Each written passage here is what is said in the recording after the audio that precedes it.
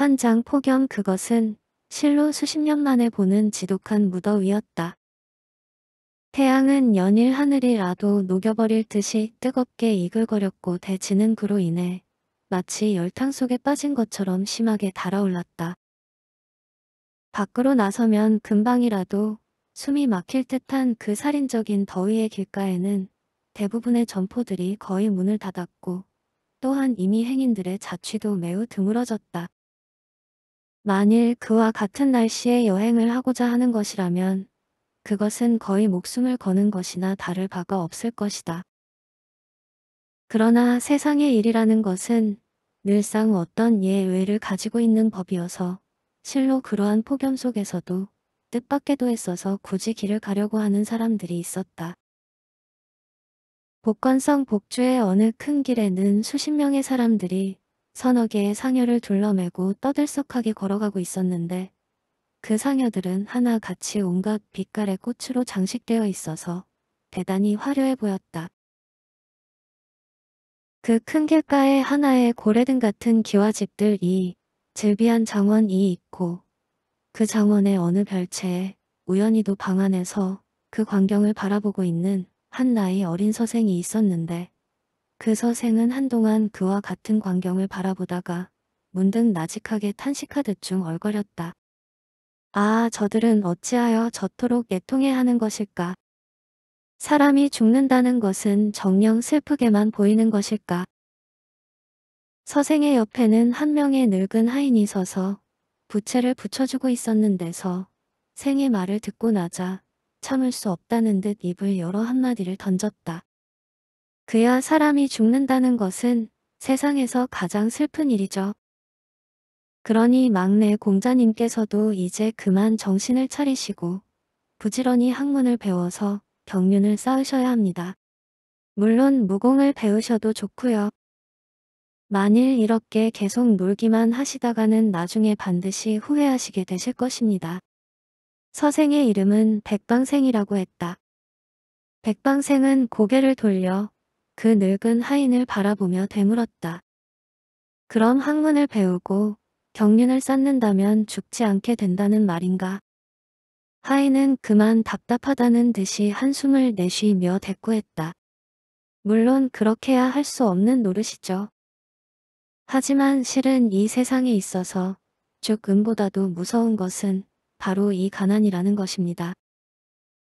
막내 공자님께서 만일 노력하시지 않는다면 그 많은 재산을 모두 잃고 가난해지게 되실지 모른다는 말입니다. 백방생은 문득 쓴 웃음을 지었다. 또 그런 말이로군. 하지만 나 역시 노력하는데도 잘 되지 않는 것을 어떡하나. 게다가 이미 시기적으로 늦어버린 것 같기도 하고. 하인은 부채질을 멈추고서 물었다. 노야께서 오늘 부르신 것 때문에 그러십니까? 백방생은 고개를 가로저었다. 할아버지께서는 이미 더 사시지는 못할 거야.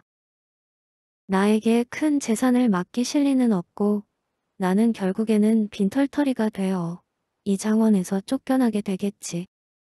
하이는 잠시 생각하는 듯 하다가 다시 말했다. 그것은 막내 공자님께서 지난날 노야를 너무나도 실망시켜 드렸기 때문이죠.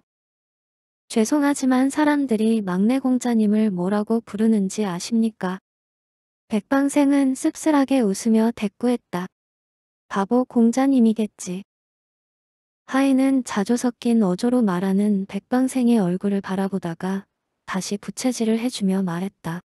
잘 알고 계시는군요. 하지만 제가 보기에 요즘의 막내 공자님의 모습은 과거에 비해 많이 나아졌습니다. 과거에는 사람들 앞에서 말도 제대로 하지 못하셨죠. 지금이라도 좀 더 나아지신 그 모습을 노얗게 보여드리면 아마도 노약께선 막내 공자님을 더 많이 생각해 주실 것입니다. 백방생은 가볍게 한숨을 내쉬며 고개를 저었다. 지금에 와서 그런 것은 이젠 관심이 없네. 나는 그저 할아버지께서 좀 더 오래 사시기를 바랄 뿐이지. 그나저나 이 날씨는 정말 너무 덥군 그래. 할아버지께선 아마 견디지 못하실 거야. 하인은 한숨을 내쉬고는 잠시 생각하는 듯 하다가 다시 입을 열었다. 노약께선 항상 시원한 바람을 쏘이고 계시니 이 더위와는 상관이 없습니다.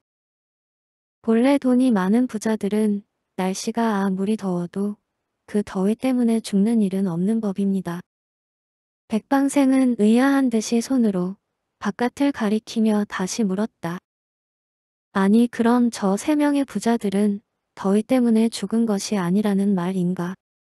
하인은 가볍게 냉소했다. 막내 공자님께서는 아직 모르시고 계시는군요. 소문은 제법 그럴듯하게 퍼져 있지만 사실 그들은 더위 때문에 죽은 것은 아닙니다. 그들은 실상 모두 다른 어떤 이유들 때문에 죽은 것이지요. 단지 그것을 드러내 놓고 말하기가 어려웠기 때문에 그저 그렇게 더위 때문에 죽은 것이라고 속인 것에 불과합니다. 백방생은 문득 정말로 의아한 생각이 들었다. 아니 뭐라고. 무슨 이유가 있다는 말이지. 하인은 그 대답을 할까 말까 하고 잠시 망설이는 듯 하다가 이윽고 다시 입을 열어 말하기 시작했다. 얼마 전에 장백산에서 한 10만이가 300년이나 묵은 산삼 두 뿌리를 캤는데 그것이 우연히 이 근방으로 흘러들어와 전 부자와 조 부자가 각각 하나씩 나눠 가지게 되었습니다. 그 두 사람은 이윽 고 그 산삼들을 각기 조심스럽게 복용을 했지요. 그런데 그들은 그 다 음날 똑같이 침상 위에서 이상한 모습으로 죽어 있었습니다. 백방생은 말을 자르며 물었다. 그럼 그 산삼이 잘못된 것인가? 하인은 다소 눈살을 찌푸리며 대꾸했다. 장백산의 산삼은 예로부터 천하에서 알아주는 최고의 명물입니다. 게다가 그 두 뿌리의 산삼은 300년이나 묵은 것이라 그야말로 희귀하기 짝이 없는 것이고 또한 약효도 훌륭하기 짝이 없는 것입니다. 사람이 그것을 먹고 잘못될 리는 없는 것이죠. 백방생은 다시 물었다. 하지만 자네는 그들이 그 산삼들을 복용하고 죽었다고 하지 않았는가? 하인은 말했다. 저는 그들이 산삼을 복용하고 나서 죽었다고 했지. 그 산삼 때문에 죽었다고는 말하지 않았었죠. 백방생은 물었다. 그럼 그들은 대체 무엇 때문에 죽었다는 말인가? 하인은 말했다. 아까 제가 말했던 것처럼 그들은 마른 장 작개비처럼 괴상한 모습으로 죽어 있었죠. 사람들은 그것을 보고 흡혈귀의 소행이라고 말하고들 있습니다. 백방생은 그 말을 듣고 약간 어이없어 하며 말했다. 흡혈귀라고. 설마 하니 정말로 그와 같은 귀신들이 있기라도 하다는 말인가. 하인은 다소 눈살을 찌푸리며 대답했다. 정말로 귀신이 있는지는 저도 잘 모르지만 사람들은 그 두 부자가 천하의 영약인 수백 년 묵은 산삼을 복용했기 때문에 흡혈귀에게 피를 빨리게 되었다는 것입니다. 게다가 이전에 다른 성씨에서도 그와 같은 일들이 있었다고도 하고요. 백방생은 고개를 갸웃거리며 웃다가 다시 물었다. 그럼 다른 한 명의 부자와 한 명의 처녀가 죽은 것도 그와 마찬가지의 이유에서인가. 말을 하는 동안에 대로상의 그 상여들의 행렬은 이미 사라져서 보이지 않고 있었다. 하인은 텅 비어버린 대로상을 힐끗 바라보면서 대답했다. 그렇지는 않습니다. 그 처녀가 죽은 이유는 갑자기 미쳐서 기가 넘어 갔기 때문이고 그 다른 한 명의 부자가 죽은 이유는 그의 외아들 때문입니다. 백방생은 웃으며 물었다. 그 외아들 역시 미쳐서 자신의 부친을 살해하기라도 했다는 말인가. 하인은 고개를 가로저었다. 그 외아들은 미치지 않았습니다. 게다가 그 부자는 자신의 재산을 그 외아들에게 모두 물려주기로 작정을 했었고요. 그런데 어느 날 그 외아들이 자신의 부친에게 돈을 달라고 했는데 웬일인지 그 부자가 돈을 주지 않자 갑자기 칼을 들고 달려들어서는 그 부자의 목을 베고 집안의 모든 돈을 털어서는 달아났다고 합니다. 백방생은 고개를 갸웃거렸다. 그것은 이상한 일이지 않은가. 하인은 고개를 끄덕였다. 확실히 이상한 일입니다. 날씨가 갑자기 더워져서 그러는지 지금 천하 곳곳에도 미친 사람들이 늘어난다고 하기도 하고 또 누구는 지금 물 인계 조짐이 아주 심상치 않다 고도하기도 하지만 그러나 우리들 같은 사람들은 세상이 멸망하지만 않는다면 그저 그렇게 살아가게 되어 있는 법입니다. 부자는 편안하게 살고 가난한 사람은 평생 개처럼 빌어먹게 되는 것이죠. 백방생은 웃으며 말을 받았다. 결국 자네는 내게 역시 정신을 차리라는 얘기를 하고 싶은 것이로군. 하인은 한숨을 내쉬며 말했다. 솔직히 저야 막내 공자님께서 어떻게 되시든 아무런 상관도 없는 몸입니다. 하지만 보기에 워낙에 딱하니까 이런 말씀도 드리는 것입니다. 가 급적 오해는 없으시기 바랍니다. 백방생은 웃으며 몸을 일으켰다. 오해는 하지 않네. 그건 그렇고 이제 시간이 거의 다 된 듯 하니 하라. 버짓게 가봐야 하겠군. 자네는 날 따라올 것은 없네. 대로상에는 그 뜨겁고 숨막히는 열기 속으로 이제 다시 정적만이 가득 흐르고 있었다. 그 정적은 일면 한가한 것으로 느껴지기도 했다. 마치 무슨 일이 일어난다고 해도 상관이 없다는 것처럼. 백방생은 그러한 광경을 바라보며 잠시 머뭇거리다가 이윽고 서서히 걸음을 옮기기 시작했다. 두장 백일과는 백방생은 다소 일찍 자신의 거처를 나선 셈이었다. 밖으로 나오자 날씨는 생각보다도 더욱 무더운 것 같았다. 이런 날에는 밖에서 오래 걸어다니지 않는 것이 상책일 것이다. 그러나 백방생은 도리어 그럴수록 밖에서 좀 더 오랫동안 돌아다니고 싶은 생각이 들었다. 그는 아직 본체로 곧장 들어가고 싶은 기분은 들지 않았다. 게다가 아직 다소간의 시간이 남아 있었다. 그는 일부러 산책을 하듯 서서히 후 원쪽으로 걸어가기 시작했다. 이 백노야의 장원에 있는 후원은 이미 성 안에서도 이름이 알려져 있었다. 많은 돈을 써서 가꾼 정원이라 경치가 수려하여 매년 이때쯤이면 많은 사람들이 놀러 오곤 했다. 하지만 지금은 누구도 놀러 오지 않았을 것이다. 백노야가 병환이 깊어진 이후로 실질적인 이 장원의 주인이라고 할 수가 있는 백방생의 백부 백귀하는 사람들에게 잠시 그곳으로 놀러 가는 것을 금지시켰다. 불과 한식경도 지나지 않아 백방생은 후원에 이르렀다. 후원의 경치는 정말로 언제나 보아도 아름다웠다. 기암괴석과 온갖 아름다운 나무들 밑바닥이 훤히 들여다 보이는 넓은 연못과 가산에서 허옇게 떨어져 내리는 폭포수들.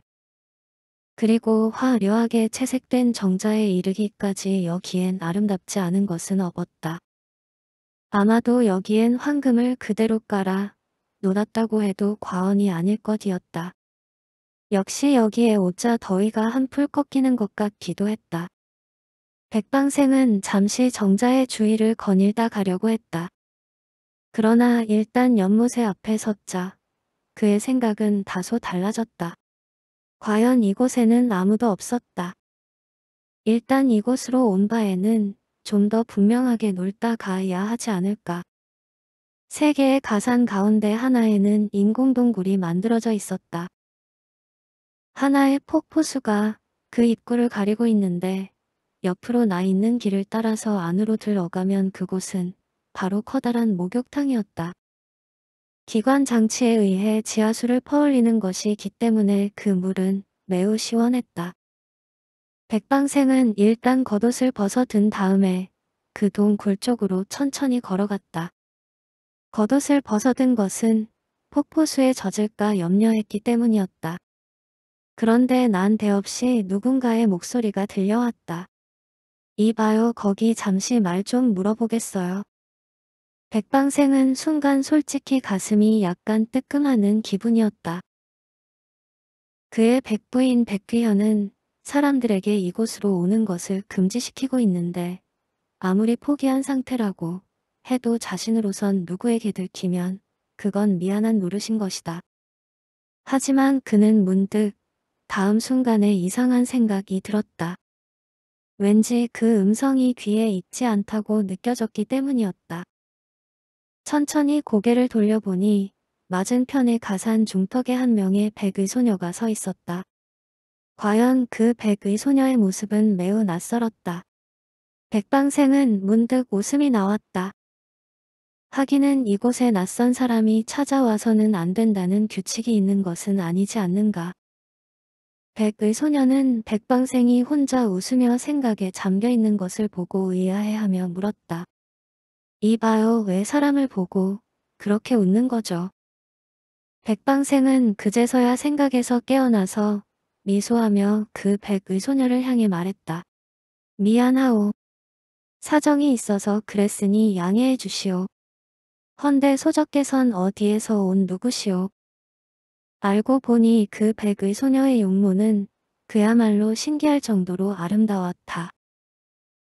나이는 그보다 서너 살 정도 아래인 17, 8세로 보였는데 그야말로 투명한 옥으로 깎아 만든 인형이 말을 하고 있는 것 같았다.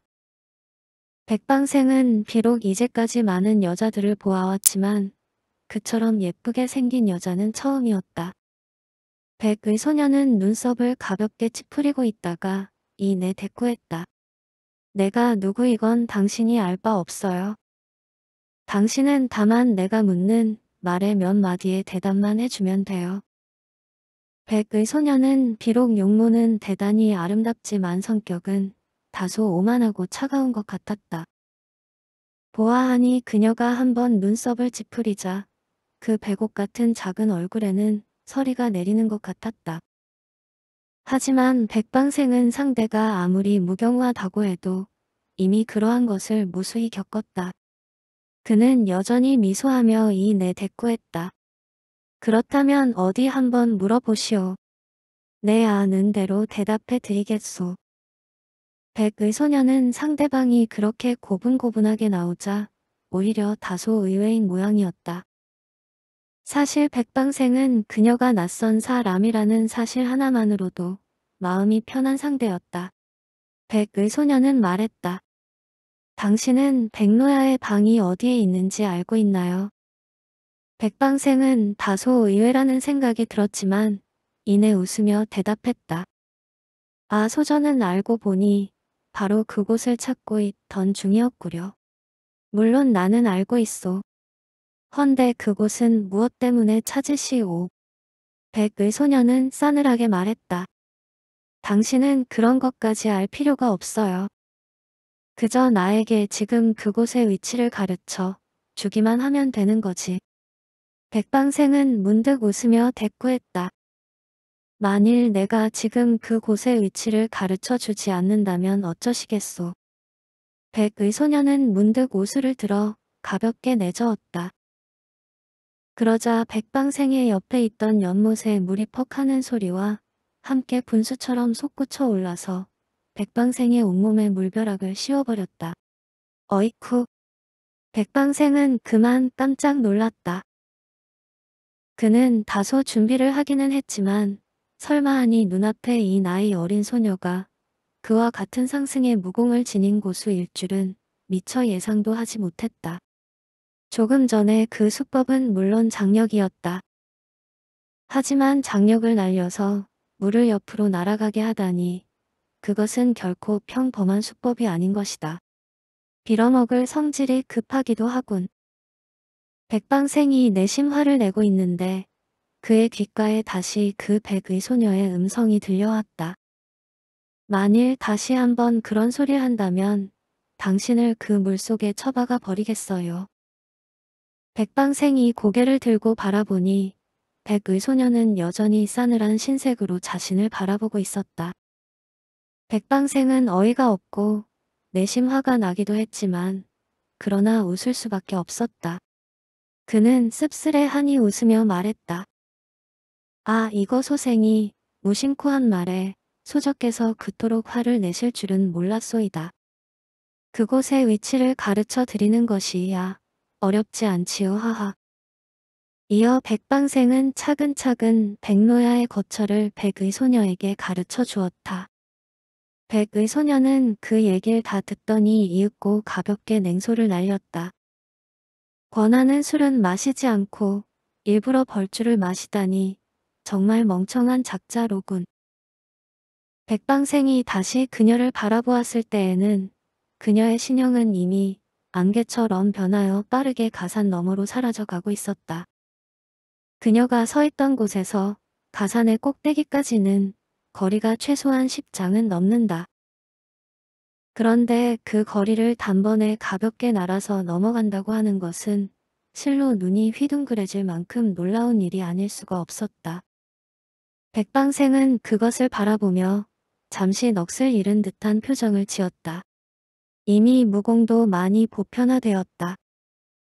백방생도 이미 어렸을 적부터 글방사부 이외에도 무학사부를 따로 모시고 가르침을 받아본 바가 있었다. 비록 그러함에도 불구하고 유감스럽게도 백방생은 자질이 형편없어서 거의 무공을 배우지 못했지만 그러나 다행히 무학에 관한 상식은 많이 얻어들어서 안목은 제법 있다고 말할 수가 있었다. 조금 전에 백의소녀가 펼친 그 장법과 경공은 바로 상승의 무학이었다. 백방생은 말로만 듣던 상승의 무학을 다시 한번 보자 눈이 휘둥그레졌는데 거기에 다시 그녀의 나이가 이제 겨우 17, 8세 정도라는 것을 상기하자 그만 절로 넉나간 표정이 되고 만 것이었다. 일반적으로 무학이 상승의 경지에 이르게 하려면 훌륭한 자질 이외에도 이갑자라는 공력이 필요하다고 한다. 일갑자의 공력이란 바로 60년 동안 부단히 노력하여 얻는 공력을 말하는 것인데 대체 그녀는 어떻게 그 나이에 그와 같은 막대한 공력을 얻게 된 것일까?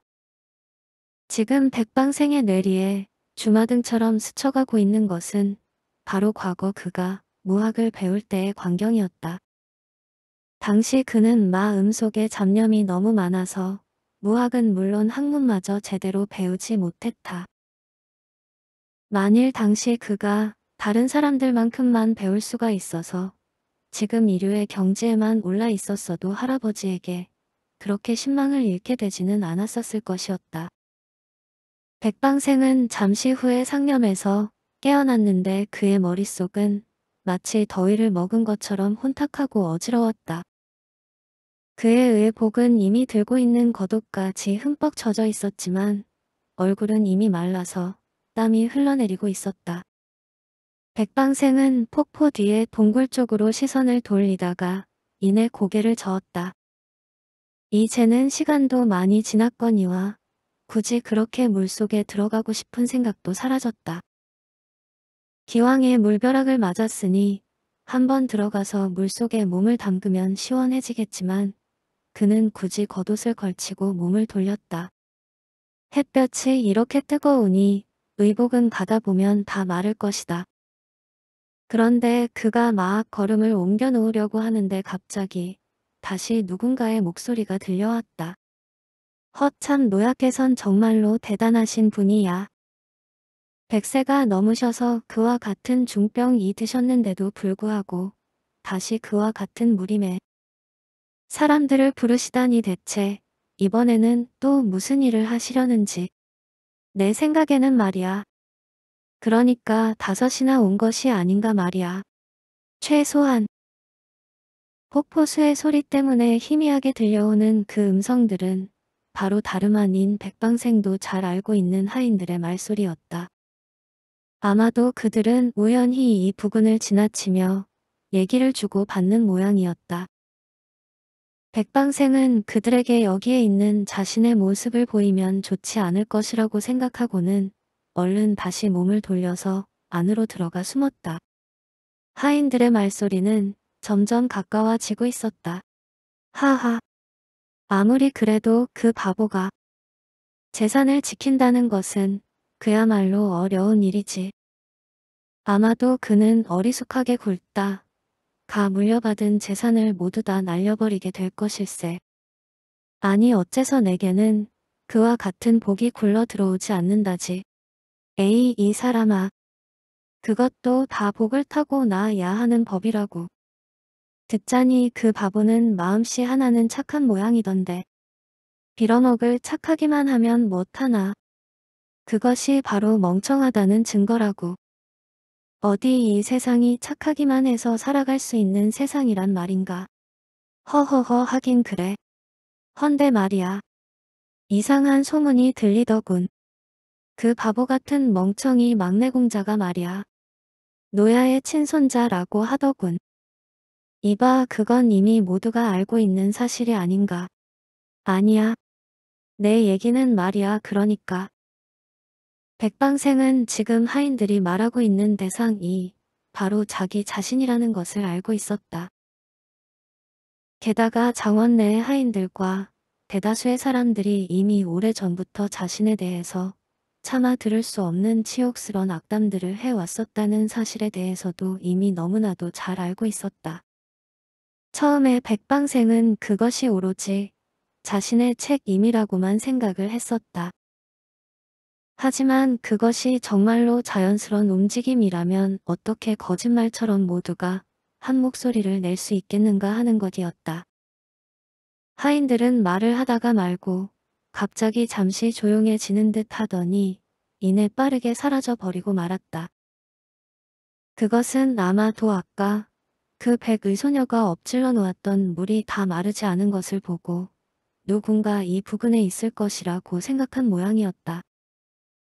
하인들의 발걸음 소리가 그렇게 완전히 멀어지고 나자 백방생은 그제서야 천천히 한숨을 내쉬며 밖으로 걸어 나왔다.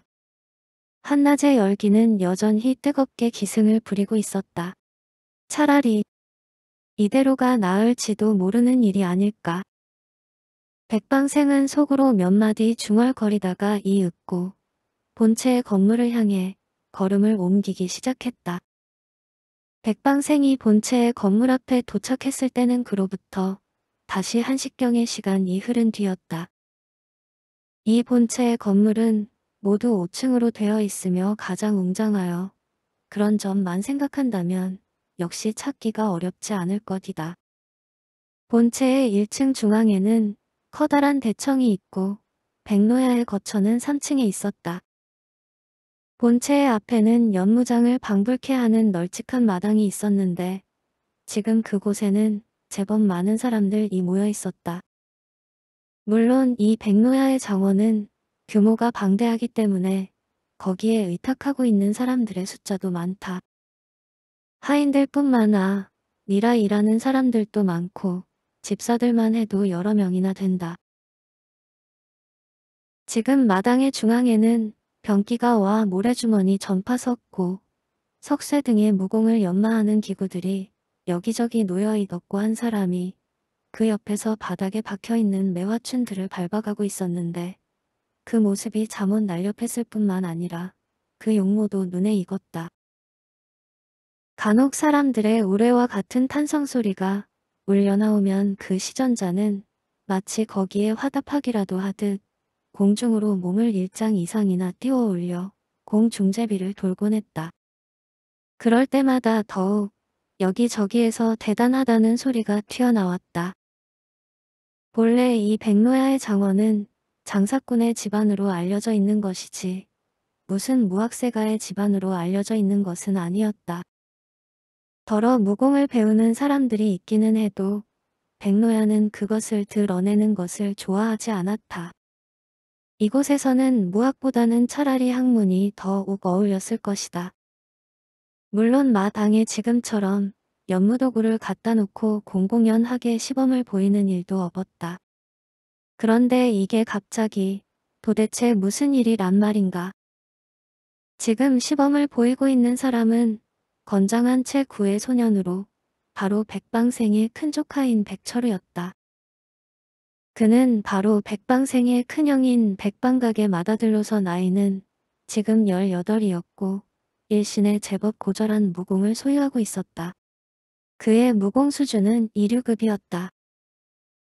사실 말하자면 백방생은 어려서부터 무공을 그와 같이 배우다시피 했었는데 이제는 전혀 비교도 할 수 없는 격차가 생긴 것이었다. 백방생은 공연히 그들과 어울리고 싶지 않았으므로 옆으로 돌아서 지 나가려고 했다. 그런데 마치 그가 오기를 기다리기라도 한 듯이 백철우가 즉시 허공에서 두어 번 공중제비를 돌더니 그의 앞에 날 아내렸다. 막내 삼촌 어딜 가십니까? 백방생은 그가 지금 5장 이상이나 날아온 것을 보고 그의 무공이 다시 증진되었다는 것을 알았다.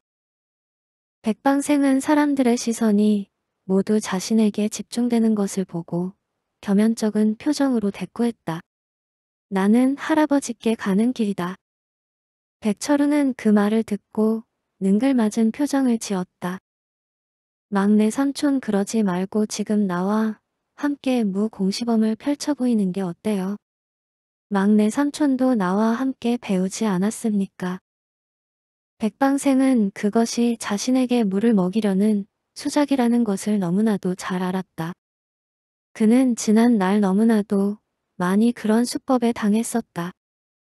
백방생은 이 무공이 곡강하고 능글맞은 조카를 상대하기가 곤란했다.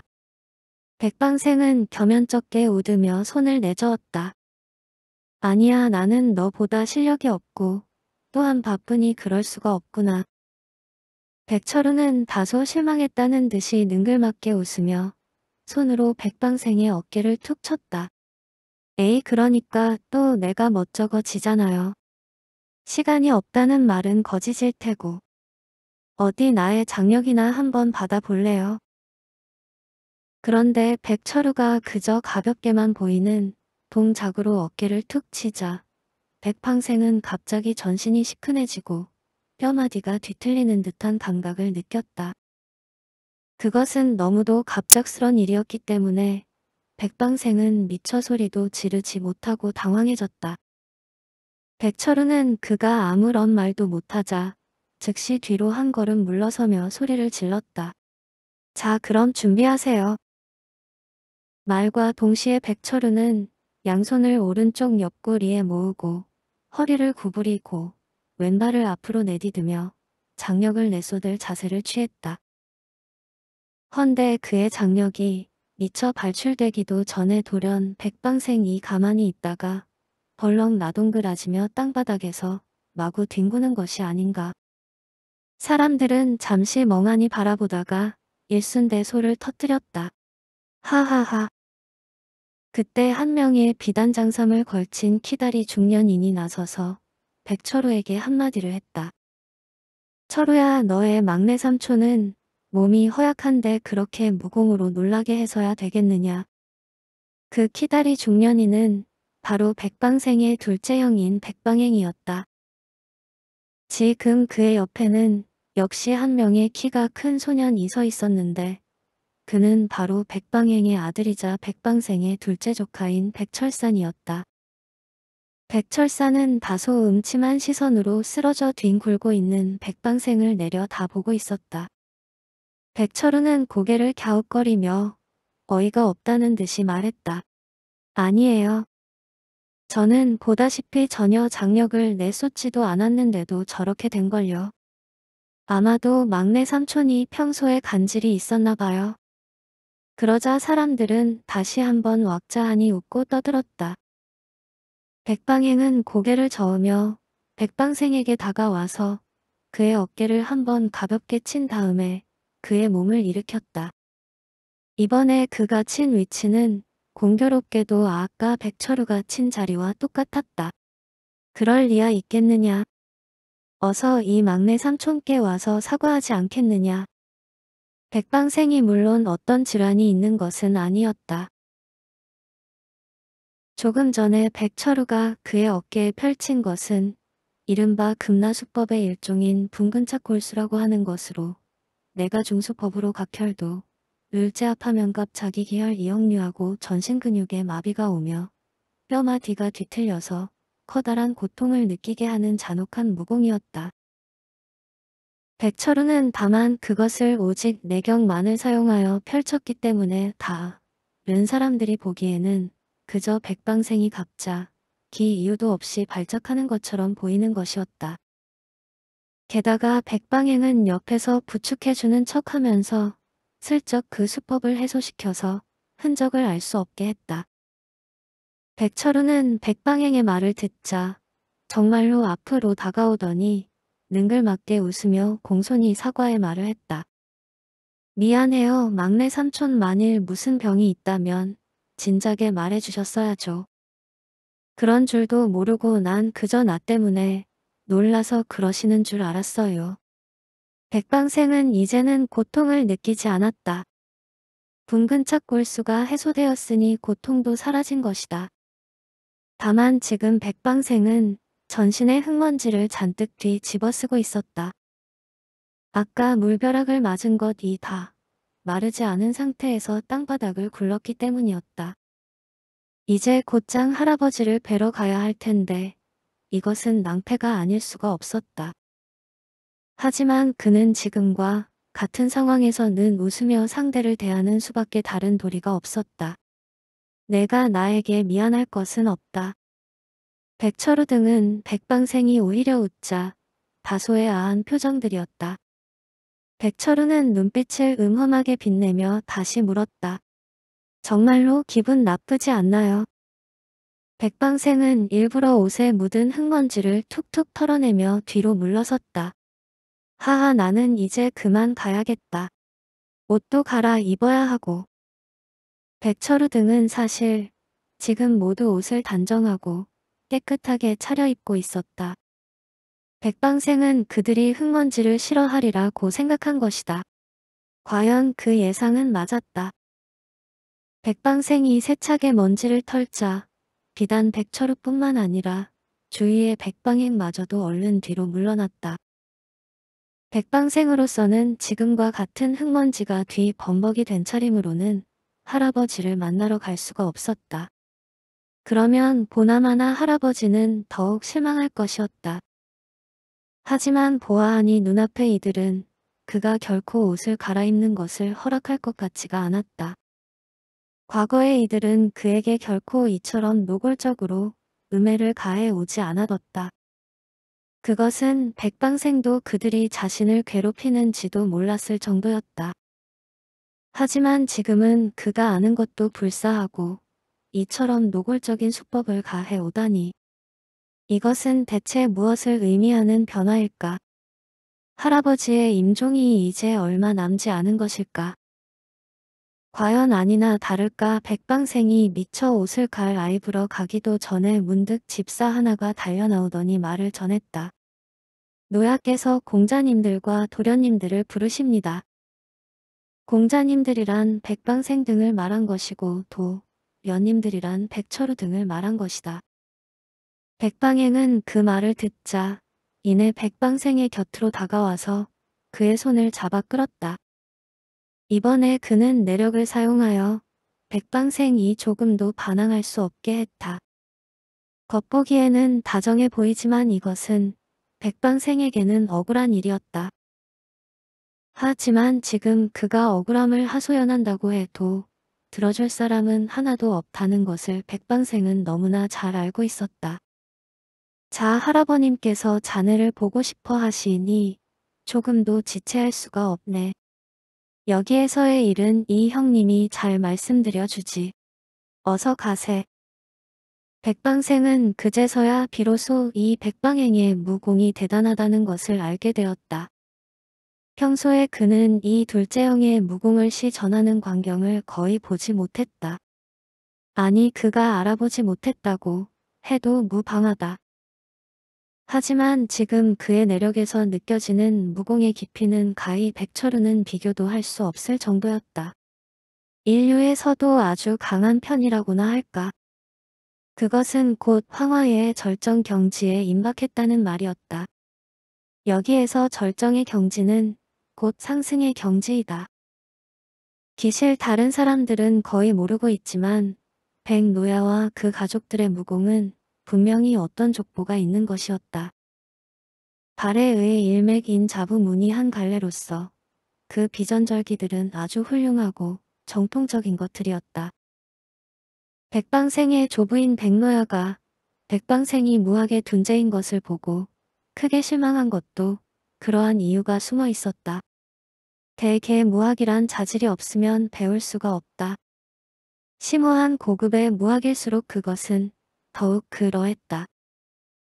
백방생은 이 백방행이 그 자부무학을 언제 그렇게 열심히 연마한 것인지 잘 이해가 되지 않았다. 이윽고 본체의 3층에 올라가서 하나의 방 문을 열자 상당히 넓고 고 급스러운 분위기가 느껴지는 침실이 한눈에 들어왔다. 그 방 안에는 사람들이 매우 많았다.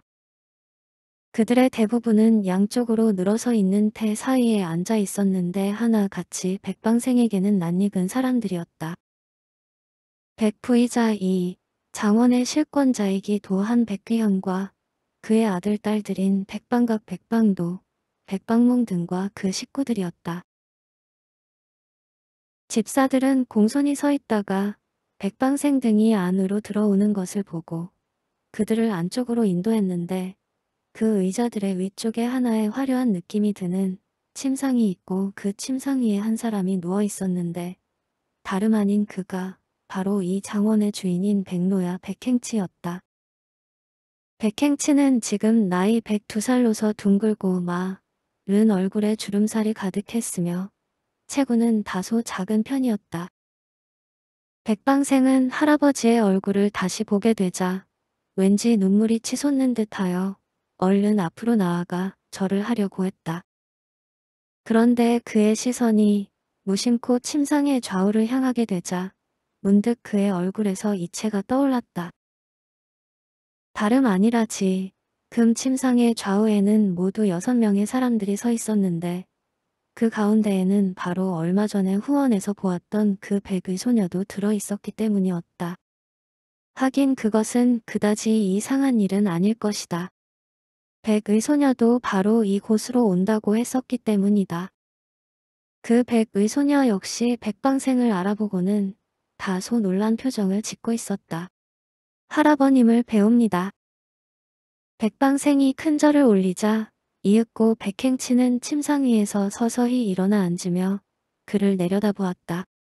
침상의 휘장은 걷혀 있었다. 가까이에서 보니 백행치의 얼굴에 검은 기운이 가득하여 이제 임종이 얼마 남지 않았다는 것을 알 수 있게 했다. 백행치는 입을 열었는데 그 목소리는 숨이 차 있기는 하지만 아직들 을만했다. 음, 생하냐. 헌데, 너의 그 옷차림은 왜 그렇지? 백방생은 물벼락을 맞은 다음에 땅바닥에 서 굴렀기 때문에 이곳 실내에서 가장 지저분한 몰골을 하고 있었다.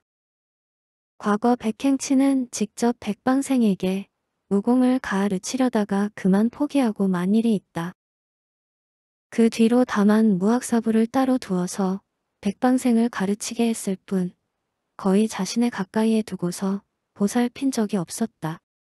백방생은 엎드린 채로 대답했다. 이곳으로 오다가 넘어져서 이렇게 된 것입니다.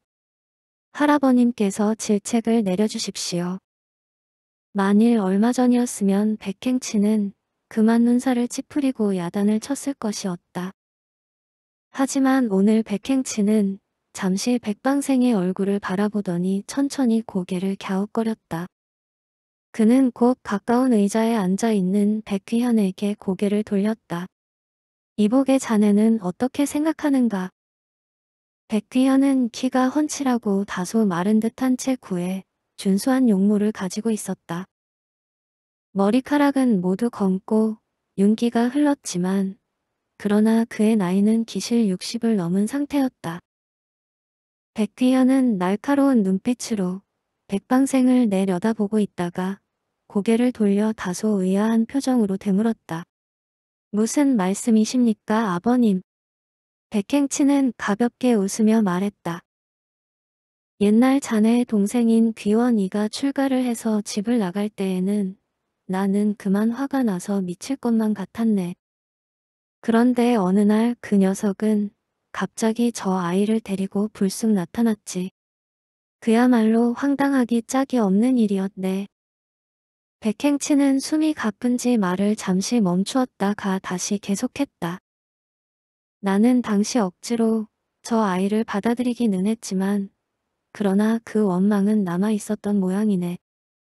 이제 생각해보면 내가 저 아이에게 그간 너무 무심해 왔었던 것 같네. 사람이 죽을 때가 되면 착한 마음이 돌아온다고 하던가. 말을 마치자 백행치는 턱에 받치는 괴로운 기침을 십여 차례나 했다. 백귀현이 조심스러운 어조로 말했다. 이제 그만 말씀하시고 몸을 보존하십시오. 백행치는 고개를 저었다.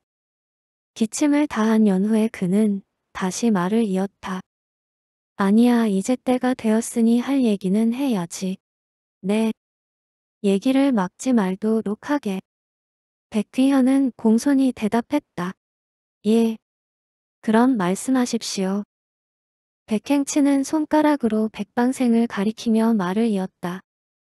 그는 아직 백방생에게 일어서라는 말을 하지 않고 있었다.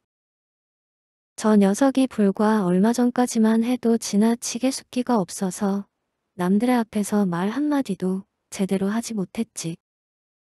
나는 볼 때마다 야단을 쳤지만 그래도 가장 못마땅했던 것은 바로 그런 점이었네. 사람이 무공을 익혀야만 반드시 잘 살게 되는 것은 아니지. 가장 중요한 것은 역시 대인관계일세. 이 복주성 내에도 비록 무공은 없지만 나보다 부자인 사람들이 여러 명이나 되거든. 실내가 갑자기 조용해졌다. 사람들은 모두 백행치에게 시선을 집중하고 그의 말을 듣기 시작했다. 백행치는 이제는 기침이 나오지 않는지 잠시 쉬었다가 말을 계속했다. 저 녀석은 아직도 무공을 전혀 배우지 못했고 또한 저러한 몰골로 나타났네. 나는 마땅히 다시 화를 내야 하겠지만 그러나 자네도 한번 잘 보게. 저 아이의 태도는 이제 이 많은 사람들 앞에서도 편안해 보이고 말도 제법 잘하고 있네. 자네도 그것이 느껴지지 않는가? 백귀현은 다소 어리둥절한 표정으로 대답했다. 예, 그러고 보니. 그렇군요. 백행치는 다시 말을 이었다. 나는 문득 신기하고 반가운 생각이 드네. 본래는 내가 죽은 후에 저 아이의 장래를 걱정했었는데 이제는 웬일인지 저렇게 되었으니 약간 안심이 되네. 하지만 저 아이가 아직 부족할 것이니 자네가 나중에 많이 도와주어야만 하네. 알겠는가? 백귀현은 조용히 듣고 있다가 이윽고 대답했다. 알겠습니다, 아버님. 백행치는 이번에는 다시 백방생에게 고개를 돌리고 입을 열었다. 생아야 너는 내가 오늘 너를 왜 불렀는지 아느냐. 백방생은 고개를 들어 백행치를 바라보며 대답했다. 그것은 소손이 미혹하여 아직 잘 모르고 있습니다. 백행치는 고개를 끄덕였다. 좋다. 모르는 것을 그대로 모른다고 대답할 수 있는 그 마음 자세가 마음에 든다. 보다시피 나는 오늘 많은 사람들을 이곳으로 불렀는데 그것은 내가 죽기 전에 몇 가지 처리해야 할 사안이 있기 때문이다. 물론 그 가운데에는 너의 장래에 관한 사안도 들어있다. 이해하겠느냐? 백방생은 갑자기 코끝이 찡하게 울려오는 것 같아서 잠시 심호흡을 하다가 대답했다. 소소는 본시 미혹하기 이를 데 없어서 할 아버님의 심려만 끼쳐드려 왔습니다.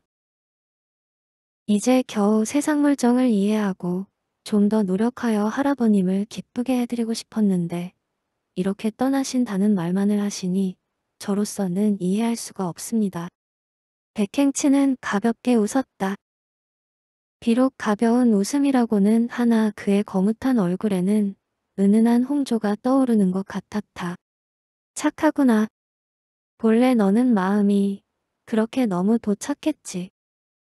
하지만 세상은 착한 것만으로는 살아갈 수가 없다는 것을 알아야 하느니라.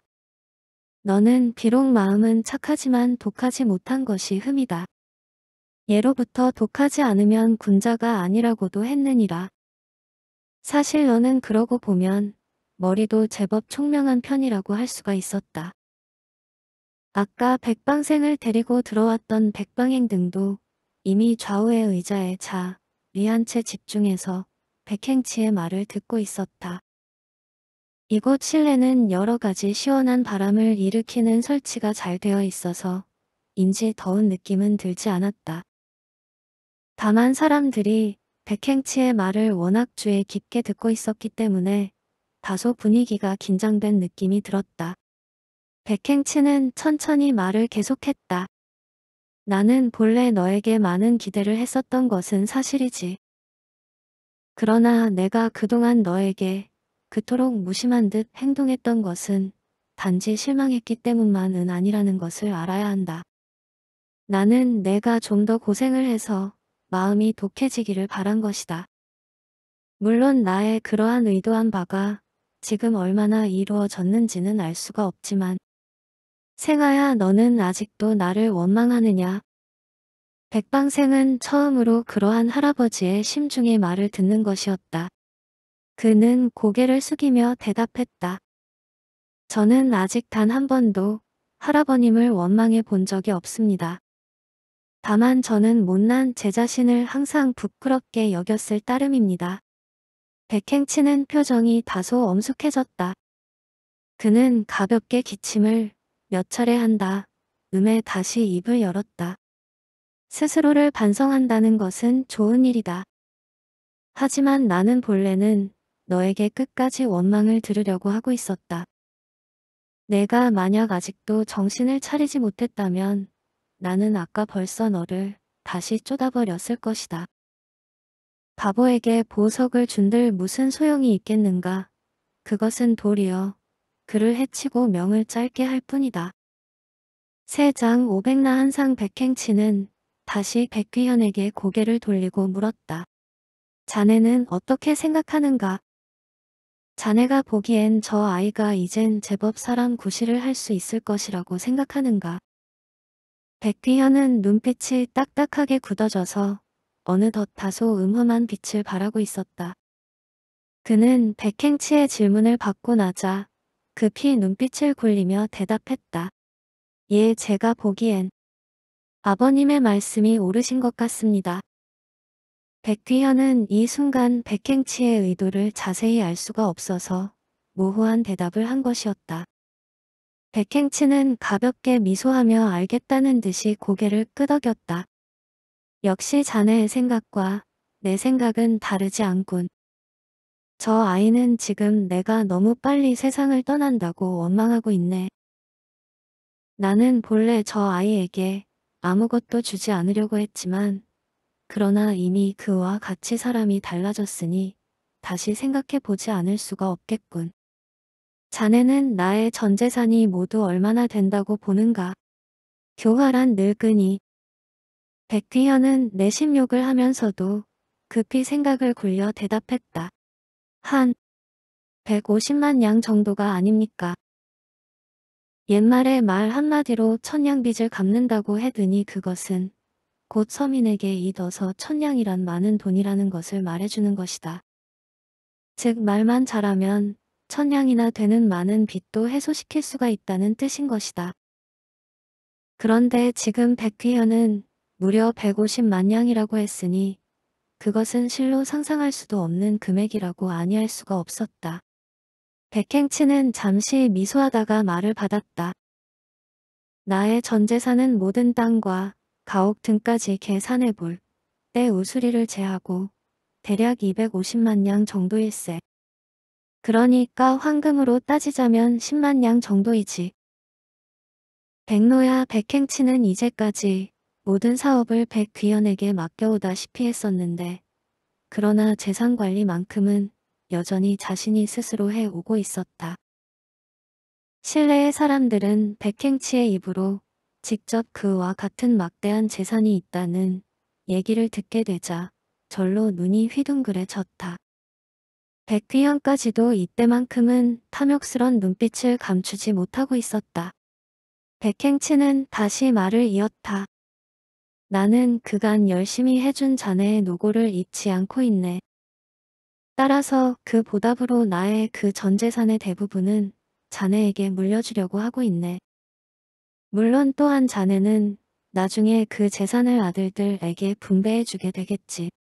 그러나 나는 아직 저 아이에 대해서는 마음이 불안하네. 그는 사람이 너무 숫기가 없어서 필시 나중에 제목도 다 챙겨 먹지 못하게 될 것일세. 따라서 나는 특별히 저 아이에게만은 분명히 유산을 분배해주고 싶은데 자네는 어느 정도의 금액이 적당하리라고 보는가. 백귀현은 눈빛이 빠르게 움직였다. 그는 이 순간이 지극히 중요하다는 것을 알고도 남음이 있기에 즉시 백행치의 의도를 파악하려고 애를 썼다. 한 백만 냥 정도가 어떻겠습니까? 백행치는 그 말을 듣고 가볍게 웃었다. 그는 백귀현의 눈빛이 불안하게 움직이는 것을 보고 미소하며 말했다. 네 아까도 말했듯이 자네는 내가 죽은 뒤에 저 아이를 잘 보살펴 주어야 하네. 저 아이는 이제까지 외톨이나 다름이 없었으니 만일 자네가 도와주지 않는다면 세상을 살아갈 능력을 잃고 말 것이네. 그런데 이 백만 냥의 은자는 너무도 많군. 백귀현이 말한 액수는 사실 무턱대고 말한 금액은 아니었다. 그런데 백행치가 그것이 너무 많다고 하자 그의 눈빛은 빠르게 움직였다. 그럼 얼마로 하시겠습니까? 백행치는 백귀현의 얼굴을 바라보고 이어 실내의 사람들의 얼굴을 두루 바라본 뒤에 대답했다. 나는 저 아이에게 한 번의 기회를 주려고 하지만 그렇다고 너무 많으면 오히려 좋지 않네. 즉 나는 황금 만냥을 주려고 하네. 자 그것에 대해서 조금이라도 이해가 있는 사람은 지금 말하도록 해라. 이 장원에서는 아직 백노야의 말 한마디가 그대로 곧 법이었다. 조금도 이해가 있을 수가 없었다. 게다가 황금 만냥은 곧 25만 양을 말하는 것이니 아까 백귀현이 말한 100만 양의 4분지 1에 불과했다. 즉 그것은 전재산의 10분지 1에 불과한 것이다. 만일 백행치가 전재산의 반을 백방생에게 준다고 해도 누구도 감히 뭐라고 할 수 없었다. 오히려 생각보다 적은 액수라고 보고 백귀현 등의 얼굴에는 안도의 표정이 흐르는 것 같았다. 백귀현은 사람들을 대표하여 공손히 대답했다. 아버님께서 하시는 일에 저희는 반대하지 않습니다. 뜻대로 하시기 바랍니다. 백행치는 미소하며 고개를 끄덕였다. 자네가 나의 뜻을 이해해 준다니 고마운 일이로군. 나머지 황금 9만 냥의 유산은 모두 자네에게 돌아가는 것일세. 그것들은 이미 내가 죽으면 자연히 자네의 소유가 되도록 서류 정리를 끝내놓았네. 자, 그 서류들이 모두 여기에 있는데 이젠 이것을 자네에게 줘야 하겠군. 말과 함께 백행치는 뒤쪽에 이부자리를 들추었는데 거기에는 하나의 커다란 가방이 있었다. 백행치는 그 가방을 들어서 백귀현에게 건네주었다.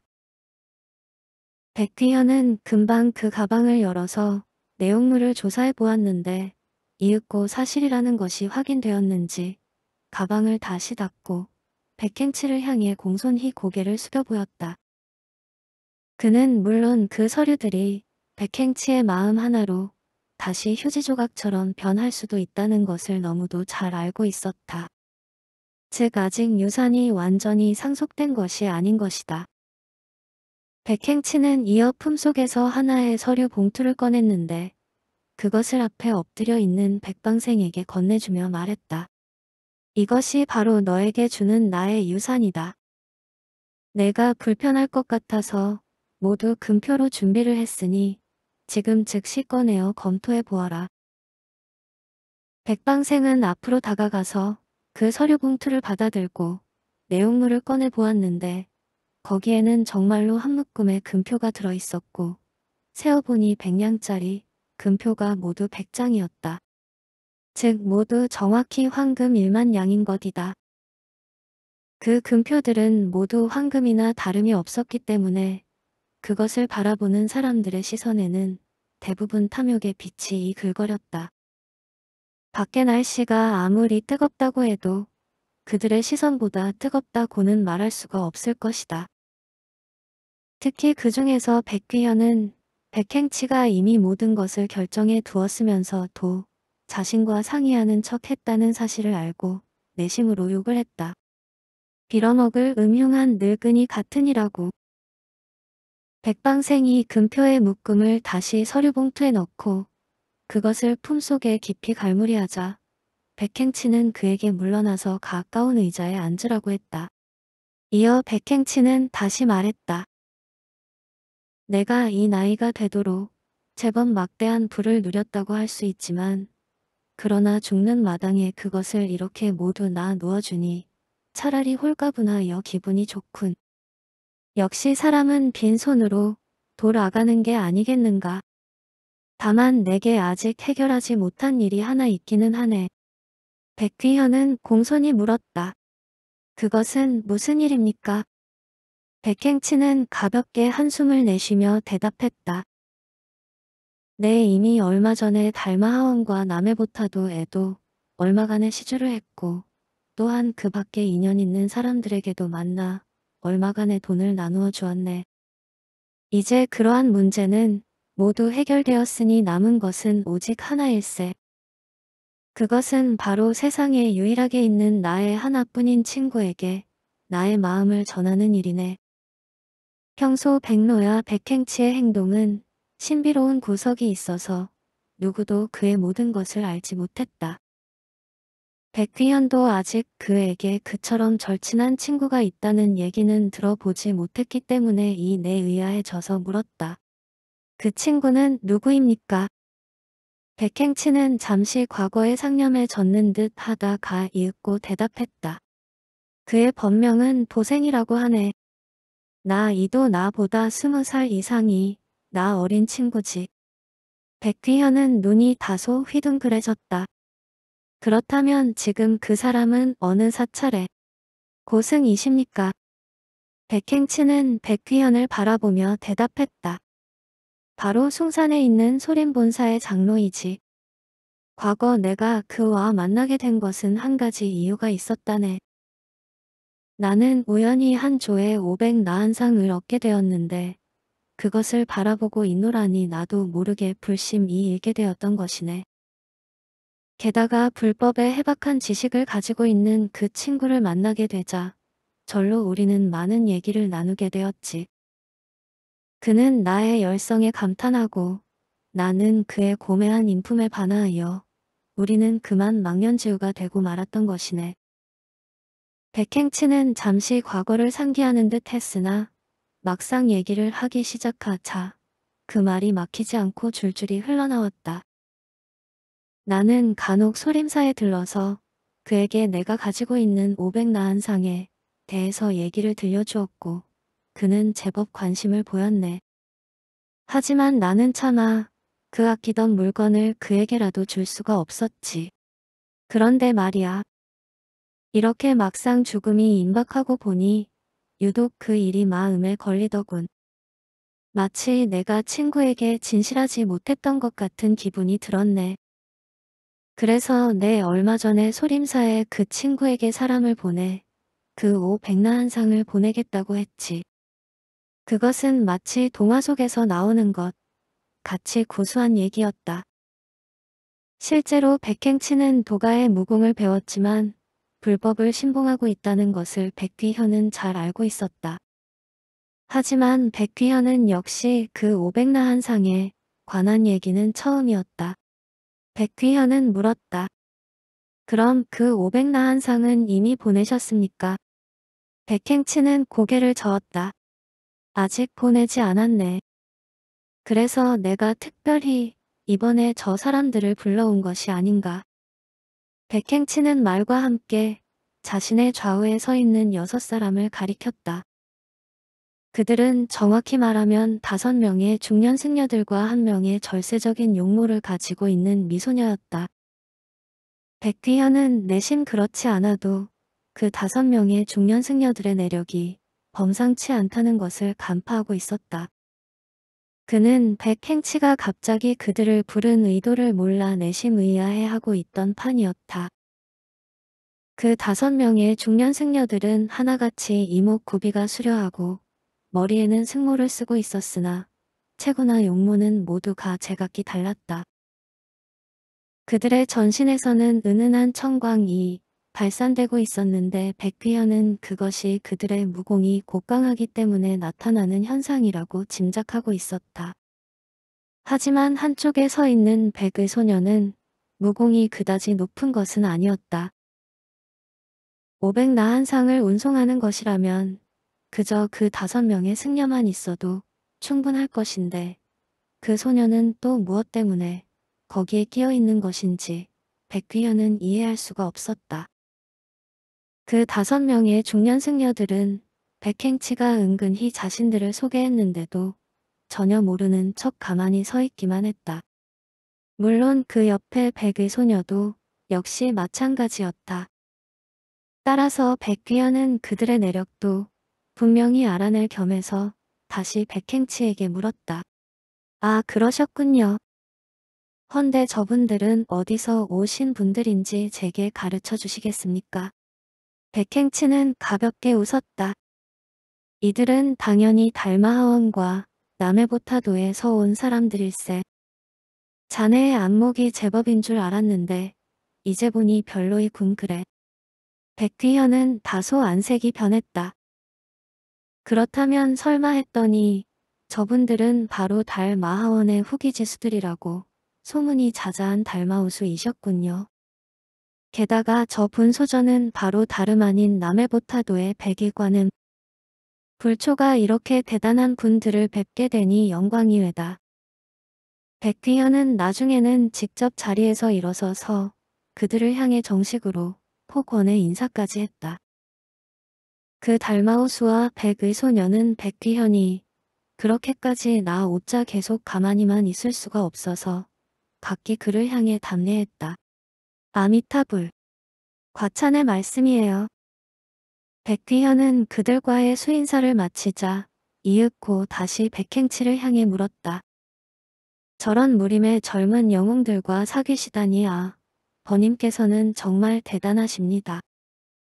헌데 저에게는 그 신비하다는 오백나한 상을 보여주시지 않으실 생각이십니까? 백행치는 가볍게 웃었다. 네 어찌 내게 보여주지 않을 수가 있겠느냐. 그렇지 않아도 네, 지금 막 그것을 보여주려던 참이다. 말이 끝나자 백행치는 몸을 돌려서 침상 뒤쪽에 있는 두터운 휘장을 걷어 올렸다. 휘장이 거쳐진 벽면에는 하나의 금박을 입힌 철불상이 커다랗게 양각되어 있었다. 사람들은 얼마 전까지만 해도 백행치가 그 철불상의 좌우에 촛불을 켜놓고 침상 위에서 불공을 들여왔었다는 것을 알고 있었다. 그런데 백행치는 갑자기 품속에서 황금빛 열쇠를 하나 꺼내들더니 그 불상의 배꼽 속에 넣고 돌렸다. 그러자 느닷없이 그 불상의 배가 좌우로 소리 없이 갈라지면서 거기에 제법 넓은 벽장이 나타나는 것이 아닌가. 그것은 실로 정교하기 짝이 없는 기관장치가 틀림없었다. 사람들은 그와 같은 광경을 보고 하나 같이 놀랐다. 그 벽장 안에는 다섯 개의 튼튼해 보이는 철상자가 들어있었는데 백행치가 지시를 하자 달마우수가 각기 그것을 하나씩 들고 나와서 사람들의 앞에 섰다.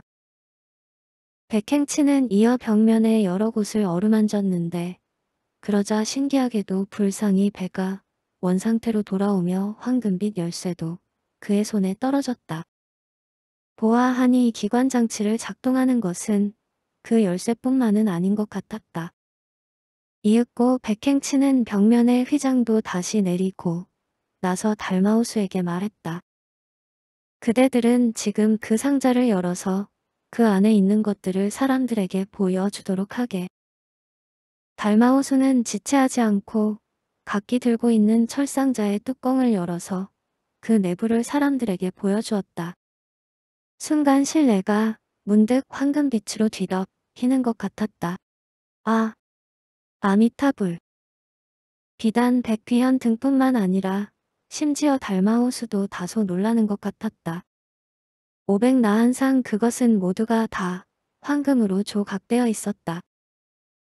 비단 금빛이 찬연하여 아름다울 뿐만 아니라 조각이 어찌나 정교한지 표정도 생생하여 마치 모두가 살아있는 것 같았다.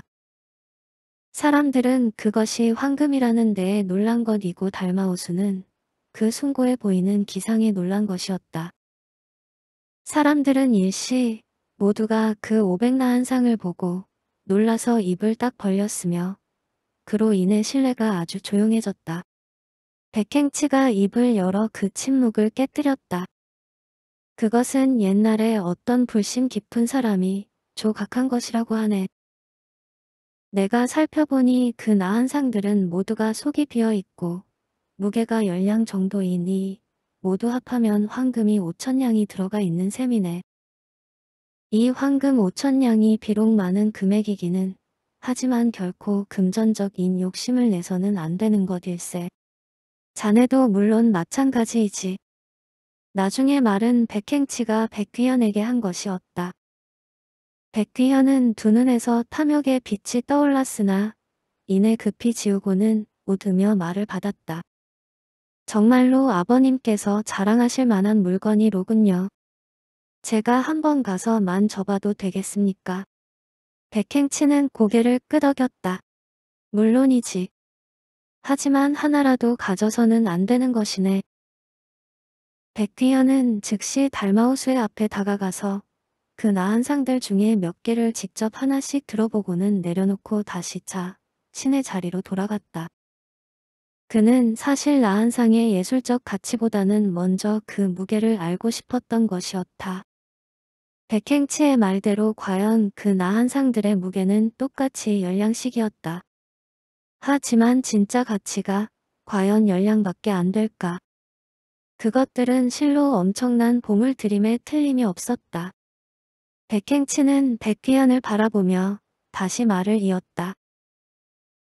그 나한 상들은 이미 소림본사로 보내기로 약속이 되어 있는 만큼 만일 그것이 도둑을 맞게 되면 소림본사에서 직접 사람들이 와서 찾게 되어 있네. 따라서 저런 것에 욕심을 낸다는 것은 그다지 현명한 일이 아니지. 백귀현은 안색이 다소 붉게 변하여 손을 내저었다. 아버님께서는 저를 믿지 못하시는군요. 저는 이미 받은 유산으로도 만족합니다. 결코 저 나한상들에게 욕심을 내지는 않겠습니다. 백행치는 고개를 끄덕이며 이번에는 다시 백방생에게 시선을 돌렸다. 내가 이들을 부른 것은 오백나한상을 무사히 호송하게 하기 위함이다. 하지만 역시 나를 대신해서 한 사람이 대표가 되어 책임지고 그 곳을 다녀와야 할 것이다. 마침 너는 이미 유산도 모두 받았고 어차피 이곳에 서 나가서 새롭게 시작해야 할 것이니 기분 전환을 할 겸해서 그곳이나 한번 다녀오는 것이 어떻겠느냐. 백방생은 이미 그렇지 않아도 자신이 머지않아 이곳 장원을 떠나야 한다는 것을 알고 있었다. 기왕에 떠나는 것이라면 가는 길에 할아버지의 마지막 지시가 될지도 모르는 그 일을 한번 맡아서 수행해 보는 것도 좋을 것이다. 백방생은 고개를 숙이며 대답했다. 예, 알겠습니다. 하지만 저의 능력이 보잘 것이 없어서 그 일을 감당해낼 수가 있을지가 의문입니다. 백행치는 미소하며 말을 받았다. 내 너를 보아하니 성격이 소심하여 큰 일을 이루기는 어렵겠고 작은 일이라면 그럭저럭 잘 해낼 수가 있겠구나. 소심한 성격 탓에 큰 실수는 하지 않을 것이니 오히려 그러한 점이 마음에 든다. 이번 일에 있어서 대부분의 사항은 내 달마우스에게 미리 말해 두었으니 너는 그저 몸만 따라가면 된다. 게다가 나는 이미 너를 위하여 수신호의를 준비해 두었느니라. 말이 끝나자 백행치는 한쪽에 서 있는 예의 그 백의 소녀를 불러 가까이 오도록 했다. 사람들은 은근히 그녀에게도 시선을 모으고 있었다. 그런데 백행치가 그런 말 끝에 다시 백의 소녀를 부르는 것을 보고 사람들은 다소 놀랐다. 그것은 백방생 역시 마찬가지였다. 설마 하니 그녀가 나의 수신호이라는 말인가. 그 백의 소녀는 이때 이미 표정이 침착해져 있었다. 그녀는 처음에는 다소 놀랐으나 이미 모든 사실을 수긍한 모양이었다. 백행치가 간단하게 소개해 주자 그녀는 거의 무심한 표정으로 폭권의 예를 취해 보였다. 나의 성은 진이라고 해요. 백방생은 내심 공교롭고도 어이없는 일이라고 생각을 하면서도 얼른 몸을 일으켜서 폭권으로 답례했다. 인사가 늦었군요. 소생은 백방생이라고 합니다. 이렇게 만나 뵙게 되어서 기쁩니다. 백의 소녀는 백방생이 굳이 아까의 그난처 한 얘기를 들추지 않는 것을 보고 그를 바라보는 눈빛을 가볍게 빛냈다. 백방생은 그제서야 그녀의 허리춤에 앉아 루의 영검이 꽂혀 있다는 것을 발견할 수 있었다. 백행치는 그 백의 소녀에 대해서 부연하며 설명했다. 이 진낭자는 바로 남해보타도의 제자인데 아직 삭발은 하지 않았다. 비단 총명하고 용모가 아름다울 뿐만 아니라 그 나이에 비해 무공이 아주 높은 편이어서 그녀를 너의 수신호위로 임명했다. 그 기간은 내가 소림본사에 다녀올 때까지 이니 너는 그녀를 일개 호위라고 생각하지 말고 잘 대우해 주어야 한다. 너는 성격이 소심하여 여러모로 보나 여 자호위가 적당할 것 같아서 그녀로 택한 것이다. 백방생은 다시 한번 폭권하며 그녀에게 말했다. 진낭자 앞으로 많은 가르침을 부탁드리겠습니다. 진낭자는 역시 마주 폭권하며 대꾸했다. 너무 과분한 말씀이시군요, 백공자. 그때 좌중에서 한 사람이 벌떡 일어나더니 소리쳤다. 증조 할아버지 그 막내 삼촌은 바보 천치라는 것을 세상 사람들이 다 아는데 어째서 그 일을 저희 아버지께 시키지 않으십니까? 아마도 그보다 백배는 더 잘해내실 것입니다. 그 사람은 바로 백철우였다. 그는 백행치가 백방생만 편애한다고 생각을 했는지 두 눈의 원독의 광망을 일으키고 있었다. 갑자기 실내에 때 아닌 찬바람이 이는 것 같았다. 백철우의 부친인 백방각은 그 옆에 앉아 있었으나 자식의 행동을 말리지는 않았다. 백행치는 그것을 보자 일순 매우 불쾌해하는 것 같았다. 그는 눈살을 찌푸리다가 고개를 돌려 백귀현에게 물었다. 일찍이 내 집안에 저런 몰상식한 사람은 없었다. 나는 이전에 수도 없이 생활을 꾸짖었으나 그는 항상 공손한 태도를 취했다. 지금 내가 생활을 소림본사에 보내는 것은 그가 이 장원을 떠나야 하기 때문이라고 분명히 일러줬거늘. 저런 인간 말종이 대체 어디에서 온 물건이란 말인가. 남들이 알게 될까 걱정이로구나. 말이 끝나자마자 백행치는 우수를 가볍게 흔들었는데 순간 백철우가 앉아있던 의자가 느닷없이 위로 날아 오르더니 쾅 하고 폭발하는 것이었다. 아, 사람들은 일순 크게 놀랐다. 그들은 이제까지 백행치가 무공을 펼치는 광경을 거의 보지 못했었다. 설마 하니 백행치가 다 죽어가는 몸임에도 불구하고 그와 같은 놀라운 무공을 펼칠 수 있을 줄은 몰랐다. 백행치가 기척도 없이 유독 그 의자만 떠올려서 폭파시킨 것은 실로 상상하기 어려운 놀라운 무공이었던 것이다. 물론 백철우는 비록 허공으로 떠오르지는 않았지만 일순 그 폭발에 휘말려 비명소리와 함께 구석으로 날려갔다. 그의 모친되는 여자가 달려가서 안아드니 백철우는 이미 전신에서 피를 흘리며 혼절해 있었다. 백귀현도 물론 백행치가 지금에 이르러서 도 그와 같은 무공을 펼칠이라고는 미처 예상치 못하고 있었다.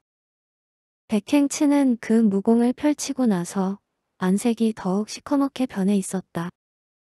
백귀현은 내심 크게 당황해져서 급히 백방 가게 앞으로 날아가 세차게 따기를 때렸다.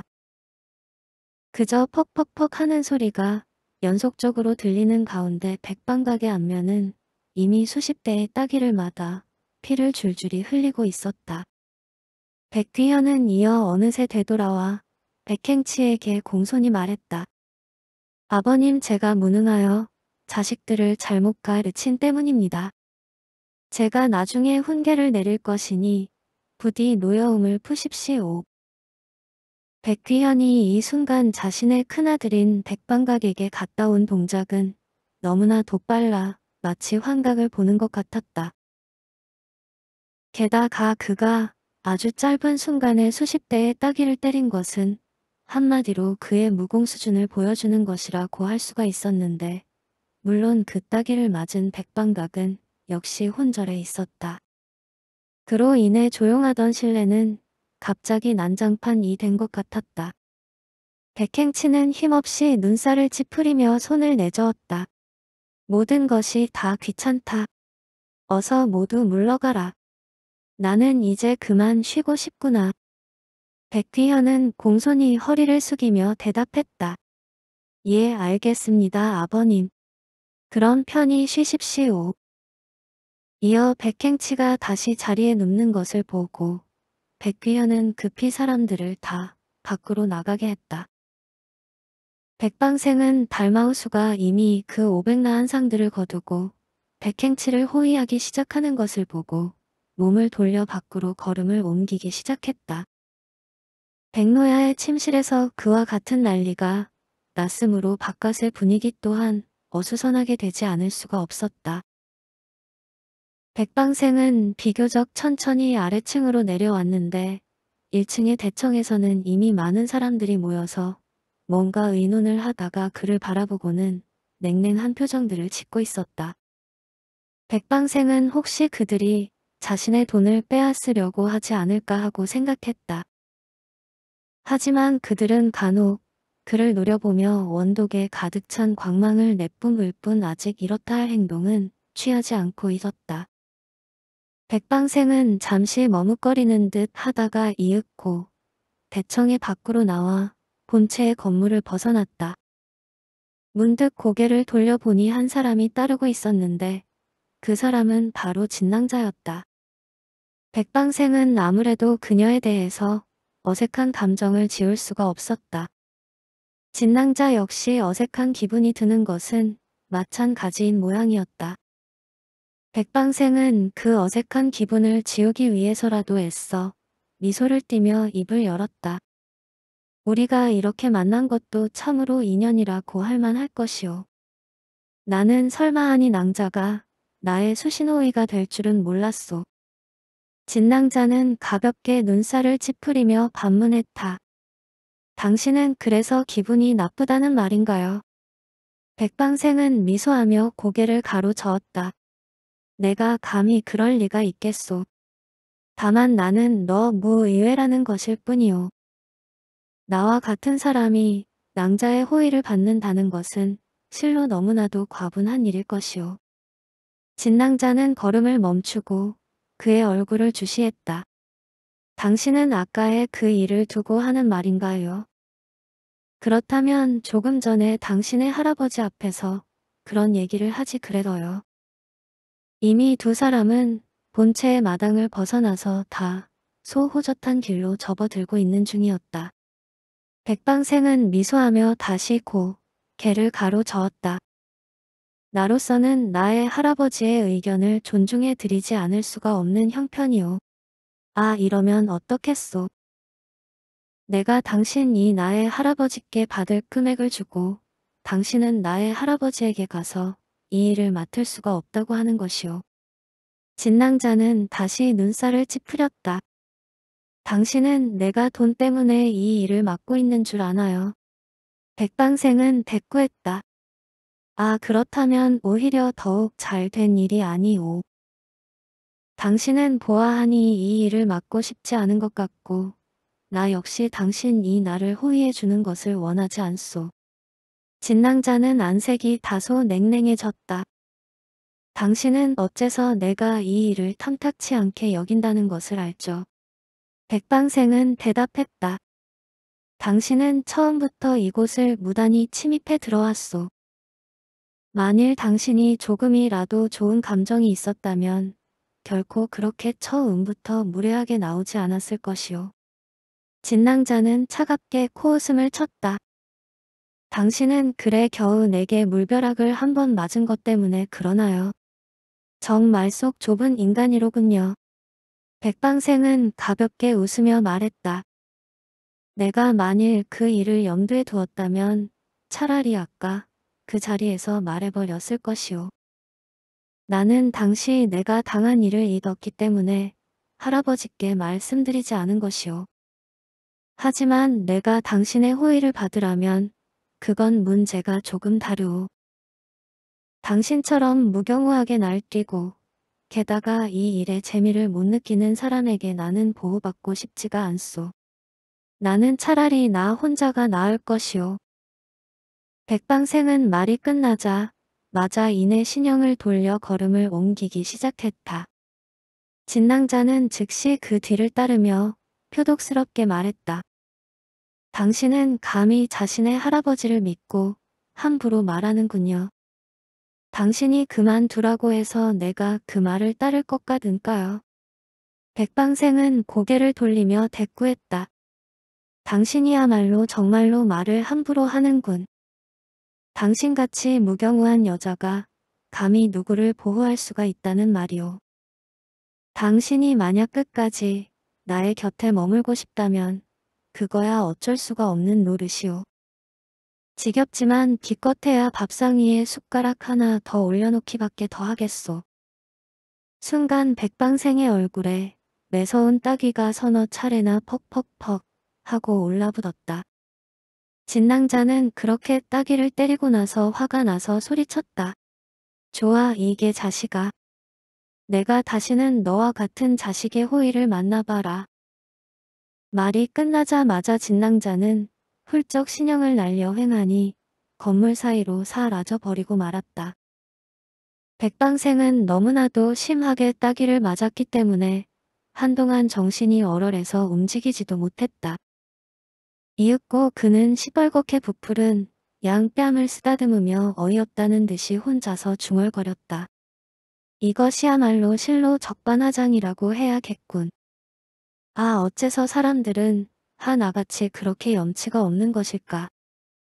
백방생은 이어 다소 우울한 표정으로 다시 걸음을 옮기기 시작했다. 백방생이 이윽고 자신의 거처인 별채에 거의 다 이르렀을 무렵의 일이었다. 문득 한 사람이 훌쩍 나타나더니 그의 앞을 가로막았다. 그 사람은 바로 둘째 형의 아들인 백철산이었다. 그 백철사는 빼빼마르고 키가 커서 마치 하나의 나무토막을 연상시키는 소년이었다. 올해 나이 17 하지만 이미 무공을 닦아서 웬만한 시정자 빼들 쯤은 우습게 여기는 상태였다. 그 백철산이 나타나서 음험한 표정으로 자 신을 쏘아보는 것을 보고 백방새는 물었다. 무슨 일이냐? 백철사는 두 눈에서 음험한 광채를 바라며 계속 백방생을 쏘아보더니 이윽고 오른손을 불쑥 내밀었다. 어서 내놓으시오. 백방생은 웃으며 의아하다는 듯이 물었다. 뭘 달라는 말이냐? 내가 혹시 내 물건을 가져가기라도 했다는 말이냐? 백철사는 음침하게 웃더니 서서히 앞으로 다가들었다. 그렇소. 그것은 내 물건이오. 그런데 어째서 당신이 그것을 가지고 있는 것이오. 백방생은 백철산이 흉흉한 기세로 다가드는 것을 보면서도 알 수 없다는 듯이 고개를 갸웃거렸다. 모를 일이군. 그래 내 물건이란 대체 뭐냐. 백철사는 다가와서 그의 품속을 112 뒤지더니 이윽고 얘의 그 금표가 들어있는 서류 봉투를 꺼내면서 음흉하게 대답했다. 바로 이것이오. 막내 삼촌 이건 내 것이니 내게 줄 수 있겠지. 백방생은 어리둥절한 표정으로 고개를 갸웃거렸다.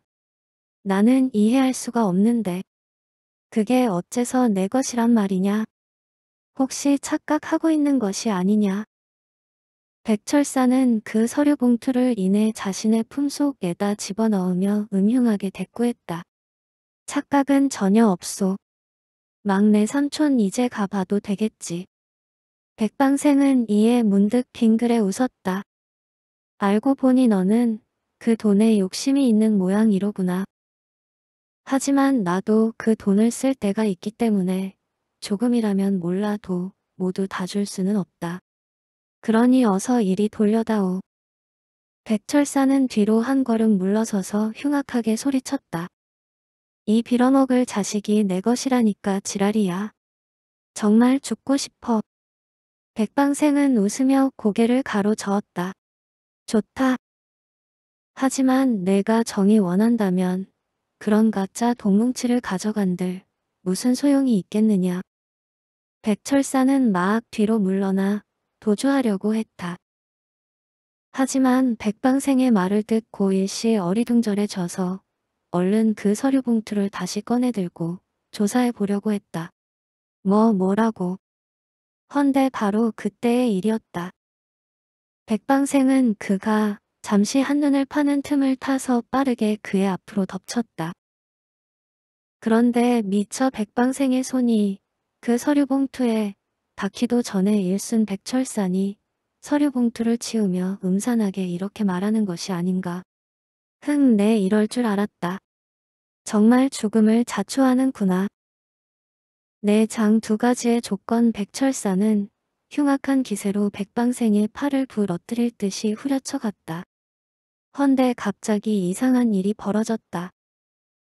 백철사는 자신이 빠르게 손을 쓰는 만큼 반드시 백방생의 팔이 부러지거나 탈골될 것이라고 생각하고 있었다.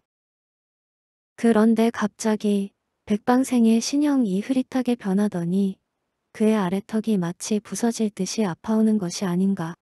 으아. 백철사는 그대로 뒤로 벌렁 나가 떨어졌고 백방생은 그 틈을 타서 서류 봉투를 다시 빼앗았다. 그러니까 백철산이 다소 방심을 하고 있는 사이에 백방생이 그의 공격을 피하고 그의 아래턱을 갈겨버린 것이었다.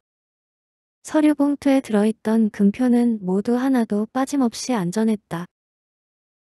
백방생이 서류 봉투의 안을 조사하고 이어 다시 품속에 갈무리하자 이윽고 그제서야 정신을 차린 백철산이 벌떡 일어나 흉악한 고함을 지르며 다시 공격해왔다.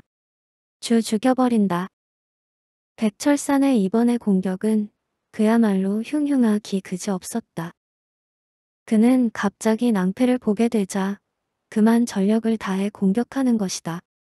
백방생은 그만 주춤해졌다. 백철산이 지금 펼치고 있는 것은 천하에 널리 알려진 나한 복호권이라는 것이었는데 일순 그의 주먹과 다리가 허공을 뒤덮어서 마치 일시에 광풍이 휘몰아치는 것 같았다. 그것은 백철산이 최근에 마르고 닳도록 연마한 무공인 것이다. 백방생은 처음에는 그것을 피하려고 급급히 뒤로 물러섰으나 이내 그의 다리에 걸려 퍽 하는 소리와 함께 저만큼 나가 떨어지고 말았다. 백철사는 그것을 보자 이내 회심의 흉소를 날리며 다가들었다. 흐흐 이 피레미 같은 자식이. 백방생은 땅바닥에 나가 떨어져 있다가 급급히 다시 일어나려고 하고 있었다.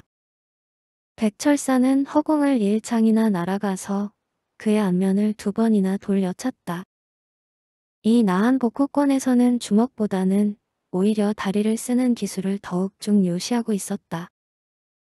백철사는 자신이 자랑하는 그 회심의 공격에 백방생의 아래턱에 최소한 박살이 날 것을 의심치 않고 있었다.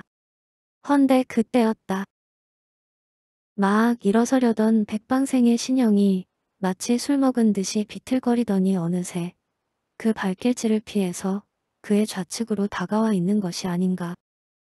백철사는 일순 믿을 수가 없어서 어리둥절해졌다. 그는 전력으로 공격한 것이기 때문에 일시 후속타가 이어지지 않았다. 그는 미처 이런 경우를 예상하지 못한 것이었다. 그것은 마치 그대로 멍청이 서서 상대의 주먹을 맞는 것이나 다름이 없었다.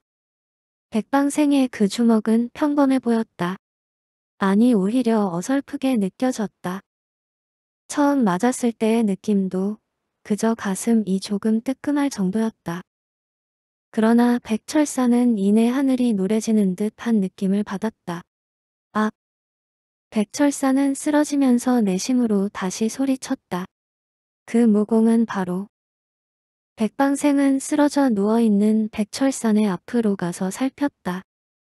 그는 조금 전에 실로 난생 처음으로 무공을 펼친 것이었다. 그는 본래 자신이 전혀 무공을 배우지 못했다고 생각하고 있었다. 그런데 그는 조금 전에 돌발적으로 무공을 펼쳤고 자신 스스로도 놀라고 있었다. 그럼 그는 무공을 약간이라도 터득한 것이란 말인가. 백철사는 혼절을 했을 뿐 아직 죽지 않았고 잠시 후면 깨어날 것 같았다. 백철사는 백방생의 일권의 치명 요해를 맞고 쓰러진 것이었다. 만일 그의 내공이 강했다면 백철사는 즉시 목숨을 잃고 말았을 것이다. 백방생이 일어서서 백철산을 내버려 두고 다시 자신의 거처로 돌아가려고 할 때 문득 그의 귓전에 낯익은 한 사람의 음성이 다시 들려왔다. 무공을 할 줄 모른다고 하더니 그건 새빨간 거짓말이었군요. 당신이 날 쫓아낸 것은 바로 그 무공을 믿고 한 것이었나요? 백방생이 그쪽으로 고개를 돌려보니 어느새 진낭자가 다시 서 있었다. 그녀는 아직 가지 않고 그의 주위를 지켜보고 있었던 것이었다. 백방생은 되물었다. 그게 무슨 말이오? 진낭자는 말했다. 아까 당신이 처음에 보법을 펼쳐서 저 사람의 공격을 피하고 일권을 날린 것과 두 번째로 내력을 가 스에 모으고 일부러 발길질에 맞아준 것 그리고 마지막에 보법과 권법은 모두가 무공인데 그래 아니라고 우기실 생각이신가요? 사실 진낭자의 말 그대로였다. 백방생은 스스로도 내심 어리둥절해 하고 있던 참이어서 솔직하게 대답해 주었다. 나는 왠지 요즘 무공이 한눈에 들어오는 듯 해서 생각대로 한번 해본 것이지만 정말로 그것이 무공이 될 줄은 미처 예상치 못했소. 진낭자는 어이없다는 표정을 지었다. 예상치 못했다고요. 세상에 그것을 믿어줄 사람이 있을 것 같아요. 백방생은 스스로도 모호한 표정을 보이며 대답했다.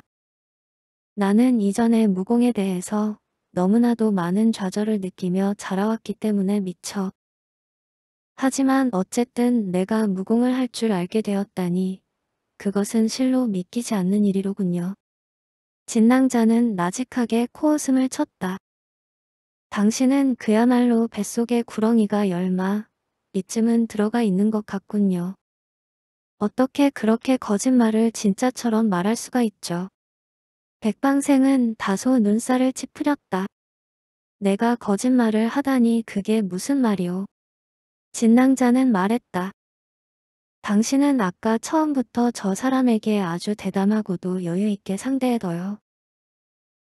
그의 무공은 최소한 삼류의 수준은 되는데 대체 당신은 스스로 무공에 자신감이 없었다면 어떻게 그렇게 처음부터 대담하게 상대할 수가 있었겠어요? 그것은 실로 예리한 질문이라고 할 수가 있었다. 백방생은 고개를 갸웃거리다가 대답했다. 나는 요즘 왠지 무공이 그다지 어렵지 않게 느껴진 것이 사실이오. 게다가 상대방에 대해서도 그다지 두려움을 느끼지 않게 되었소. 하지만 아까의 그 행동은 당연히 그래야만 한다고 생각해서 그랬을 뿐 다른 이유는 없는 것이오. 내가 그토록 여유가 있었다니 그것은 그것은 음 다시 한번 잘 생각해 봐야겠군. 진낭자는 다시 말했다. 거짓말 하지 말아요. 무공이라는 생각도 업이 어떻게 무공을 펼칠 수가 있겠어요. 백방생은 고개를 갸웃거리며 대답했다. 하지만 내 경우는 그렇게 되었으니 어쩌겠소. 그것은 음. 헌데 당신은 어째서 다시 돌아왔소. 진낭자는 백방생이 말하다 말고 갑자기 그런 질문을 던지는 것을 보고 약간 당황한 표정을 지었다. 그녀는 이내 말했다. 나는 당신이 한 말을 실천할 용의가 있는지 물어보러 왔어요. 백방생은 물었다. 뭘 물어보러 왔다는 것이오. 진낭자는 대답했다. 당신은 내가 돌아가는 조건으로 수고비를 대신 주겠다고 하지 않았나요? 백방생은 말했다. 하지만 당신은 이번에 돈을 전혀 받지 않기로 되어 있다고 하지 않았소. 진낭자는 고개를 흔들었다. 그건 당신이 잘못 생각한 거예요. 나는 단지 돈 때문이 아니라고 했지 돈이 전혀 걸려있지 않다고는 말하지 않았어요. 백방생으로서는 갑자기 자신이 무공을 할 줄 알게 되었다는 사실이 일종의 커다란 사건이 아닐 수가 없었다. 그는 그 일을 두루 생각해 보느라 정신이 어지러워 머리가 다 흔들리는 것 같았다.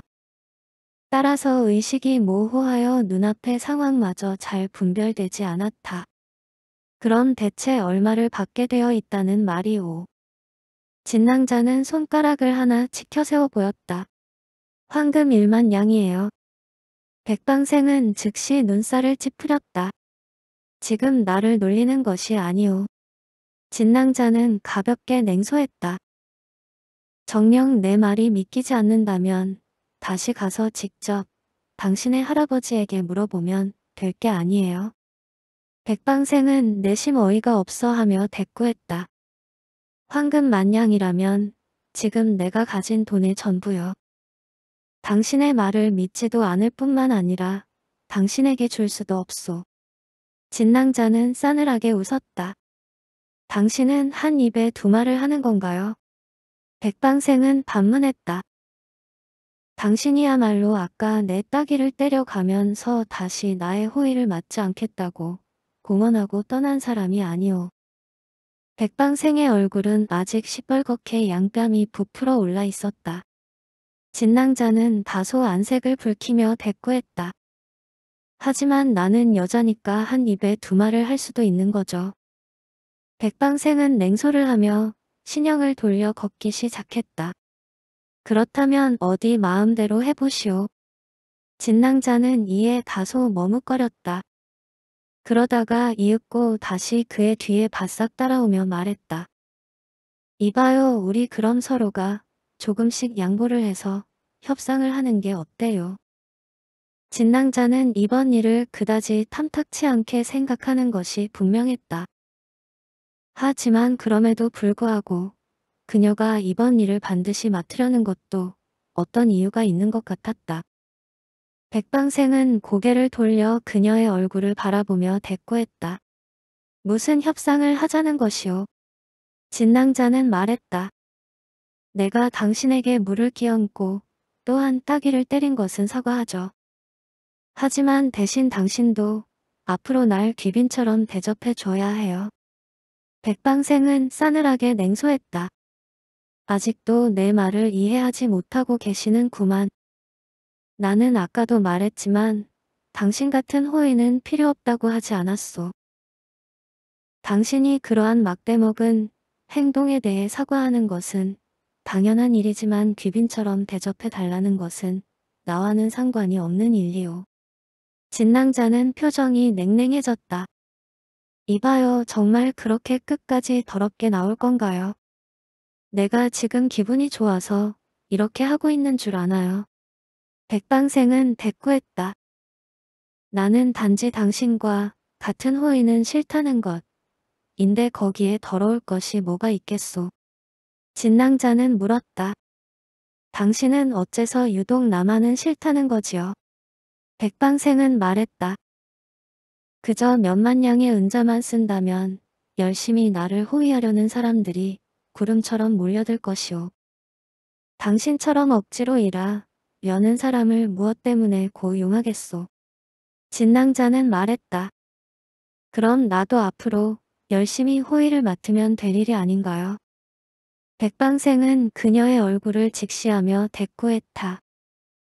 그보다는 차라리 대체 무엇 때문에 나의 호의를 맡아야 하는지에 대해서 말하는 것이 어떻겠소. 아니야 사부님께서도 당신의 얘기는 말하지 말라고 하셨으니 진낭자는 막 목구멍까지 치솟아 오른 말을 다시 삼켰다. 그동안의 백방생은 다시 앞으로 걸어가고 있었다. 이미 그들은 별채의 앞에 도달했다. 진낭자는 잠시 머뭇거리다가 즉시 그의 뒤를 따라가기 시작했다. 백방생은 별채의 안으로 들어선 이후 뒤따라온 진낭자는 전혀 상관도 하지 않고 행동했다. 즉시 욕실로 들어가 시원하게 목욕을 하고 새 옷으로 갈아입은 다음 돈을 잘 갈무리하고 거실로 다시 나왔다. 거실에는 진낭자가 앉아서 그를 기다리고 있었다. 당신은 옷을 갈아입으니 제법 그럴듯하게 보이는군요.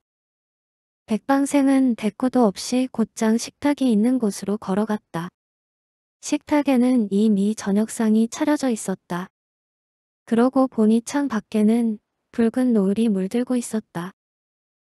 백방생이 식사를 하기 시작하자 진낭자도 그의 맞은편에 앉아서 역시 함께 식사를 하기 시작했다. 백방생은 그것을 보고도 말이 없었다.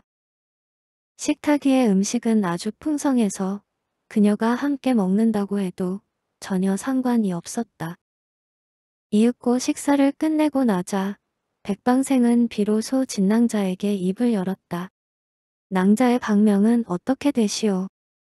서로 함께 일을 하려면 최소한 이름은 알고 지내야 하지 않겠소.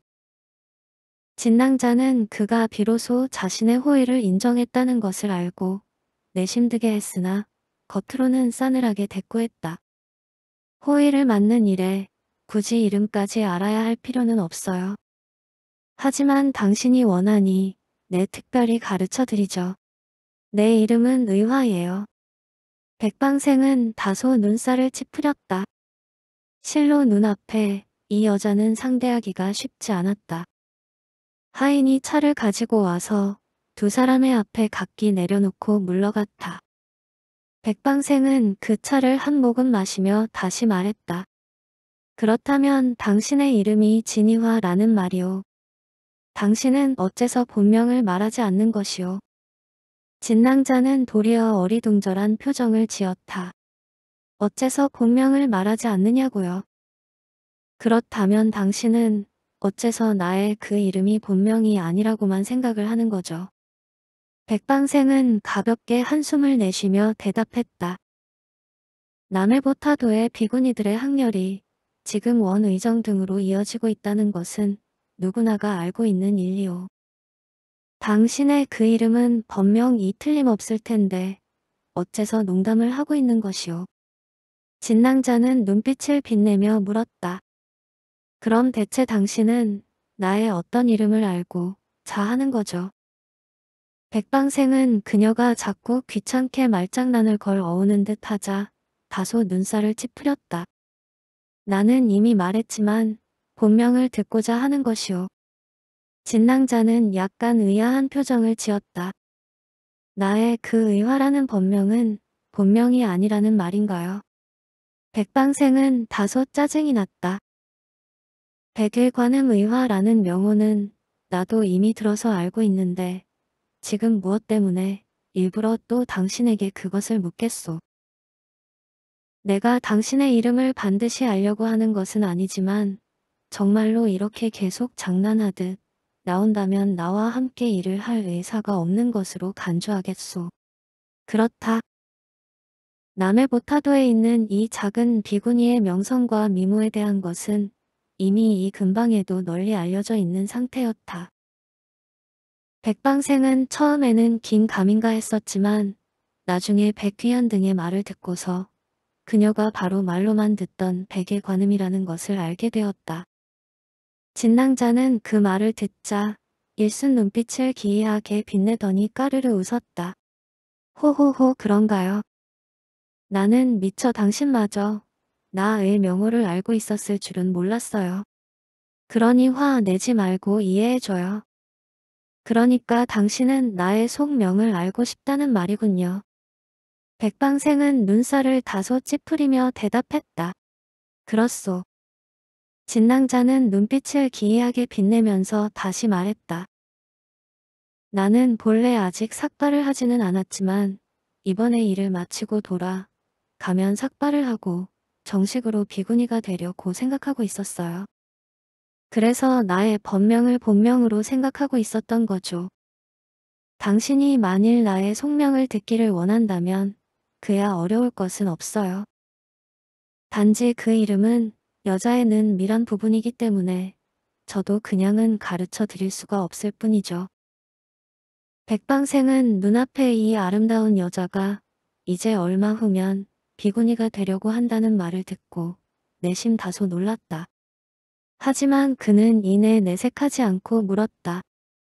그럼 내가 무엇을 해야 그 이름을 가르쳐 준다는 말이오. 진낭자는 마치 백방생이 그렇게 나올 줄 알았다는 듯이 웃고 있다가 대답했다. 그것은 당신은 두 가지 일만 해준다고 약속을 하면 돼요. 백방생은 의아해하며 물었다. 그 두 가지 일이란 뭐요? 진낭자는 대답했다. 우선 하나는 내가 앞으로 당신을 호위하는 공적인 일을 수행하는 데 있어서 당신은 반드시 나에게 적극 협조해줘야 한다는 거예요. 그리고 다음 또 하나는 그러는 동안에 당신은 혹시 나에게 사적인 관심을 가져서 나로 하여금 불편함을 느끼게 하는 일이 있어서는 결코 안 된다는 것이죠. 이것은 내가 간혹 더러운 녀석들이 흑심을 품고 다가들려는 것을 보아왔었기 때문에 하는 소리예요. 진낭자의 얼굴은 처음에는 다소 미소를 띠고 있었으나 나중에는 점차로 정색을 하고 엄숙해져서 그것이 그녀의 진심임을 알게 했다. 게다가 그녀는 이미 조금 전에 자신은 비구니가 될 것이라고 말하지 않았던가. 백방생은 듣고 있다가 이내 웃으며 대꾸했다. 하지만 그것은 조건이 너무 무거운 것이 아니오. 설마 하니 내가 고작 이름 하나 들으려고 그와 같은 일들을 해주어야 한다는 말이오. 진낭자는 가볍게 웃으며 말을 받았다. 그럼 당신은 결국 내게 사적인 관심을 가져야 하겠다는 말이군요. 백방생은 웃으며 고개를 가로저었다. 천만에 내 말은 그 반대요. 내 이미 당신 이 필요 없다고까지 말했었는데 또 무슨 사적인 관심을 갖겠소. 당신은 자신에 대한 값을 너무나 도후하게 매길 뿐만 아니라 또한 나를 너무 우습게 보는구려. 나는 다만 당신에게 적극적으로 협조해야 한다는 그 대목에서 고작 이름 하나 들으려고 그와 같은 막대한 희생을 치를 필요가 어디에 있겠느냐는 것이요. 진낭자는 가볍게 미소하며 고개를 끄덕였다. 정말로 그렇기만 하다면 그건 다행이로군요. 하지만 한 가지 실망되는 바도 없지는 않는데요. 백방생은 물었다. 뭐가 그리 실망스럽다는 말이오. 진낭자는 대답했다. 나는 당신이 성격이 소심하기는 해도 군자라고 생각을 했는데 알고 보니 형편없는 소인이로군요. 백방생은 웃으며 물었다. 그럼 내가 그 조건을 수락해줘야 군자가 될 수 있단 말이오. 진낭자는 대답했다. 나는 여자인데다가 또한 나이가 당신보다 도 몇 살 적을 거예요. 비록 무공이 높아서 당신의 호의를 맡기는 했지만 당신이 군자라면 그런 나에게 이렇게 빡빡하게 나올 수가 있나요?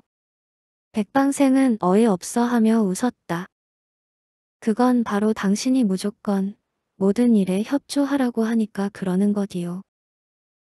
만일 이유가 타당하다면 나는 물론 당신을 호의로 인정한 만큼 당연히 적절하게 협조할 것이오.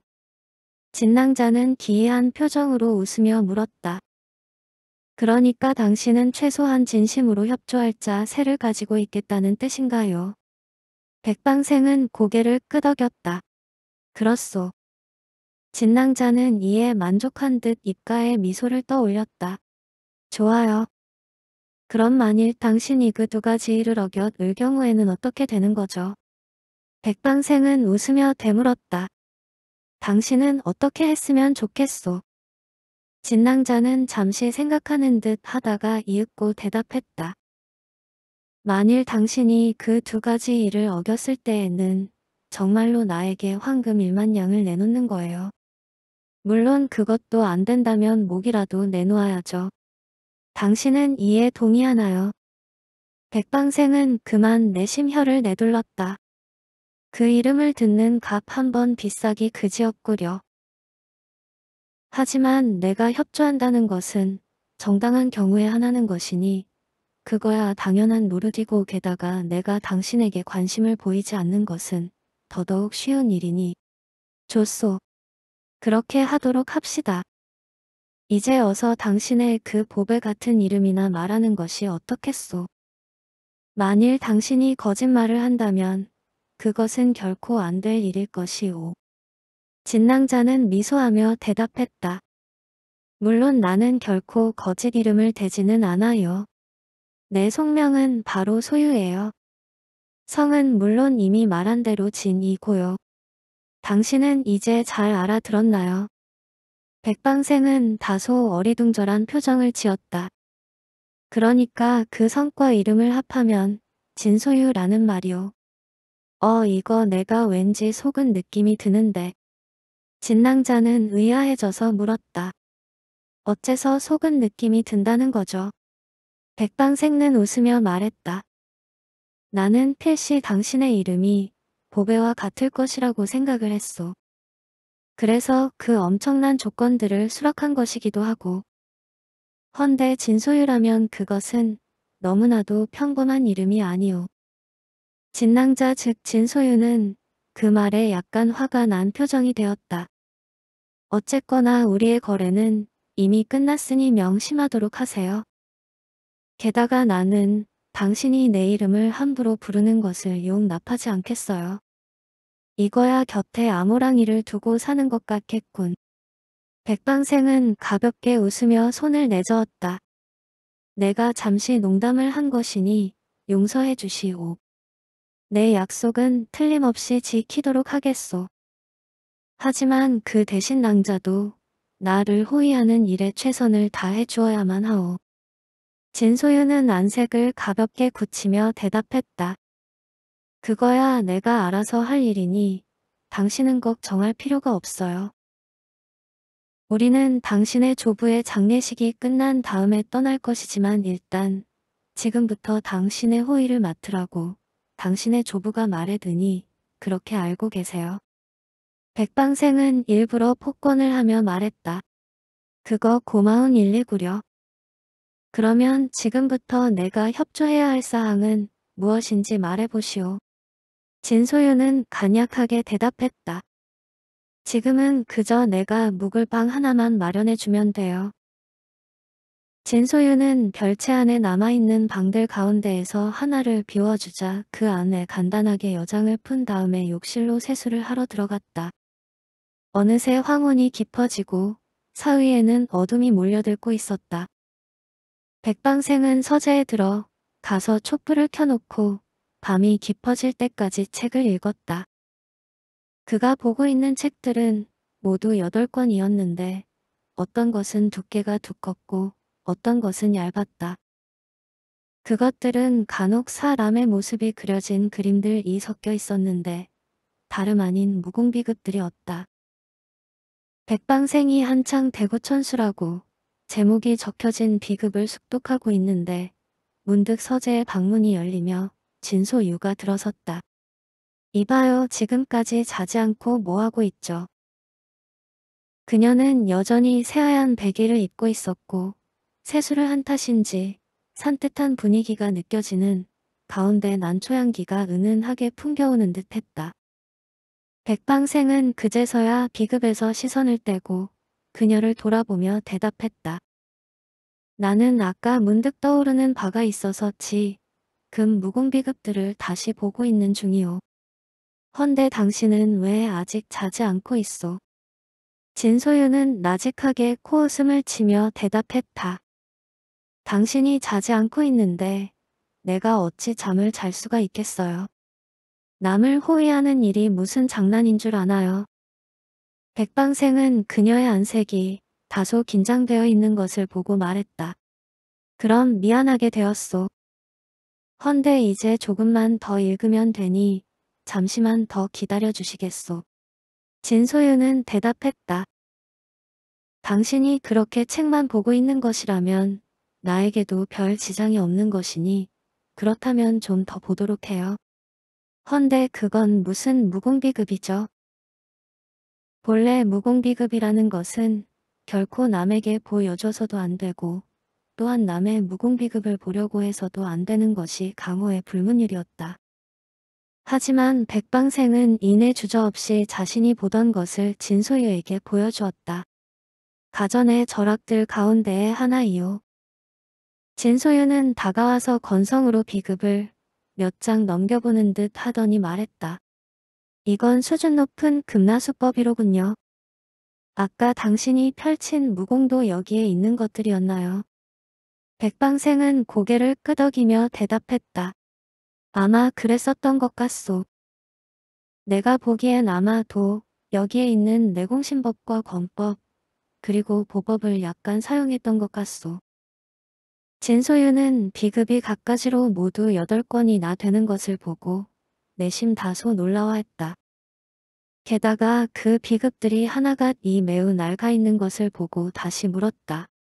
당신은 이 비급들을 보아온 지 오래되었나요? 백방생은 대답했다. 이 비급들은 나의 할아버지께서 내가 어, 엿을 적에 만들어 주신 것들이요. 나는 그동안 애써 그 내용을 이해하려고 노력을 했었지만 잘 되지 않았었소. 헌데 무슨 이상한 점이라도 있소. 진소유는 잠시 생각하다가 말했다. 이것들은 보아하니 하나같이 높은 수준의 무학들이 수록되어 있는 비극들이에요. 당신이 어려서부터 이것들을 보아왔으면서도 그렇게 무공이 형편없다니 정말 이상하군요. 당신은 그럼 이 비극들의 내용을 아, 즉 암기하지 못했나요? 백방생은 고개를 가로저었다.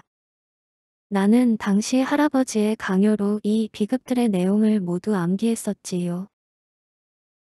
그리고 틈나는 대로 그 내용들을 떠올려 보았는데 갑자기 아까 이상한 능력이 생김에 따라 의아해져서 혹시나 하고 다시 한번 비극들을 읽어보고 있는 중이오.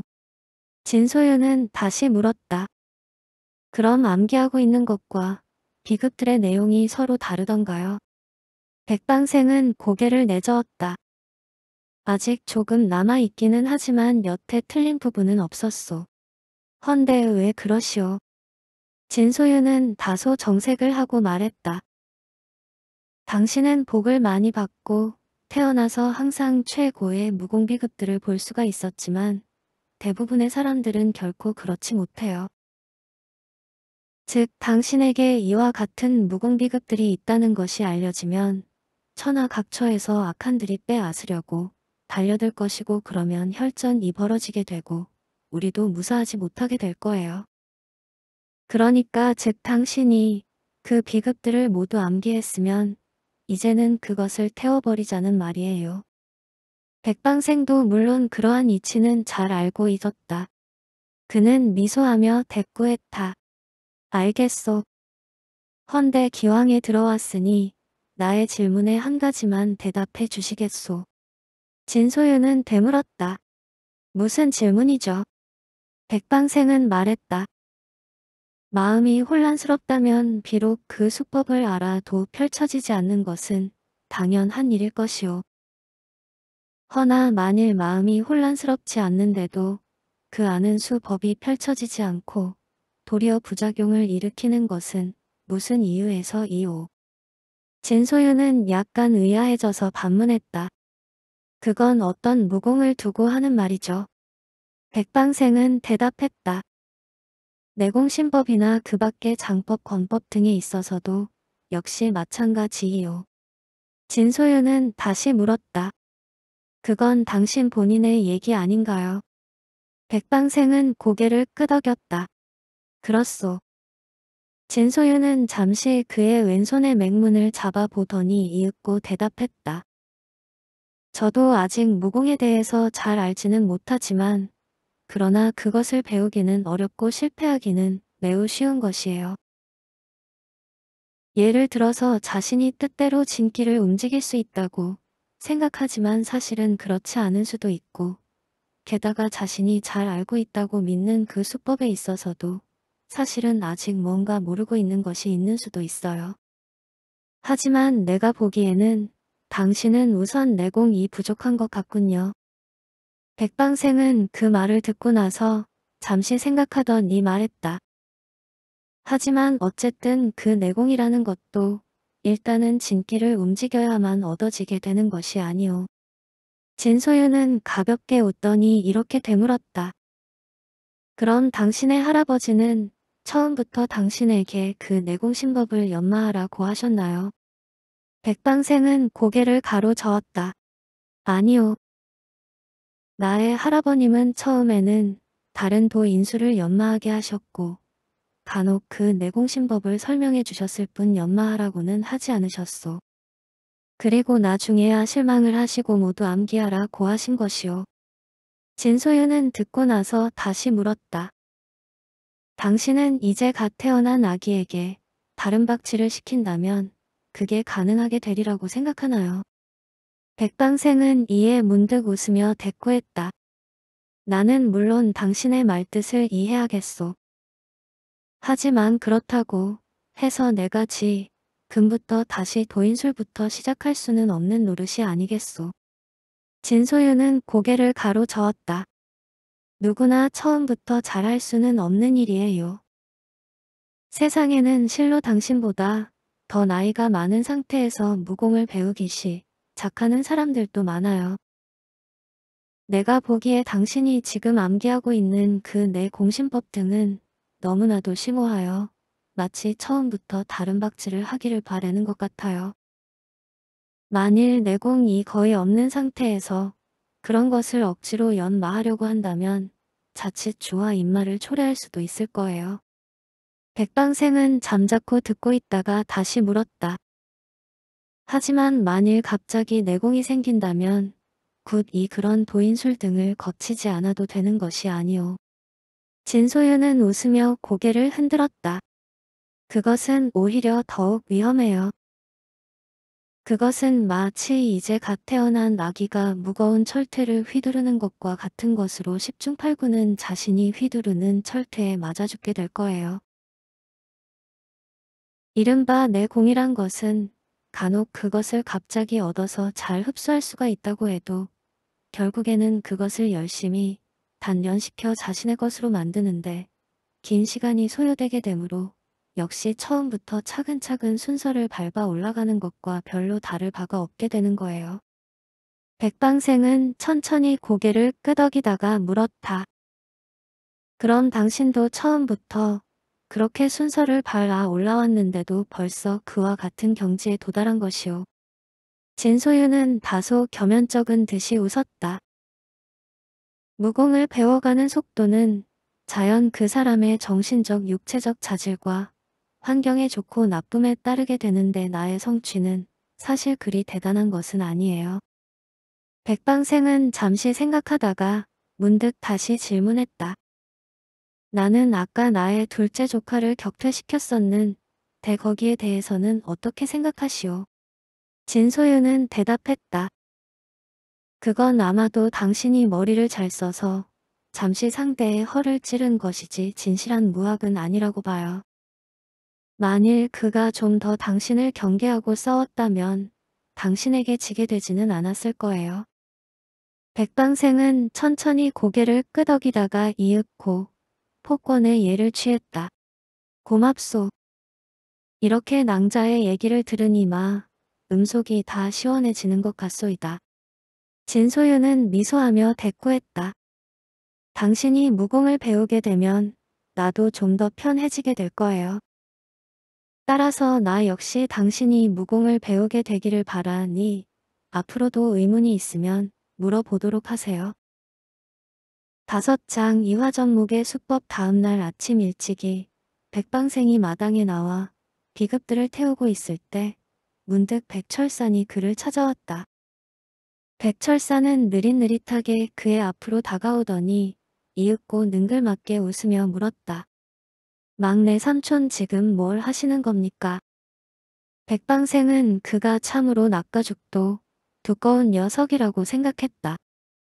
보아하니 어제 낮에 그 일로 다치지는 않은 것 같았다.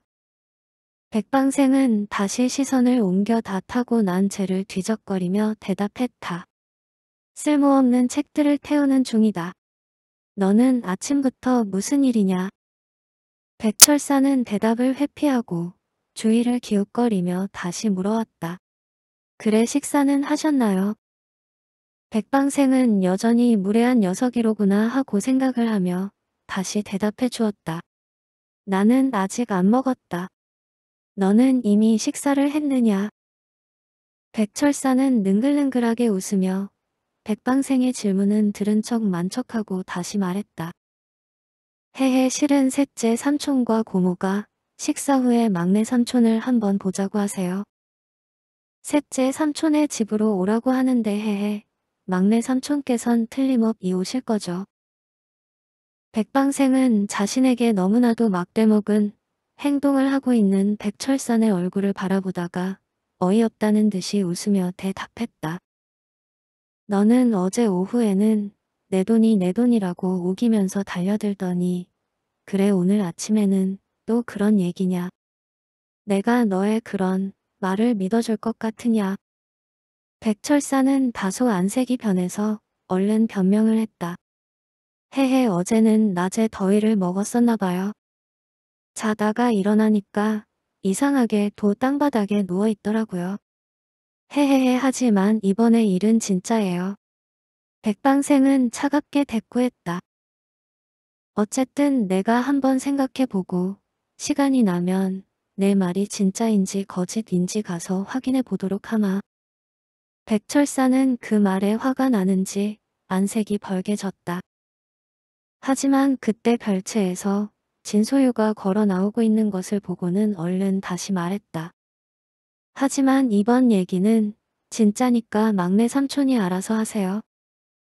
만일 제 시간에 오지 않는다면 셋째 삼촌과 고모 등이 직접 이곳으로 찾아올지도 몰라요.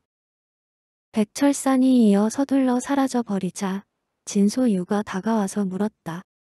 그는 무엇 때문에 온 것인가요? 백방생은 조금 전에 백철산이 했던 말을 그대로 가르쳐 주었다. 진소유는 그 말을 듣고 나자 다소 눈살을 찌푸리며 다시 물었다. 그럼 당신은 그곳에 갈 생각인가요? 백방생은 되물었다. 당신이 보기엔 어떻소? 진소유는 잠시 생각하다가 대답했다. 내가 보기에는 그들은 당신에게 결코 좋은 뜻이 있지는 않을 것 같아요. 만일 가서 사고를 당하면 곤란해질 수도 있을 것 같으니 가급적이면 가지 않는 게 좋겠어요. 백방생은 웃으며 고개를 끄덕였다. 마침 나도 가지 않아도 되는 제법 그럴듯한 구실을 만들어 놨으니 그럼 가지 않도록 하겠소. 게다가 따로 해야 할 일도 있고. 진소유는 물었다. 따로 해야 할 일이란 뭐죠? 백방생은 이미 모두 제가 되어 버린 비급들을 가리키며 대답했다. 저것들과 관계가 있는 것이오. 진소유는 이미 그것들이 비급들을 태운 것임을 알고 미소하며 말했다. 당신은 정말 말을 잘 듣는 어른이로군요. 백방생은 씁쓸하게 웃으며 대꾸했다. 그렇소. 여태까지는 아마 그런 편이었지. 진소유는 다시 물었다. 그럼 당신은 이제부터 무공을 팔당금과 같은 도인술로부터 다시 시작해 보겠다는 말인가요? 백방생은 고개를 가로저었다. 그와는 반대이요. 내게는 그다지 여유가 많은 것 같지 않으니 모험을 한번 해보려고 하오. 진소유는 눈을 크게 떴다. 그럼 갑자기 내공을 증가시켜 보겠다는 말인가요? 백방생은 웃으며 대답했다. 위험한 줄은 알지만 그러나 혹시 일이 잘 될지도 모르는 일이 아니겠소. 그래서 오전에 거리에 한번 나가볼까 하오. 진소유는 이내 백방생이 무엇을 하려는지 알 수가 있었다. 그녀는 다소 눈살을 찌푸렸다. 과연 그게 잘 될까? 백방생의 별채는 장원의 후미 쪽에 위치하고 있었다. 후원과는 그다지 멀지 않았고 정문보다는 후문이 가까워 오 히려 대부분 후문을 이용하는 편이었다. 백방생은 이미 계획한 대로 진소유와 함께 아침 식사를 마치고 나자 간단하게 준비를 하고 밖으로 걸음을 옮겼다. 이제까지 그래도 다소의 말벗이 되어주던 그 늙은 하이는 오늘은 왠지 조금 멀어진 느낌이어서 나와 보지도 않았다. 백방생은 이미 내심으로 그러리라고 짐작하고 있었으므로 개의치 않고 그저 편안한 표정으로 후문 쪽으로 걸어갔다. 그런데 그와 진소유가 막 후문에 이르러들 때 갑자기 다가와서 그들의 앞을 가로막는 사람들이 있었다. 바로 백팡도와 백방몽 등이었다. 백철사는 나중에야 후문 밖에서 슬금슬금 걸어나와서 그들의 뒤에 섰는데 일견하기로 그들의 태도는 명백해 보였다. 그들 가운데 백방몽이 싸늘하게 웃으며 백방생에게 물어왔다. 방생 지금 어디로 가고 있는 거지? 백방생은 이미 그들이 거의 작정을 하고 자신의 앞을 막아선 것이라는 것을 알고 있었다. 백방생은 짐짓 웃으며 대꾸했다. 거리에나 한번 나갔다 오려고 합니다. 누님께선 여기에 웬일이십니까? 백방몽은 나이가 서른 살이고 몸집은 약간 뚱뚱한 편이었는데 오늘따라 그녀의 배가 더욱 뚱뚱해 보였다. 백방몽은 백방생의 옆에 서 있는 진소유의 얼굴을 한번 돌아보더니 이어 냉랭하게 다시 말했다. 너는 우리가 오라는 소리도 못 들었느냐? 어서 우리와 함께 가자. 백방생은 이미 많이 당해왔기 때문에 대강 이와 같은 상황을 짐작하고 있었다. 과거라면 물론 두말 없이 따라 나서 늘 것이다. 그러나 그는 이내 다소 어리둥절한 표정으로 대꾸했다. 아니 저를 오라고 했었다고요. 저는 금시 초문인데요. 아까 저 조카 녀석이 와서 이런 말을 하기는 했죠. 식사 후에 반드시 돈을 가지고 셋째 형님의 집으로 가라고요. 하지만 저는 두 분이 결코 그처럼 강도 같은 짓은 하지 않으리라고 생각을 하고 그 얘기를 믿지 않은 것이죠. 백방생의 그 말에 눈앞의 사람들은 다 함께 안색이 변했다. 백철산이 화가 나서 앞으로 나서며 소리쳤다. 막내 삼촌 내가 언제 돈 얘기를 했다고 그래요. 백방생은 웃으며 대꾸했다. 그럼 내가 어제 저녁에도 돈 얘기를 하고 오늘 아침에도 돈 얘기를 하지 않았다는 말이냐. 백철사는 백방생이 갑자기 다시 어제의 일을 말하자 그만 다소 멍해져서 할 말이 없어지고 말았다. 백방몽이 냉소를 하며 다시 말했다. 방생 내가 요즘 갑자기 많이 컸구나. 감히 우리 두 사람을 강도라고 말하다니. 백방생은 웃으며 말을 받았다. 누님 나는 두 분이 결코 강도일 리가 없다고 생각했지 강도라고는 결코 생각하지 않았습니다. 백방몽은 화가 나서 소리쳤다. 그건 아무래도 좋다. 어서 지금 즉시 우리를 따라가자. 백방생은 물었다. 대체 무슨 일인데 지금 즉시 가자는 말입니까? 백방몽은 차갑게 말했다. 그건가 보면 곧 알게 된다. 백방생은 다시 물었다. 셋째 형님의 집으로 가자는 말입니까? 백방몽은 고개를 끄덕였다. 그렇다. 백방생은 잠시 생각하는 듯 하더니 이윽고 말했다. 하지만 저는 지금 두 분을 따라갈 수가 없겠군요. 백방몽은 더욱 화가 나서 말했다. 뭐라고? 내가 감히 우리의 말을 따르지 않겠다는 것이냐? 백방생은 가볍게 웃으며 대꾸했다. 내가 무조건 두 분의 말을 따르지 않겠다는 것이 아니라 지금은 사정이 있어서 두 분의 말을 따를 수가 없다는 것입니다. 나 역시 해야 할 일이 있는 사람이고 보면 아무래도 두 분께서 미리 저에게 말씀해 주셨어야죠. 게다가 두 분께선 아마도 제가 두 분의 하인이 아니라는 것을 잠시 잊으신 듯합니다. 저도 저의 일은 스스로 결정할 권리가 있으니까요. 백방몽은 백방생이 그처럼 웃으며 태연하게 대꾸하는 것을 보고 그야말로 화가 있는 대로 치밀어 즉시 달려들어 출수를 하려고 했다. 그런데 이제까지 묵묵히 침묵만을 지키고 있던 백방도가 그녀의 행동을 제지하고 백방생을 향해 입을 열었다. 방생 너는 그동안 간담만 부어오른 것이 아니라 말재주까지 늘었구나. 잘나서 말하겠다. 너는 지금 우리를 따라 갈 거냐 안 갈 거냐. 백방도는 33살의 나이에 역시 살이 쪄서 둥글둥글한 모습을 하고 있었다. 그러나 그 둥그런 얼굴에는 음침한 기운이 깔려 있었다. 백방생은 웃으며 그를 향해 되물었다. 제가 무슨 일로 가야 하는지 말씀해 주시겠습니까? 백방도는 고개를 가로저었다. 말해 줄 수 없다. 너는 갈 건지 안 갈 건지만 결정해라. 백방생은 고개를 저었다. 나는 못 가겠소. 순간의 일이었다. 느닷없이 백방도가 삼장을 날아와서 백방생의 가슴팍을 향해 금나수법을 펼쳤다. 일시에 백방도의 우수가 흐릿해 지더니 곧 네 개의 손으로 변했고 그 네 개의 손이 이내 백방생의 양 어깨와 가슴 그리고 목덜미를 한꺼번에 꿰뚫을 듯 이 날카롭게 덮쳐들었다. 백방도의 이 한 수의 공격은 갑작스럽고도 다분히 위력적이어서 실로 그가 이미 미리부터 준비를 하고 있었다는 것을 알게 했다. 하지만 물론 백방생의 옆에 서 있던 진소유도 역시 가만히만 있지는 않았다. 멈춰요. 진소유는 한 소리 뾰족한 외침을 바란 다음에 즉시 백방생의 앞으로 끼어들었다. 그녀의 우수가 가볍게 흔들리는 듯 하더니 백색의 환영으로 변하여 백방도의 금나수를 막아갔다. 백방도의 그 네 개의 손 그림자는 그 한 수에 차단되었다. 백방도는 이에 화가 나서 소리치며 그녀를 향해 일권을 날렸다. 죽어라.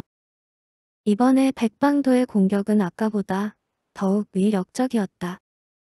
능히 그가 전력을 다했다는 것을 알 수 있을 것 같았다. 하지만 진소유는 그것을 보고도 아, 즉 여유가 있었다. 백방도의 좌권이 다섯 개의 환영을 일으키며 파고드는 것을 보고 그녀 역시 좌권을 날렸다. 비록 그녀의 좌권은 그처럼 많은 환영을 일으키지는 않았지만 그보다 훨씬 빨랐다. 퍽퍽퍽 하는 소리와 함께 백방도가 발출한 광경은 일순 모두 무산되었다. 허나 이때 백방도는 신형을 휘청거리면서도 오히려 백방생의 앞으로 다가드는 것이 아닌가. 아, 이건 진소유는 순간 자신이 상대방의 술수에 말 여들었다는 것을 알아차렸다. 백방생을 덮쳐가는 백방도의 우수에서는 무려 6개의 환영이 일어나고 있었다.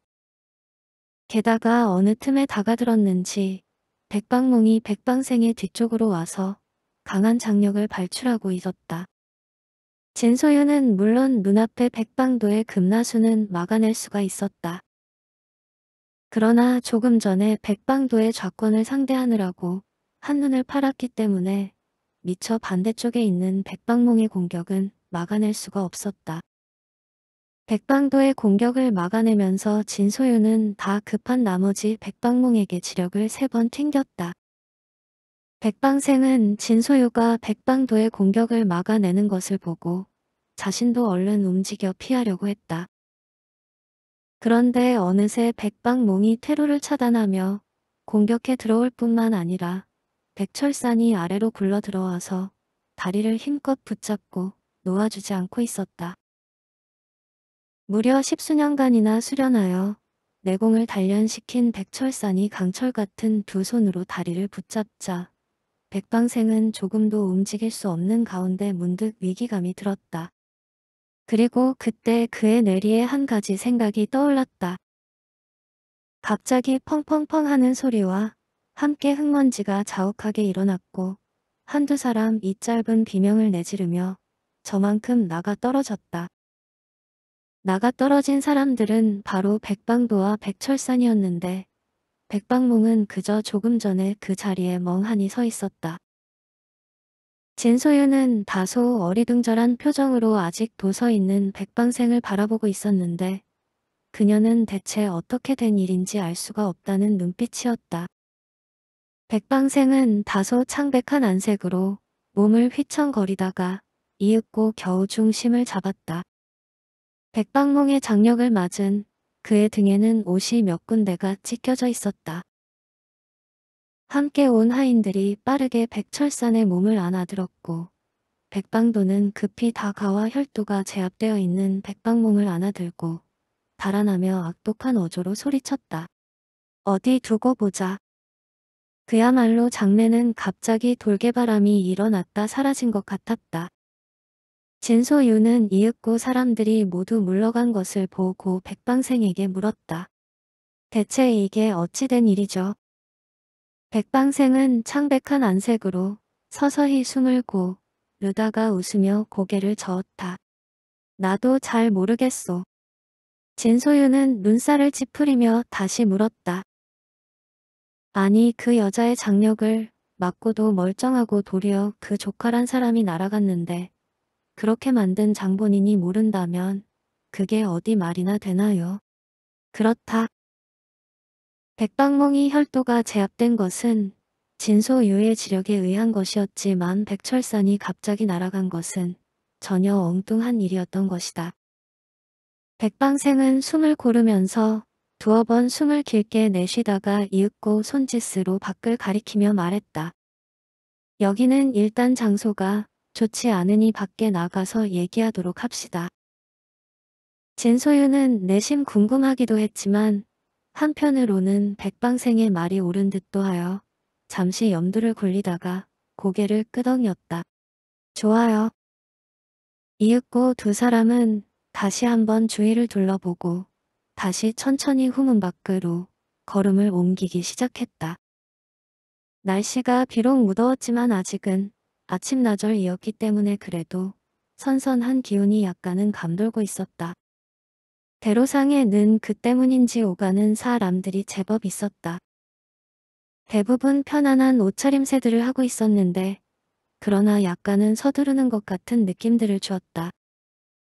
아마도 시간이 흘러 바깥의 공기가 더욱 뜨거워지기 전에 빨리 쉴 곳으로 돌아가려고 하는 것 같았다.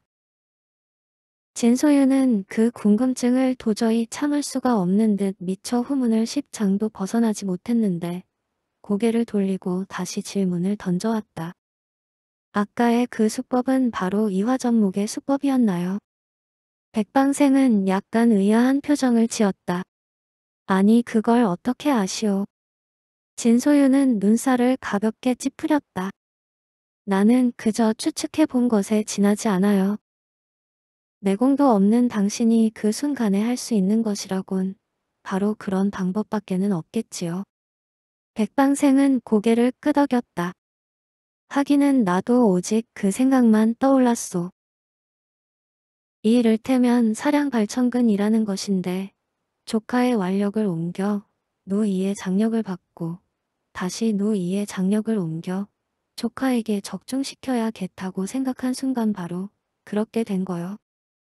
나도 그것은 처음 해보는 것이기 때문에 대체 어찌된 노릇인지는 잘 모르겠소. 진소유는 어이가 어버하며 눈살을 더욱 심하게 찌푸렸다. 이봐요 내가 조금 전에 말한 이화전목이란 수법은 단지 그저 한번 추측해 본 것이라고 하지 않았나요? 그건 물론 이론적으로는 가능해요. 하지만 그것은 공력이 상승의 경지에 올라야만 비로소 그처럼 자유로이 펼칠 수가 있는 거예요. 당신은 아직 공력이 거의 없는 상태인데 어떻게 그렇게 할 수가 있겠어요. 백방생은 그제서야 다소 어리둥절한 표정을 지었다. 하지만 그럼에도 불구하고 나는 이미 그렇게 하지 않았소. 나도 대체 무슨 일인지 모르겠. 아니 설마 하니 당신은 그 일로 지금 나를 의심하고 있는 것이오. 진소유는 다소 싸늘하게 냉소했다. 당신이 만약 진실한 무공을 감춘 고인이라면 나 같은 사람은 필요도 없는 것이겠죠. 백방생은 그녀가 그만 단단히 오해하기 시 작했다는 것을 알고 어처구 니가 없어졌다. 뭐라고요? 아니 대체 내가 무엇 때문에 당신을 속이겠소. 게다가 당신은 이미 나의 맹문까지 잡아본 상태가 아니오. 진소유는 막상 백방생이 그렇게 펄쩍 뛰며 나오자 오히려 내심 더욱 의아해졌다. 기실 어젯밤에 그의 맹문을 잡아보았을 때에는 정말로 내공이 거의 없었던 것이다. 게다가 지금까지의 백방생의 처지를 고려해볼 때 그가 그런 의외의 공력을 쌓았을 가능성은 결코 없었다. 그런 정말로 그의 말대로 기의 운용 능력이 남달리 뛰어나서 그런 것이라는 말인가. 백방생은 진소유가 곰곰이 생각에 잠겨 있는 것을 보고 문득 생각난 듯 다시 말했다. 아 혹시 그때 누군가가 숨어서 몰래 나를 도운 것인지도 모르겠소. 진소유는 상념에서 깨어나며 다소 눈살을 찌푸린 채 고개를 저었다. 그 당시에 누가 도왔을 가능성은 거의 없어요. 그건 바로 당신의 힘이었어요. 백방생은 어리둥절한 표정으로 고개를 갸웃거렸다. 아 그렇다면 내가 정말로 진면목을 감춘 무림의 고수란 말인가. 만일 그렇다면 좋기는 하겠지만 그러나 이거 영 믿기지 않는 일인데. 진소유는 그 모습을 보고 그만 가볍게 웃고 말았다. 그녀는 일부러 웃음을 감추며 다시 말했다. 착각하지 말아요. 다시 생각해보니 그럴 가능성은 더욱 없어요. 당신은 그저 강호의 무명소졸이지 결코 무림고수는 아니에요. 내가 잠시 너무 민감하게 생각했었나 봐요. 자 이제 어서 가기나 해요. 백방생은 그 말에 수긍하는 표정을 지었다. 하긴 나는 무명소졸이 더 어울리겠지. 백방생은 고개를 연신 끄덕이며 다시 걸음을 옮기기 시작했다. 하늘에는 구름 한점 없었고 눈부시게 내리쬐는 햇살은 더욱 뜨겁게 느껴지기 시작하고 있었다. 백방생은 잠시 더 걷다가 문득 머리가 어지러워지는 것을 느꼈다. 그는 날씨가 더워서 그런가 보다라고 생각을 했지만 그러기에는 이마에서 흘러내리는 땀이 갑자기 너무 많아졌다. 그는 이윽고 자신이 조금 전에 내상을 입었다는 것을 상기했다. 진소유는 그의 얼굴이 몹시 창백한 것을 보고 물었다. 가슴이 많이 아픈가요? 백방생은 고개를 돌려 그녀를 바라보았다. 진소유는 이 더운 날에 땀 방울 하나 흘리지 않고 있었다. 오히려 그녀의 안색에는 아직도 차가 운서리가 내릴 것만 같았다. 무공이 높아서 전혀 더위를 타지 않는 모양이군. 백방생은 내심 생각을 굴리며 대답했다. 가슴이 조금 뜨끔거리기는 하지만 그보다 는 머리가 어지럽소. 진소유는 이에 가볍게 미소하며 품속에서 하나의 옥병을 꺼내 거기에서 작은 아약 하나를 쏟아서 건네주었다. 그냥 삼켜보세요. 내상약이니 금방 효과가 있을 거예요. 백방생이 받아들고 보니 그거든 검은 빛깔의 새 알만한 한약이었다. 그는 진소유가 다시 그 옥병을 품속에 소중하게 갈무리하는 것을 보고 물었다. 이 약의 이름은 뭐라는 거요? 진소유는 미소하며 대답해 주었다. 그것은 본문의 내상약으로 이름은 대비단이라고 하는 거예요. 백방생이 그 대비단을 입속에 넣고 꿀꺽 삼키자 정말로 이내 가슴이 시원해 지면서 머리가 맑아지는 것 같았다. 그는 내심 기뻐서 다시 물었다. 이 약의 이름에 대자가 들어있으니 역시 소림사의 그 유명하다는 대환단과 흡사한 것이오. 진소유는 웃으며 고개를 가로저었다. 소림사의 대환단은 큰 약효가 있으며 만들기가 어려워서 소림 본사에도 몇 개 없다고 해요. 본문의 이 대비다는 내 상약으로서 대라는 글자는 대비라는 의미이지 약효가 크다는 뜻은 아니에요. 본문에도 대환단과 비슷한 것이 있는데 그것은 대비신단으로서 내가 함부로 가지고 다닐 수 있는 것이 아니에요. 백방생은 내심 추측을 하며 다시 물었다. 하지만 낭자는 이미 그 대비신단을 몇 개 정도 맛을 본 것이 아니오. 진소유는 백방생이 그렇게 말하는 의도를 눈치채고 웃으며 대답해 주었다. 나는 다행히도 사부님의 총애를 받아서 이미 두 개의 대비신단을 복용할 수가 있었어요. 하지만 당신과 같은 경우는 안 돼요. 만일 그것을 복용할 수준이 되지 못했는데도 복용을 한다면 10중 8구는 주와 입마에 걸리게 되니까요. 백방생은 그저 입맛을 다실 뿐 아무런 대꾸도 못했다. 그러는 동안에 이미 그의 내상이 거의 치료되었다. 남해보타 도의 그 내상약은 정말 약효가 신통했다. 백방생은 생각 같아서는 다시 그녀에게 대비신단을 하나라도 얻게 해줄 수가 없겠느냐고 묻고 싶었지만 감히 말을 꺼낼 수가 없었다. 각대 문파들은 그러한 비전성약들을 결코 외부인들에게 팔지 않는다는 것을 이미 들어서 알고 있기 때문이었다. 백방생은 내심으로 이런저런 궁리를 하며 한참 묵묵히 앞서서 걸음을 옮기다가 이윽고 하나의 커다란 점포 앞에 이르러 말했다. 바로 여기요. 백방생은 이제까지 거의 장원을 떠나서 돌 아다닌 일이 드물었기 때 문의 성안의 지리에도 그다지 능숙하지 못했다. 하지만 하인들의 얘기를 자주 들어서 아직 이곳만은 기억하고 있었다. 인심약포라고 간판이 새겨진 이 점포는 성안에서도 가장 규모가 큰 약재를 파는 가게였다. 백방생과 진소유가 점포의 안으로 들어서 자, 점포를 지키고 있던 둥근 얼굴에 죽늘근이가 부채를 붙이며 그들을 맞았다. 무엇을 사러 오셨수? 죽늘근이는 진소유의 얼굴이 대단히 아름다운 것을 보고 연신 힐금거렸다. 진소유는 안색을 다소 찌푸렸으나 백방생은 가게 안을 한번 둘러보다 가 인해 말했다. 여기에 혹시 장백산의 산삼처럼 사람의 기혈을 크게 도와주는 좋은 영약이 없소. 죽늘근이는 백방생의 말을 듣고 일순 어리 벙벙한 표정을 지었다. 뭐라고요? 백방생은 품속에서 천냥짜리 은표 한 장을 꺼내서 보여주며 다시 말했다. 여기에 좋은 영약이 들어오지 않았느냐는 말이오. 그 천냥짜리 은표는 백방생이 이전에 가지고 있던 돈들 중에서 가장 액수가 큰 것이었다. 죽늙은이는 무려 천냥짜리나 되는 은표를 보자 갑자기 태도가 달라졌다. 아, 얘 들어왔죠. 들어왔고 말고요. 죽늙은이는 한참 붙이고 있던 부채까지 던져버리고 다가왔다.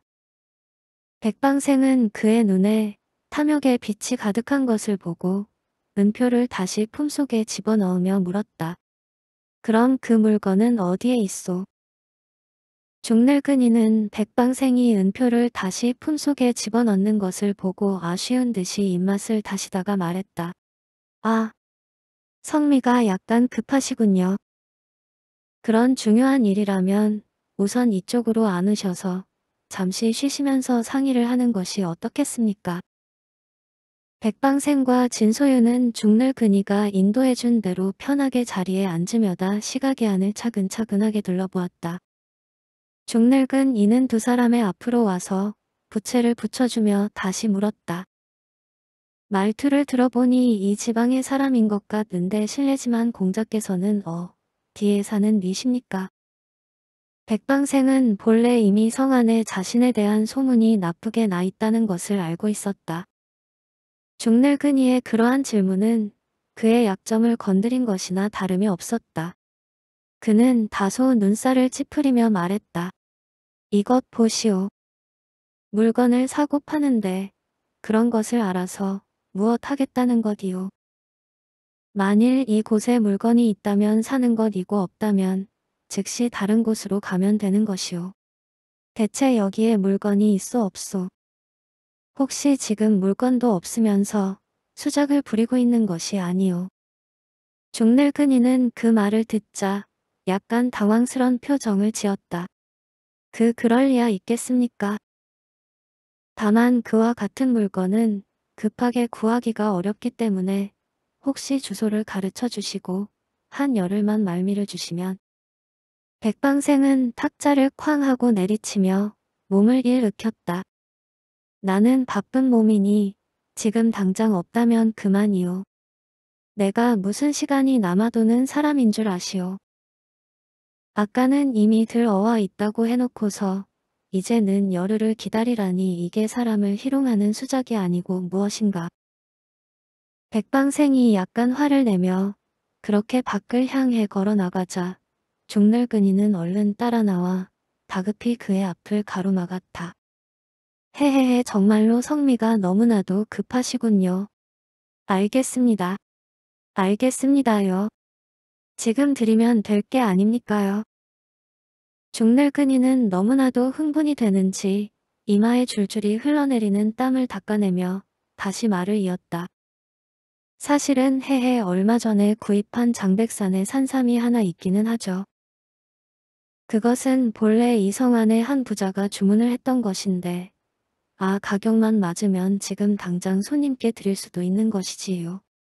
그러나 해해 그 장백산의 산삼은 원래 희귀한 것이라서 가격이 워낙 백방생은 약간 지겨운 느낌이 들어서 다소 눈살을 찌푸리며 대꾸했다. 물건만 좋다면 가격은 원하는 대로 드릴 수가 있소. 그러니까 아까의 그 금액의 10배도 지금 당장 줄 수가 있다는 말이오. 중늙은 이는 그 말을 듣자 절로 놀라서 입이 다 벌어졌다. 일, 일만 양이나. 헤헤, 그러시군요, 그러시군요. 알겠습니다, 알겠습니다. 여기에서 잠시 기다려주시면 네 금방 가져다 드리지요. 중늙은이는 말과 함께 이내 안쪽으로 달려 들어갔다. 진소유는 그것을 바라보다가 백방생을 향해 물었다. 정말로 그 많은 돈을 주고 산삼을 살 건가요? 백방생은 되물었다. 무슨 잘못된 점이라도 있소. 진소유는 대답했다. 이런 곳에 정말로 좋은 산삼이 뒹굴고 있을 리가 없어요. 게다가 그 1만냥이란 돈은 결코 적은 액수가 아니죠. 백방생은 고개를 저었다. 그 1만냥의 돈은 비록 많지만 내 재산의 10분지 1도 되지 않소. 게다가 내가 힘이 없으면 그 돈을 모두 잃어버리게 될지도 모르는 일이니 좋은 약만 구할 수 있다면 그 돈이 어찌 많다고 할 수가 있겠소. 난 사실 다시 그것에 열 배도 드릴 용의가 있소. 진소유는 이에 눈살을 찌푸리고 다소 생각하는 듯 하다가 다시 말했다. 당신이 만약 그렇게 원한다면 사실 내게 도 방법은 없는 것이 아니에요. 백방생은 눈이 번쩍 뜨이는 듯 해서 그녀를 바라보며 즉시 물었다. 정말로 낭자가 영약을 구할 수 있다는 말이요. 진소유는 다소 안색을 붉히며 대답했다. 사실 이 영단이라는 것은 무리민들 이 누구나 원하는 것이기 때문에 함부로 가지고 다닐 수도 없고 또한 가지고 있다고 해도 말을 할 수는 없어요. 사실 나의 사부님께서는 이번에 일이 위험할지도 모른다고 하시면서 내가 이곳으로 떠나오기 전에 내상약 이외에도 따로 하나의 대비신단을 주셨지요. 하지만 나는 그와 같은 이유 때문에 없다고 거짓말을 한 것이지요. 백방생은 절로 눈이 휘둥그레졌다. 그렇다면 정말로 그 대비신단을 낭자가 내게 주겠단 말이오. 진소유는 고개를 끄덕였다. 나는 단지 당신이 그렇게 원하고 있고 게다가 이런 상인들에게 속아 넘어가는 것을 두고 볼 수가 없어서 그러는 거예요. 백방생은 그만 기뻐서 입이 쩍 벌어졌다. 그는 자신도 모르게 진소유의 손을 잡으며 물었다. 어쨌든 이건 정말로 고맙기 그지 없는 일이요. 대체 내가 이 일을 무엇으로 보답하면 좋겠소? 진소유는 슬쩍 손을 빼고서 가볍게 웃으며 대답했다. 당신이 만일 부담을 느낀다면 그저 아까 그 은표 한 장만 나에게 주면 돼요. 백방생은 자신이 무의식 중에 실수를 했다는 것을 알았으나 너무나도 기뻐서 그런 것을 개의하고 싶은 기분이 아니었다. 그는 얼른 고개를 저었다. 그럴 수는 없소 그럴 수는 없소. 그 데뷔신단은 그야말로 낭자의 목숨이 위급해 졌을 때 사용할 것이었으므로 지금 그것을 나에게 준다는 것은 거의 절반쯤 목숨을 주는 것이나 다름이 없소. 낭자의 목숨값이 그렇게 적을 리가 있겠소. 나는 반드시 그 것의 백배인 십만 양을 드리리다. 진소유는 그 말에 웃으며 말했다. 그 데뷔신단은 지금 나에게 있지만 어차피 집에 가서 복용해야 할 것이므로 그다지 급한 것은 아니에요. 아무래도 지금 급한 것은 저 사람 드린 것 같군요. 백방생은 자신이 일시 너무 흥분하여 누가 다가오는 것도 몰랐다는 것을 알았다. 진소유의 손짓을 따라 바라보니 어느새 점포의 안에는 새로 덩치 커다란 세 명의 대안들이 들어와 있었다. 백방생은 마악 품속에서 예의 그 금표 묶음을 꺼내려다가 얼른 다시 잘 갈무리했다. 그 대안들은 안으로 들어와 서주인은 찾지 않고 두 사람만 주시하고 있었는데 일견하기로 그 눈빛들이 흉악해 보였다. 아 그렇군요. 백방생이 가볍게 안색을 굳히자 다시 진소유가 말했다. 많은 돈을 드러내놓고 자랑하면 그것이 곧 화를 부르게 된다는 이치를 그대로 보여주는 장면이 아닌가요? 그런데 이번에 진소유의 말은 마치 모기소리처럼 가늘어서 마치 귓속말을 하고 있는 것 같았다. 하지만 돌아보니 진소유는 여전히 그 자리에 서서 입술만 가볍게 달싹거리고 있었다. 백방생은 그것이 곧 이른바 전음인밀의 수법이라는 것을 알 수가 있었다. 백방생은 이내 그 대안들에게 물었다. 당신들은 우리에게 무슨 보릴이라도 있소. 그 대안들 가운데 덩치가 가장 커다란 대안이 앞으로 나서며 대꾸했다. 우리는 약을 사러 온 사람들이다. 지금 주인은 어디에 있느냐? 백방생은 손짓으로 안쪽을 가리켰다. 그쪽으로 들어갔으니 만일 급하다면 안으로 들어가서 찾아보시오. 대하는 이내 그 흉흉한 기색을 드러냈다. 우리는 그렇게 한가하지가 못하다. 내 놈이 들어가서 찾아오너라. 백방생은 웃으며 고개를 내저었다. 우리도 역시 그렇게 한가하지는 못하오. 역시 당신들이 직접 안으로 들어가 보는 것이 좋겠소. 대하는 흉악하게 웃더니 대뜸 안면에 살기를 일으키며 다가들었다. 내 놈은 감히 우리의 말을 거역하는 것이냐. 괜찮겠나요? 진소유의 전음의 백방생은 그녀를 향해 고, 개를 가볍게 끄덕여 보이고는 대안을 향해 마주 다가갔다. 내 놈은 대체 어디에서 놀던 수작이냐. 여섯 장 무공인문 순간 두 사람의 육체가 갑자기 뒤엉켰다. 백방생은 키가 6척이나 되어서 작은 키는 아니었지만 그 대 안의 키는 무려 7척이나 되는 것 같았고 체구도 백방생의 3배는 되는 것 같았다. 대안의 우람한 두 팔이 백방생의 어깨를 감아버리자 백방생의 어깨는 이내 부서져 버릴 것 같았다. 그러나 다음 순간 기우뚱하더니 바닥에 나가 떨어지는 것은 오히려 그 대안이었다. 어이쿠. 결과는 너무도 쉽게 끝났다. 대안이 넘어지는 것을 보고 나머지 두 명의 대안이 각기 허리춤에서 병장기를 뽑아들려고 했지만 이내 하얀 그림자가 어른거리더니 그 두 사람이 정신없이 뒤로 나가 떨어졌고 안쪽에서 그 죽늘그니가 날아나왔다. 물론 그것은 진소유가 잠시 재간을 부린 것이었다. 그녀는 두 명의 대안을 물리친 이후 그 죽늘그니가 안쪽에 숨, 어서 이쪽의 동정을 살피고 있다는 것을 알고 즉시 잡아온 것이었다. 백방생은 느닷없이 그 죽늙은이가 탁자 위에 올려져 있는 것을 보고 놀랐지만 이내 그가 사시나무 떨듯 하는 것을 보고 절로 웃음이 나왔다. 진소유는 그 죽늙은이의 몸에 몇 차례의 지풍을 가하더니 물었다. 내 놈은 대체 무슨 짓을 하려고 했지? 어서 대답해라. 지금 진소유가 죽늙은이의 몸에 펼친 것은 바로 붉은 착골수였다. 백방생도 이전에 당한 바가 있었지만 그것은 강호인들이 즐겨 쓰는 고문수 법의 하나로 그 고통이 지극히 심하여 일반인들이 감당할 수 있는 것이 아니었다. 죽늙은이는 이내 입에 개거품을 물고 쓰러져서 뒹굴며 비명을 지르기 시작했다. 진소유는 죽늙은이가 미처 대답을 하지 못하자 이번에는 다시 지풍을 날려 쓰러져 있는 세 명의 대안에게도 붕근 착골수를 펼쳤다. 으아! 네 사람이 일제히 뒹굴며 비명을 질러대자 마치 이 자리가 아비교환의 지옥인 것 같았다.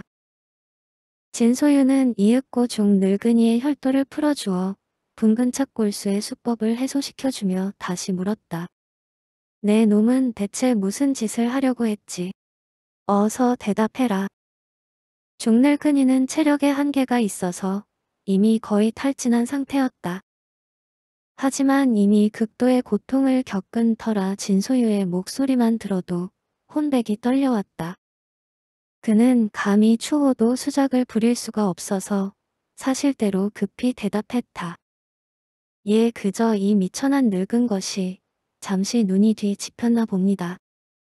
저분 상공께서 많은 돈을 보이시자 나도 모르게 저들을 불러서 진소유는 재촉했다. 불러서 어떻게 했단 말이지. 중늙은이는 다급히 벌벌 떨며 대답했다. 사상공의 돈을 모조리 빼앗으라고 했었습니다. 아이고 살려만 주십시오.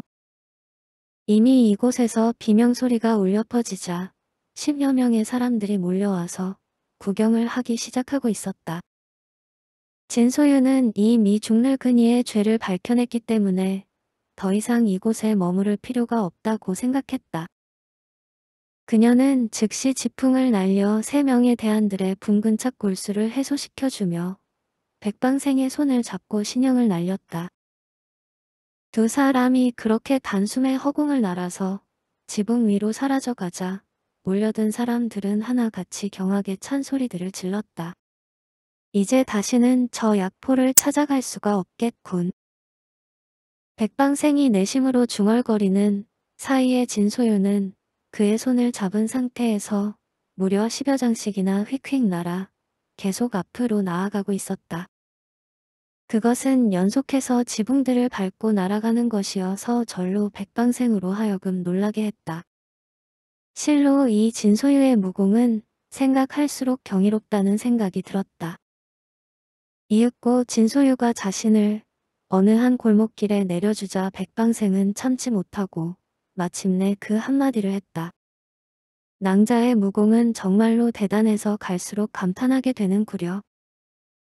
진소유는 그렇게 한 차례 무공을 사용했는 대도 여전히 숨이 가쁘지 않았고 이마에 땀방울 하나 흐르지 않고 있었다. 그녀는 가볍게 웃으며 대꾸했다. 과찬의 말이에요. 나의 무공이야 당연한 것이지만 당신이 아까 그 대안을 사량 발천근의 수법으로 충격을 주고 가볍게 넘어뜨린 것이야. 말로 실로 놀라운 것이에요. 지금 내공이 없는데도 그러한데 만일 나중에 내공을 얻게 되면 얼마나 그 능력이 대단하겠어요. 아마도 나의 호의는 필요 없을지도 몰라요. 백방생은 얼른 고개를 가로저었다. 그럴 리가 있겠소. 그럴 리는 없을 것이오. 진소유는 웃으며 다시 말했다. 어쨌든 우리는 이만 돌아가도록 해요. 백방생은 막 걸음을 옮기려다가 문득 다소 멍청한 표정이 되어 진소유에게 물었다. 낭자는 혹시 이 부근의 지리에 대해서 잘 아시오? 진소유는 고개를 가로저었다. 아니오. 저는 절강성에서 살아왔기 때문에 이곳의 지리는 잘 몰라요. 백방생은 그 말에 다소 난처한 표정이 되어 뒷머리를 극적거렸다. 사실은 나도 성안의 지리는 잘 몰라서 말이요. 하하 이거 고생 좀 하겠구려. 진소유는 그제서야 백방생의 말뜻을 알아차렸다. 그녀는 어이없어 하며 가볍게 웃더니 말했다. 우리는 단지 아까 그 길을 옆으로 되돌아온 거예요. 자신의 집이 바로 코앞에 있는데도 못 찾는다는 말인가요? 백방생은 일순 어리둥절해졌다. 확인해 보기 위해 골목길을 나서 보니 정말로 대로에 맞은편에 자신의 거처인 별채가 눈에 들어오는 것이 아닌가. 어, 언제 우리가 다시 이곳으로 돌아왔다지. 백방생이 다소 멍한 표정으로 주위를 둘러보는 것을 보고 진소유가 다가와서 그의 손을 잡아 끌었다. 자 어서 가요. 당신은 계속 이렇게 서 있기만 할 건가요? 백방생과 진소유는 다시 후문을 통해서 별채로 돌아왔다. 아직 오전이 없기 때문에 그렇지 않아도 조용하던 별채는 더욱 조용하게 느껴졌다. 하인들도 이를 보기 위해 밖으로 나갔는지 별채의 내부는 텅 비어 있었다. 두 사람은 별채로 들어서자 맞아 마치 약속이라도 한 듯이 곧장 서재로 갔는데 백방생은 의자 위에 앉자마자 즉시 품속에서 금표묶음을 꺼내 들었다. 백방생은 그 가운데에서 40장을 세워서 진소유에게 주려고 했다. 그런데 진소유가 그것을 보고 고개를 저으며 말했다. 10만 냥의 은자는 너무나 많아요. 좋아요. 당신이 만약 그렇게 내게 성의를 표시하고 싶다면 그 가운데 열 장만 주도록 하세요. 100냥짜리 금표가 10장이면 은자로 치면 2만 5천 냥이라고 할 수가 있다. 백방생은 그래도 계속 돈을 좀 더 줘야 하겠다고 우겼으나 나중에는 결국 그녀가 말한 대로 100냥짜리 금표 10장을 주고 말았다. 진소유는 금표 10장을 받아서 품속에 잘깔 무리한 다음에 이윽고 소중하게 간직했던 작은 옥병 하나를 꺼내서 백방생에게 건네주며 말했다. 이것이 바로 대비신단이에요. 하지만 지금 그 안에 있는 대비신단을 복용하려면 먼저 나의 얘기를 들어야 해요. 백방생은 그 작은 옥병을 받자마자 뚜껑을 열고 그 안에 들어있는 물건을 꺼냈다.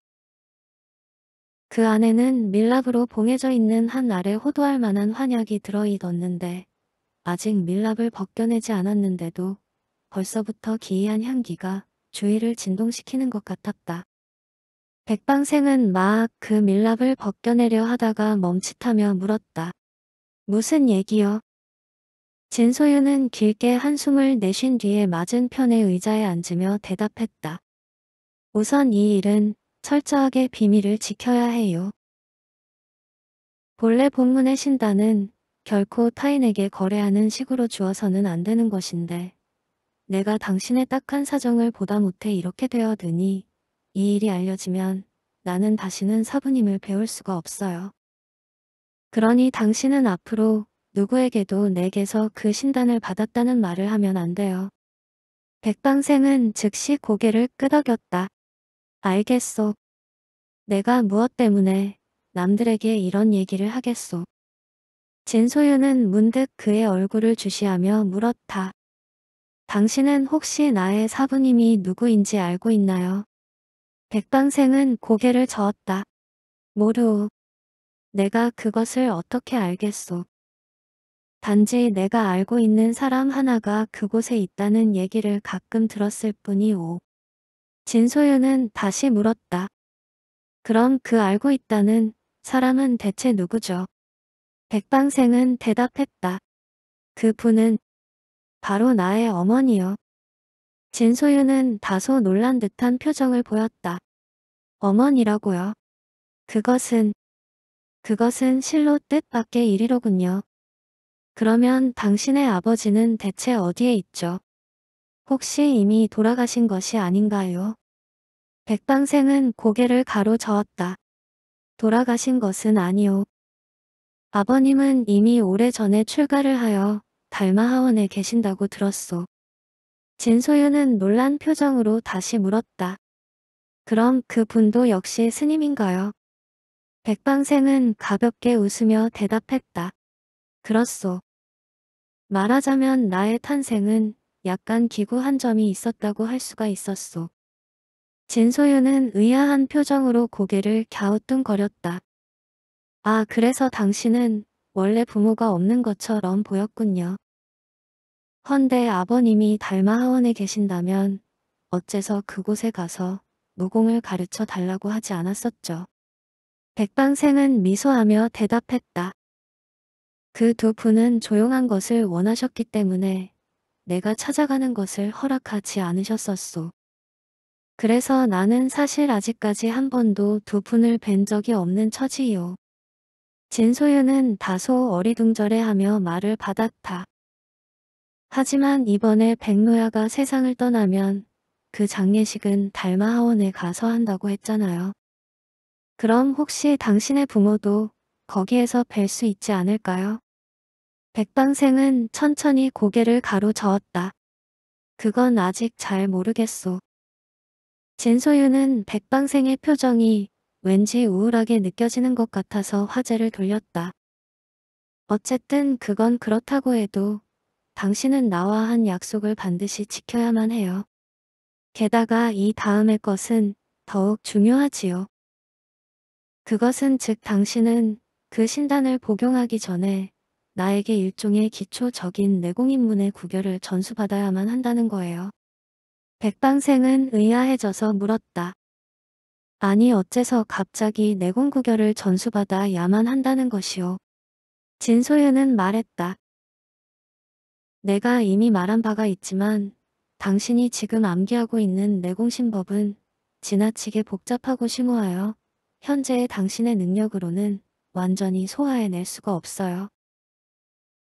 지금까지는 내공이 거의 없어서 큰 부작용이 없었지만 그러나 만일 당신이 갑자기 큰 내공력으로 그 내공신법을 성취하려고 한다면 대번에 10중 8구 주화 인마에 걸리게 될 거예요. 만일 당신이 중요한 시기에 자칫 정신을 산만하게 하여 막대한 진기를 엉뚱한 방향으로 흐르게 한다면 그때는 나로서도 어찌 해볼 도리가 없어요. 백방생은 다시 물었다. 하지만 거기에 다시 새로운 내공신법을 전수받는다고 해서 문제가 달라진다는 말이오. 진소윤은 미소하며 대답했다. 나는 내공신법 가운데에서도 가장 기초적인 것을 전수하려는 거예요.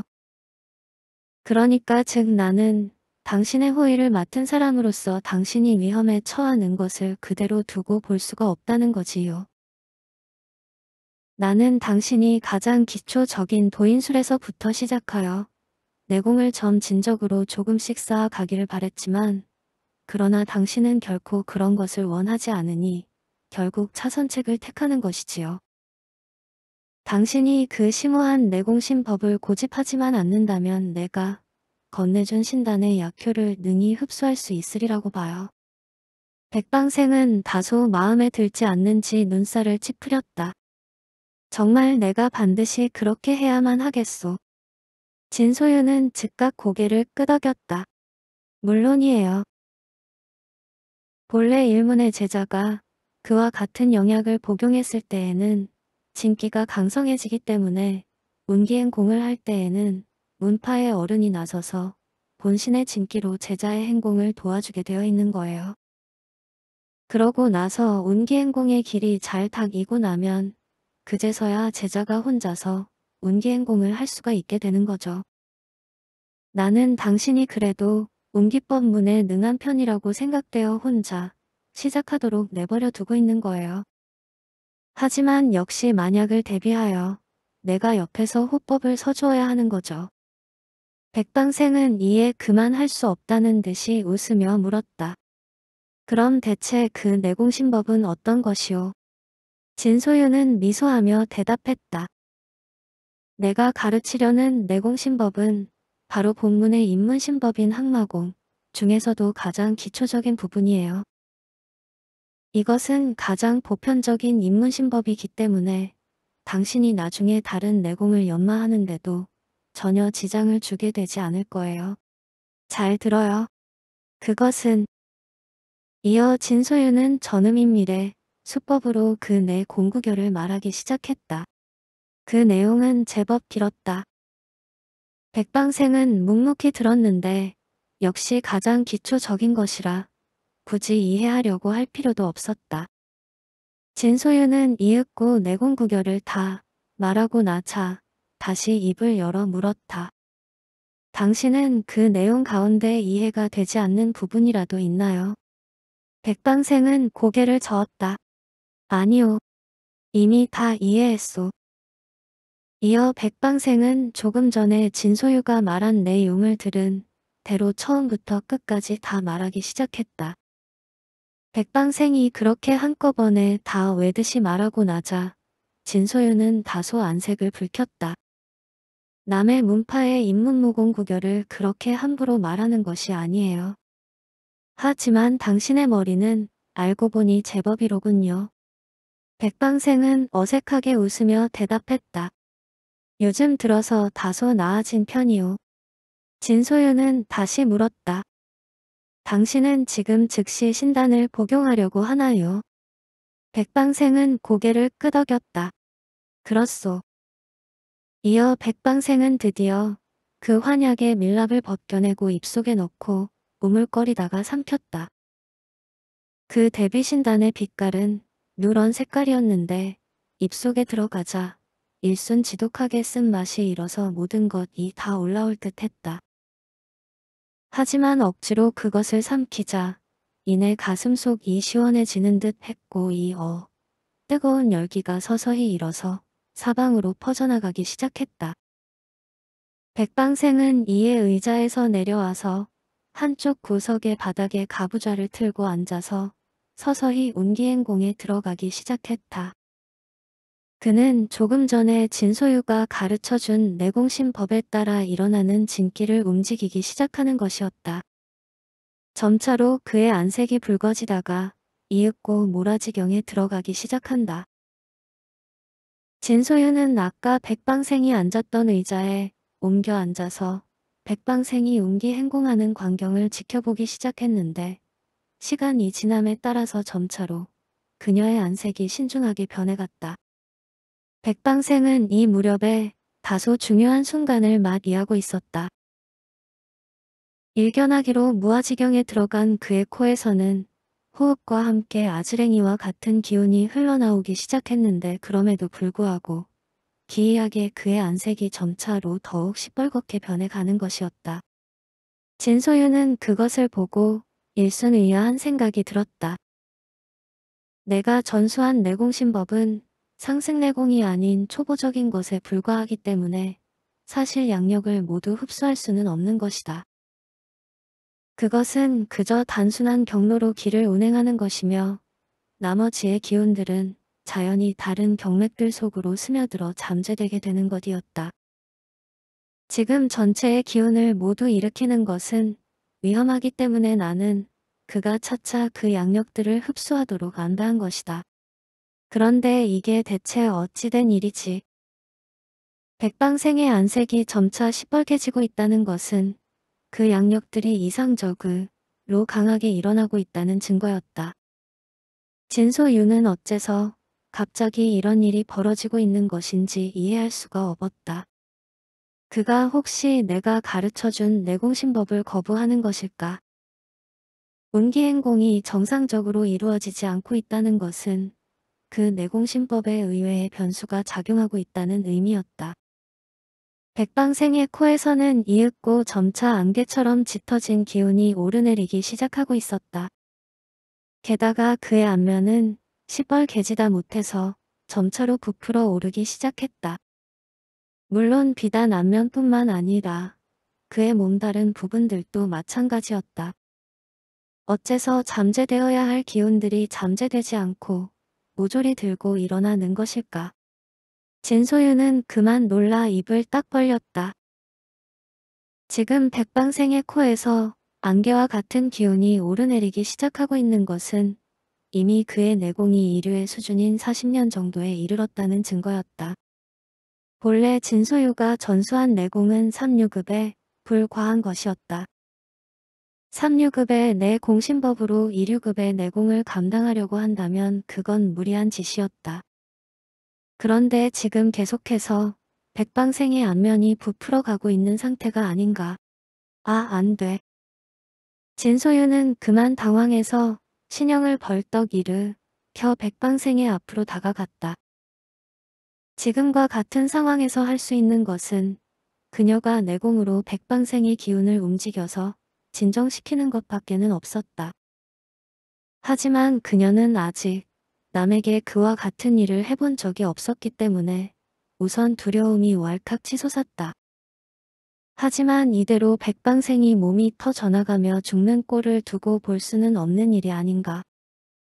진소유는 내심 입술을 깨물고 내공을 이르 킨 다음에 백방생의 앞으로 다가가서 마주 앉았다. 헌데 바로 그 순간에 갑자기 백방생의 몸에 변화가 일어났다. 진소유가 막 그의 손을 잡으려고 하는데 느닷없이 그의 안면이 바람이 빠진 듯이 붓기가 빠지더니 그의 호흡 역시 거짓말처럼 깊고 조용해지는 것이 아닌가. 그것은 실로 믿을 수 없는 괴이한 변화였다. 진소유는 일순 행동을 멈추고 어리둥절한 표정을 지었다. 백방생의 안색까지 이미 평온한 제 빛깔로 변해가는 것이 아닌가. 이게 대체 어찌된 일이지. 진소유는 잠시 망연히 앉아 있다가 이윽고 물러나와 백방생의 모습을 바라보며 생각을 거듭했다. 우선 분명한 것은 그녀가 전수해준 내공신법에는 이런 괴이한 변화가 없다는 사실이었다. 그렇다면 혹시 그가 정말로 가전에 내공신법을 일으킨 것이라는 말인가? 진소유는 내심 여러 번이나 그런 추측을 부인했다. 그것은 그녀가 이미 안 된다고 공언했던 것이었다. 백방생의 가전의 내공신법은 이른바 최상승 이상의 심오한 내공신법이기 때문에 신단을 복용하고 그 신법을 일으킨다면 거의 주화인마에 걸릴 것이라고 했었다. 그런데 지금의 이 현상은 그 이외의 다른 이유를 생각할 수도 없는 것이 아닌가. 이미 백방생의 운기행공이 차분한 안정권에 들었다는 것은 확실했다. 그의 코에서는 지금 아까보다도 더욱 짙은 안개와도 같은 기운이 흘러나와 오르내리며 주위를 은은히 감싸기 시작하고 있었다. 그의 신색은 갈수록 더욱 조용하고 편안한 모습으로 변해가고 있었다. 그것은 아까 혼란스러웠을 때와는 전혀 딴판의 모습이었다. 진소유는 그것을 보고 내심으로 연신 고개를 갸웃거리다가 이윽고 중얼거렸다. 설마 하니 저 자가 사부님께서 말씀하셨던 그 최고의 무학기제였단 말인가. 사부님께서는 이른바 최고의 무학기제들만이 그런 어려움을 극복하고 불가능을 가능으로 만들 수 있다고 했었는데 헌데 그렇다면 대체 그는 또 어째서 지금까지 그렇게 전혀 무공을 배우지 못했었던 것이지. 진소유는 내심 도무지 갈피를 잡을 수가 없어서 주위를 서성거리며 생각을 해보다가 다시 의자 위에 앉아서 이리저리 분석하며 자신의 무학 지식을 총동원해 보았다. 하지만 결론은 쉽게 내려지지 않았다. 그러는 동안에 그저 시간만 흘러갈 뿐이었다. 문득 앞쪽에서 가벼운 인기척이 들리더니 이윽고 한 사람이 그녀의 앞으로 다가왔다. 비로소 백방생이 운기행, 공을 마치고 다가온 것이었다. 진소유는 이미 거의 끝날 때가 되었다는 것을 알고 있었지만 새삼 놀란 듯한 표정으로 고개를 들어 그를 바라보았다. 백방생은 확실히 운공하기 전보다 모습이 많이 달라져 있었다. 우선 혈색이 좋아지고 피부에 윤기가 흐르며 전신에서 은근히 부드러운 기운이 일어나고 있는 듯하여 결코 이전처럼 허약해 보이지 않았다. 백방생의 용모는 본래 다소 마르고 수척하기는 했지만 유심히 바라보면 상당히 잘생긴 편이었다. 진소윤은 지금 달라진 백방생의 얼굴을 보고 비로소 그가 제법 준수하다는 것을 느낄 수가 있었다. 백방생은 다가와서 그녀와 얼굴을 마주대하자 이내 폭권하며 말했다. 정말 고마웠소. 만일 낭자의 도움이 없었다면 내가 결코 이만한 성취를 이룰 수는 없었을 것이오.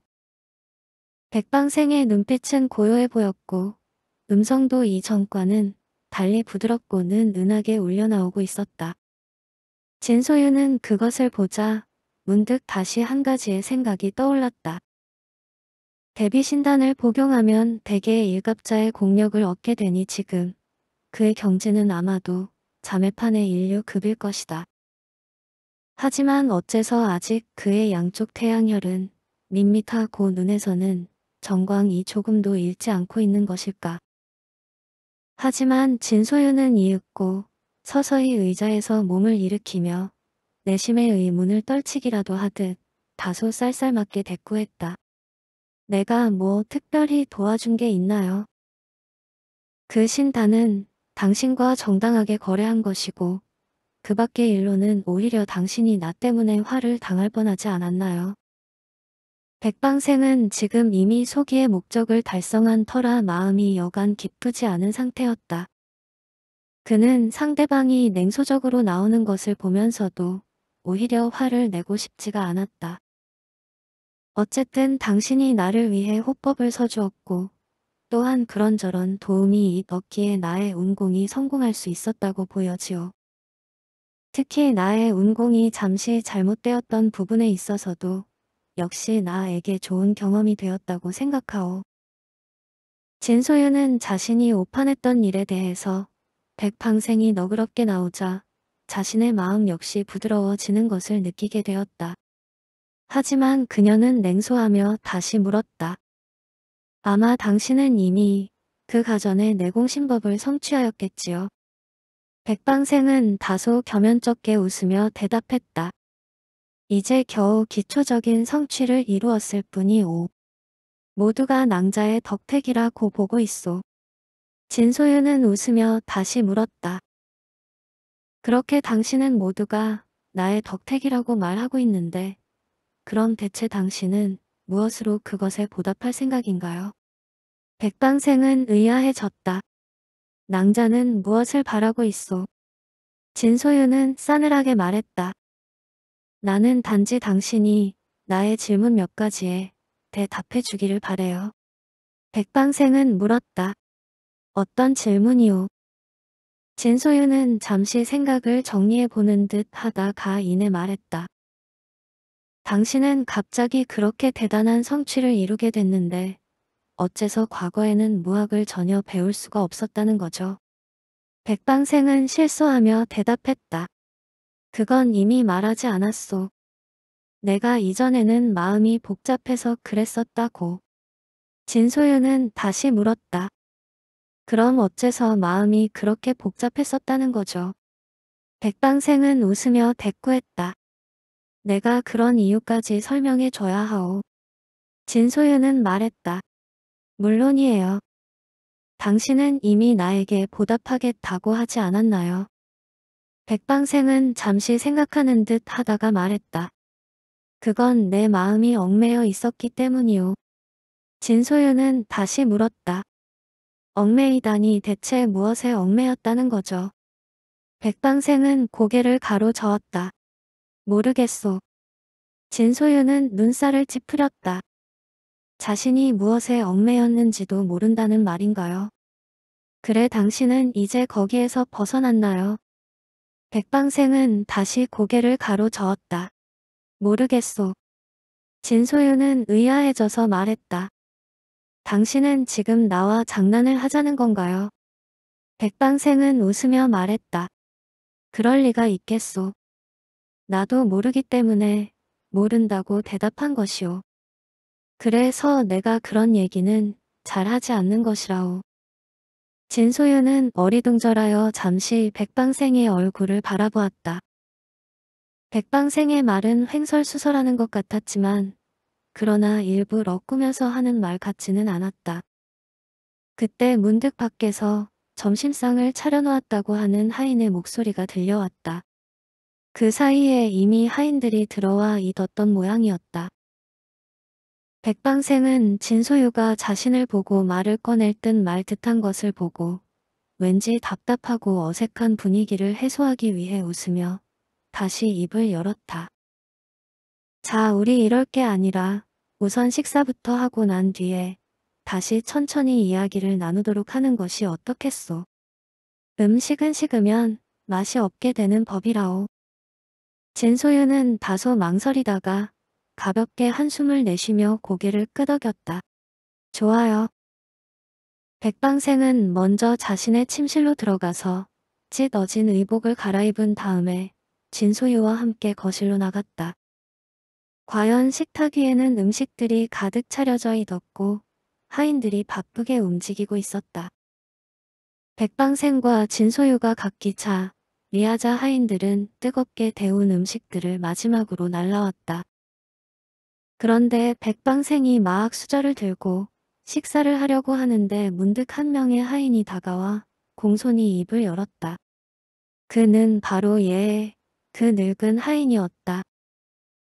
저 넷째 공자님 조금 전에 셋째 공자님께서 큰 공자님 댁으로 다녀가라는 말씀을 전하라고 하셨습니다. 백방생은 그 하인의 얼굴을 바라보다가 이어 진소유에게 시선을 보내며 내심 생각했다. 정말로 그는 나에게 도무지 쉴 틈을 주지 않으려는 모양이군. 백방생은 아까 후문 앞에서의 광경을 다시 상기하며 하인에게 물었다. 그래. 대체 무슨 일이라던가. 이 늙은 하인은 진소유가 그의 호의를 맡은 이후에 그를 대하는 태도가 다소 달라졌다. 그를 막내 공자가 아닌 넷째 공자라고 부르는 것만 봐도 능히 알 수가 있었다. 마음은 그를 멀리하지만 겉으로는 감히 얘의 의를 다하지 않을 수가 없는 것이다. 하인은 대답했다. 예, 큰 공자님 댁에서 갑자기 큰 환란이 일어났다고 하더군요. 넷째 공자님께서도 그곳에 한번 가보셔야 한다고 하셨습니다. 백방생은 웃으며 말했다. 환란이 일어났다고. 대체 무슨 환란이 일어났다는 말인가? 하인은 대답했다. 예 잘은 모르지만 오늘 큰 공자님께서 그만 갑자기 돌아가셨다고 하는 것 같았습니다. 백방생은 다시 웃으며 말했다. 큰형님이 돌아가셨다고. 대체 큰형님께서 무엇 때문에 돌아가셨다는 말인가? 하인은 대답했다. 그건 소인도 잘 모르지만 아마도 흡혈귀 때문이라고 하는 것 같았습니다. 백방생은 어이없어 웃으며 말했다. 흡혈귀 때문이라고. 자네는 잘 모른다면 서 많이도 알고 있군 그래. 하인은 말했다. 그것은 소인이 말씀드린 것은 바로 그 내막을 잘 모른다고 한 것이었죠. 백방생은 하인을 돌아보며 다시 물었다. 그렇다면 그 가운데 큰형님이 돌아가셨다고 하는 말은 사실이었단 말인가? 하인은 고개를 숙이며 대답했다. 예, 사실입니다. 소인이 어찌 감히 그와 같은 거짓말을 할 수가 있겠습니까? 만일 소인이 거짓말을 하는 것이라면 장차 지옥의 불구덩이 속에 떨어져서 영원히 헤어나지 못한다고 해도 좋을 것입니다. 백방생은 웃으며 다시 물었다. 큰형님이 오늘 언제 돌아가셨다는 말인가? 하인은 대답했다. 오늘 새벽에 돌아가셨다고 하는 것 같았습니다. 백방생은 가볍게 웃었다. 그러니까 오늘 새벽에 흡혈귀에게 당해서 돌아가셨다는 말인가. 하인은 잠시 머뭇거리다가 대답했다. 예. 소인은 잘 모르오니 넷째 공자님께서 직접 가보시면 소상히 알게 되실 것입니다. 백방생은 고개를 끄덕이며 손을 내저었다. 알겠네. 자네는 그만 물러가 보게. 그 늙은 하인이 물러가고 나자 이윽고 진소유가 듣고 있다가 질문을 던져왔다. 당신은 어떻게 할 거죠? 문상을 갈 건가요? 안 갈 건가요? 백방생은 잠시 생각하는 듯 하다가 웃으며 되물었다. 낭자는 오늘 새벽에 흡혈귀에게 당해서 죽었다는 말에 대해서 어떻게 생각하시오? 진소윤은 대답했다. 오늘 새벽이라면 그들이 모르고 있었을 리가 없을 텐데. 당신은 그의 말을 의심하나요? 백방생은 가볍게 웃으며 말했다. 당신도 알겠지만 이곳에 있는 사람들은 하인들에 이르기까지 모두가 나의 편이 아니오. 아니 차라리 나의 적이라 고 해야 옳을 것이오. 그들은 지금 한통속이 되어 나의 돈을 빼앗으려고 혈안이 되어 있는데 내가 어떻게 그들의 말을 쉽게 믿을 수가 있겠소. 진소윤은 말했다. 하지만 정말로 그의 말이 사실이라면 그때는 어쩌죠? 백방생은 말했다. 나의 큰형의 무공은 그의 형제들 가운데에서도 발군이라고 했었으니 결코 간단하게 죽지는 않았을 것이오. 게다가 흡혈귀 때문이라니. 하지만 만약 그가 죽은 것이 분명하다고 해도 정말로 달라질 것은 아무것도 없소. 진소윤은 물었다. 그들이 결국 당신의 돈을 빼앗기 위해 부른 것이라는 말인가요? 백방생은 말했다. 아니면 죽이려는 것인지도 모르오. 이미 오래전부터 그들은 갖가지의 방법을 동원하여 싫다는 나를 억지로 불러내어서는 그렇게 치욕과 수모를 주었었소. 큰형은 그 가운데의 우두머리였다고 해도 과언이 아니었소. 지금 그가 설령 죽은 것이 확실하다고 해도 이번에 나를 부른 것은 그저 문상을 해주기를 바라는 것만은 아닐 것이오. 진소유는 그 얘기를 듣고 나서 다소 의아한 표정을 지었다. 정말로 아직도 믿기지 않는 일이로군요. 당신들이 친사촌 형제가 아니라는 그 소문은 사실인가요? 일곱 장 마음속에 초식이 있다. 백방생은 가볍게 웃으며 대답했다. 나의 백부인 백귀현이라는 사람은 나의 할아버지의 친아들이 아니오. 나의 아버지가 일찍 출가를 하자 나의 할아버지는 외아들을 잃은 허전함을 달래기 위해 양자를 두었던 것이오. 그리고 나중에는 그의 이름까지 아예 비슷하게 바꾸어 주었소. 진소윤은 고개를 끄덕였다. 어쩐지 당신과 그 사람들의 용모가 전혀 닮지 않은 것 같더군요. 헌데 어째서 당신의 조부는 그러한 일을 알고 잊었을 텐데도 미리 그 화근을 제거하지 않았을까요? 백방생은 가볍게 한숨을 내쉬며 대답했다. 그것은 아마도 이를테면 할아버지의 일종의 고집일 것이오. 그분은 나의 부친이 출가한 사실에 대해 몹시 유감이 많으셨었는데 그런저런 이유로 해서 한번 정하신 것은 다시 바꾸려고 하지 않으시려는 모양이오. 진소윤은 왠지 백방생의 안색이 우울하다고 느껴진 듯 가볍게 눈살을 찌푸리며 바라보다가 다시 물었다. 그럼 이제 당신은 어떻게 할 거죠? 백방생은 잠시 생각을 해보는 듯 하다가 대답했다. 지금 나는 그 사실을 확실히 믿을 수도 없을 뿐만 아니라 설령 믿을 수 있다고 해도 역시 무턱대고 그곳으로 가볼 수도 없는 입장이요. 따라서 진소윤은 물었다. 그러니까 기다리자는 말인가요? 백방생은 고개를 끄덕였다. 그렇소. 다행히도 나는 아직 그저 하인에게서 그 얘기를 들었을 뿐 누구에게 정식으로 통보받은 것이 아니니 나중에 누가 와서 뭐라고 한다고 해도 최소한 변명을 할 여지는 남아있게 될 것이오. 진소윤은 그 말에 수긍하는 듯 천천히 고개를 끄덕이며 말했다. 그렇겠군요. 어쨌든 앞으로의 상황이 편안해지지는 않겠군요. 백방생은 한숨을 내쉬었다. 나도 같은 생각이요. 백방생은 그렇게 점심 식사를 마치고 나자 진소유를 거실에서 지켜보게 한 뒤에 자신은 혼자서 다시 서재로 들어갔다. 그것은 앞으로 언제 닥칠지 모르는 험악한 상황에 대비하기 위해 미리 서둘러 약간의 힘이라도 갖추어 보기 위해서였다. 그러니까 즉 바로 무공을 한번 연마해 보자는 것이었다. 이른바 무공이라고 하는 것은 물론 내공만 가지고 있다고 해서 다 되는 것은 아니었다. 실험꾼이 아무리 힘이 좋다고 해도 기술을 겸비해야 하듯이 내공이 있다고 해도 그것을 사용하는 방법을 알지 못하면 아직 그 내공은 자신의 것이라고는 말할 수가 없는 것이었다. 내공은 그 사용하는 방법에 의해 완전히 소화되고 단련되는 것이며 그 무기는 또한 내공에 의해 제 위력을 발휘하게 되는 것인 만큼 역시 그 두 가지는 불가분의 관계에 있다고 할 수가 있었다.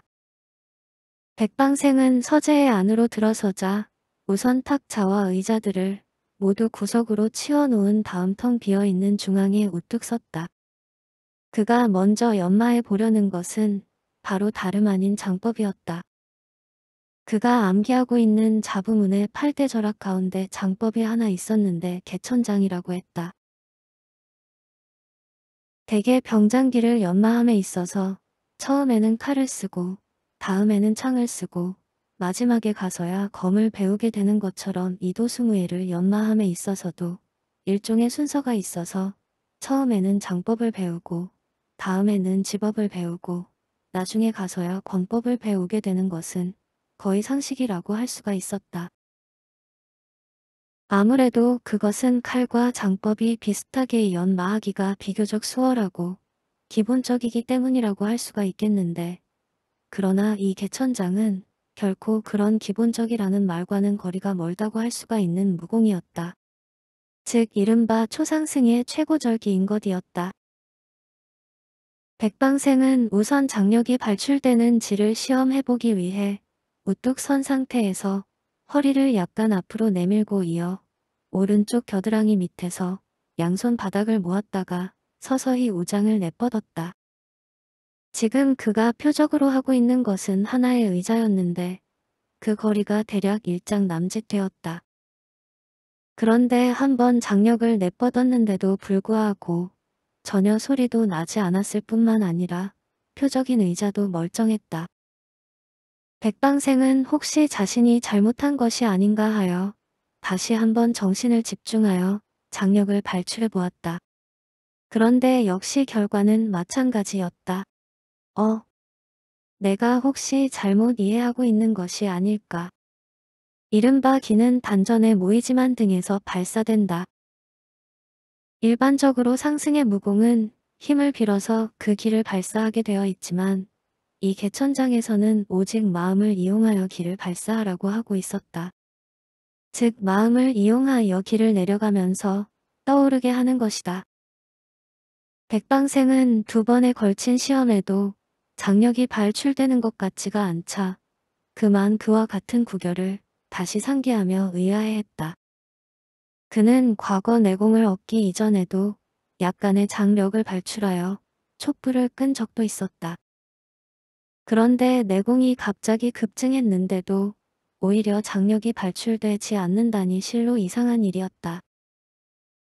백방생은 고개를 갸웃거리다가 이번에는 어디 전력을 다해서 장력을 발출해봐야 하겠다고 생각하고 우장을 겨드랑이 아래로 움직이며 정신을 모았다.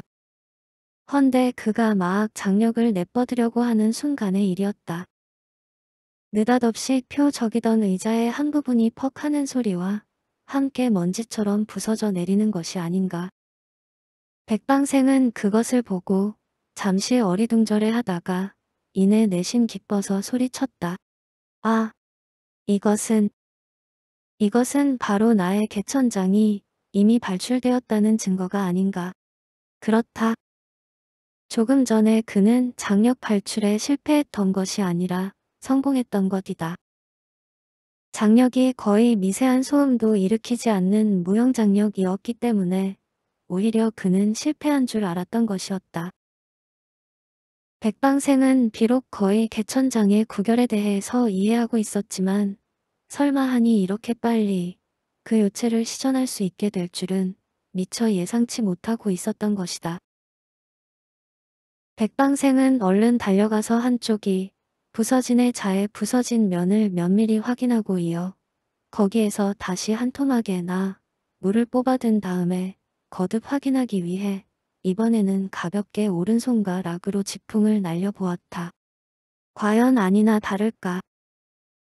백방생이 지풍을 날린 연우의 손가락으로 나무토 막을 어루만져 보니 그것은 이미 수십 군데에 구멍이 나 있는 것이 아닌가.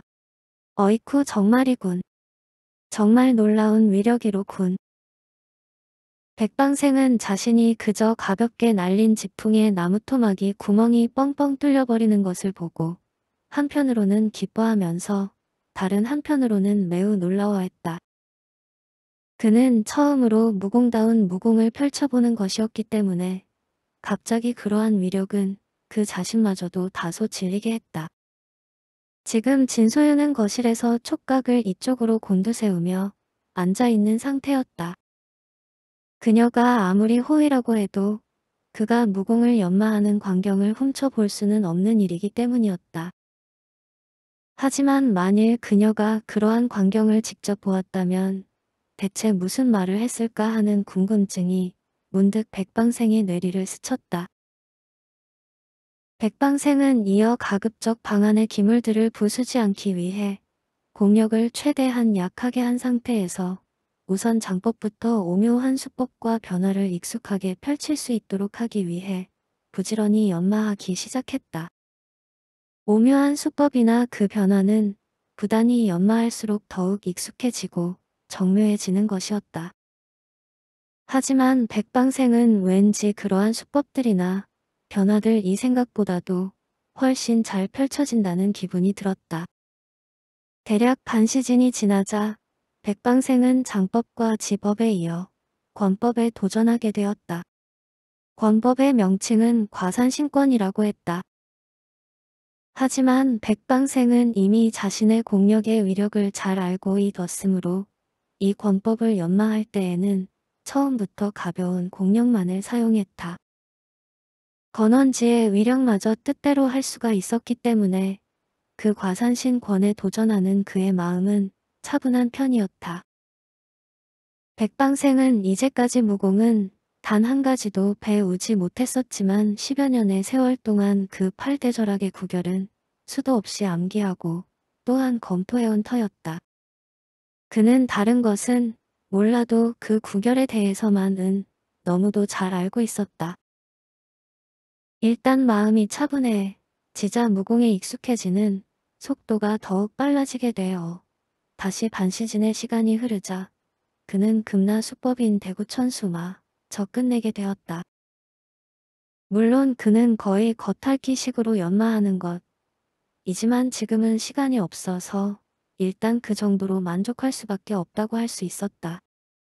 그는 이윽고 보법인 인류연이라는 무공으로 넘어갔다. 그 일유연의 보법은 그야말로 변화가 지극히 심하여 어찌 보면 무질서하다고까지 느껴지는 그런 보법이었다. 천하에 그렇게 복잡한 보법도 매우 드물 것이었다. 그것은 느린 듯 하면서도 빠르고 빠른 듯 하면서도 느리며 변화가 적은 듯 하면서도 많고 많은 듯 하면서도 변화가 적은 그러한 보법이었다. 백방생은 여전히 가벼운 공력만을 사용하여 그 보법을 연마했는데 그것도 처음에는 역시 어렵지 않았다. 전날 내공이 거의 없을 때도 백방생은 그 보법을 약간이나마 사용할 수가 있었기 때문이었다. 그러나 다소 심오한 부분으로 넘어가게 되자 백방생은 뜻밖에도 느닷없이 여기에서 복병을 만나게 되었다. 대개 일반적인 상승 절학들은 많은 육체적인 움직임을 필요로 하는데 반해 이 자부문의 8대 절학들은 하나같이 육체적인 움직임을 오히려 최소화하는 것들이었기 때문에 그것은 백방생의 취향에 걸맞았었다. 그는 이제까지 이론적인 면에 능통해 있었기 때문에 거의 움직이지 않는 무공에 있어서는 그런대로 실제에 적용하기가 유리했다. 그러나 이 인류연은 보법이었기 때문에 아무래도 일단은 몸을 움직여야만 했다. 백방생은 한창 보법을 밟아 나가다가 점차로 속도가 빨라지게 되자 갑자기 머리가 어지러워지게 되었고 이내 그것은 진기의 운용이 혼란해지는 결과를 낳게 되었다. 몸이 빠르게 움직이는 상황에서 헛발질을 하게 되면 곧 낭패를 보게 되는 것이다. 백방생의 신형은 몇 번이나 심하게 균형을 잃고 비틀거리다가 끝내는 세차게 서가 쪽으로 나가 떨어지고 말았다. 아이쿠. 백방생이 보법을 펼치던 와중에는 강한 공력이 운용되고 있었으므로 자연 그가 튕겨져 나가 서가에 부딪히자 일순 그 공력이 서가에 작용하게 되었다. 느닷없이 쾅 하는 소리와 함께 서가의 한쪽이 완전히 박살이 되어 날아가고 무수한 서책들이 한꺼번에 백방생의 머리 위로 쏟아져 버렸다. 백방생은 느닷없이 그런 변을 당하게 되었지만 잠깐 동안은 아직 머리가 심하게 어지러워서 대체 어떻게 된 일인지 알지 못했다. 책과 먼지 속에 묻혀 있었지만 그는 열심히 이게 대체 어떻게 된 일인가를 생각했다. 그러다가 그는 문득 머릿속이 개운해지는 것을 느끼며 내심으로 소리쳤다. 그렇다. 전개해도 전개하지 않은 것이고 전개하지 않아도 이미 전개한 것이다. 움직여도 움직이지 않은 것이고 움직이지 않아도 이미 움직인 것이다. 마음속에 초식이 있으니 왜 형상의 변화에 집착할 것이 무엇인가? 순간적으로 그토록 그를 어지럽게 만들었던 보법의 오묘하고도 복잡한 변화들이 한눈에 들어왔고 머릿속이 훤하게 밝아진 듯 했으며 조금도 어지럽지가 않았다. 비록 보법이 제 아무리 복잡해진다고 해도 마음은 항상 고요하니 어찌 어지러움이 일겠는가. 백방생은 이제까지 거의 격렬하게 움직이는 운동을 해오지 않았었다. 그래서 미처 자신이 움직이는데 대해서 적응이 거의 잘 되지 않았었는데 그러나 뜻밖에도 지금 한 가지 기묘한 요결을 깨달아서 그 장애를 벗어나게 되었다. 백방생은 그것을 확신했다.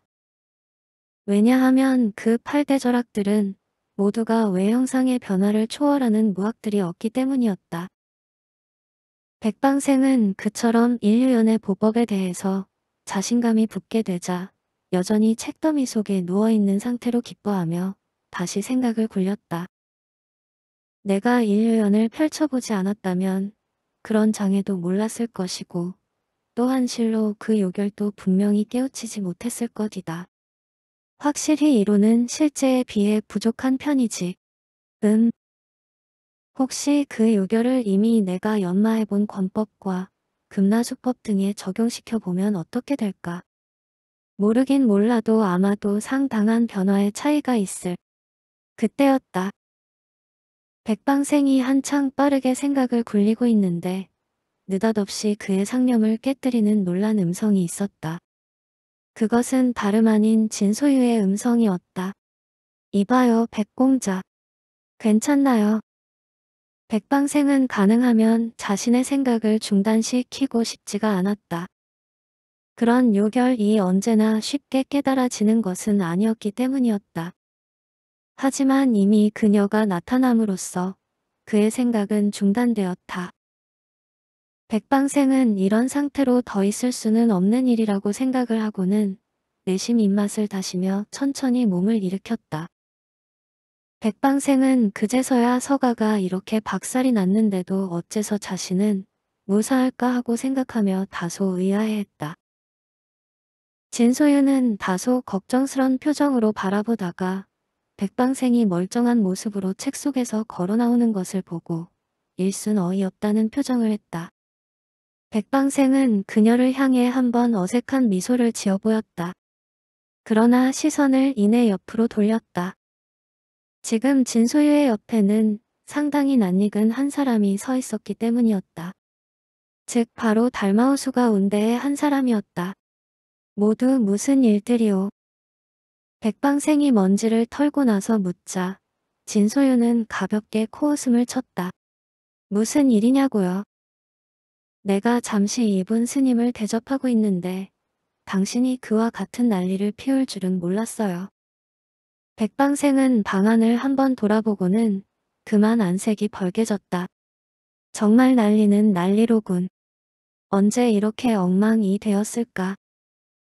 백방생은 무공을 연마하는데 정신이 팔려 그동안 자신의 서재가 어떻게 되어 가는지도 모르고 있었었다. 이것은 마치 어린아이가 심하게 장난하다가 들킨 것과 흡사하지 않은가. 백방생은 그 무한함을 감추기라도 하듯 고개를 돌려 중년 승려를 바라보며 물었다.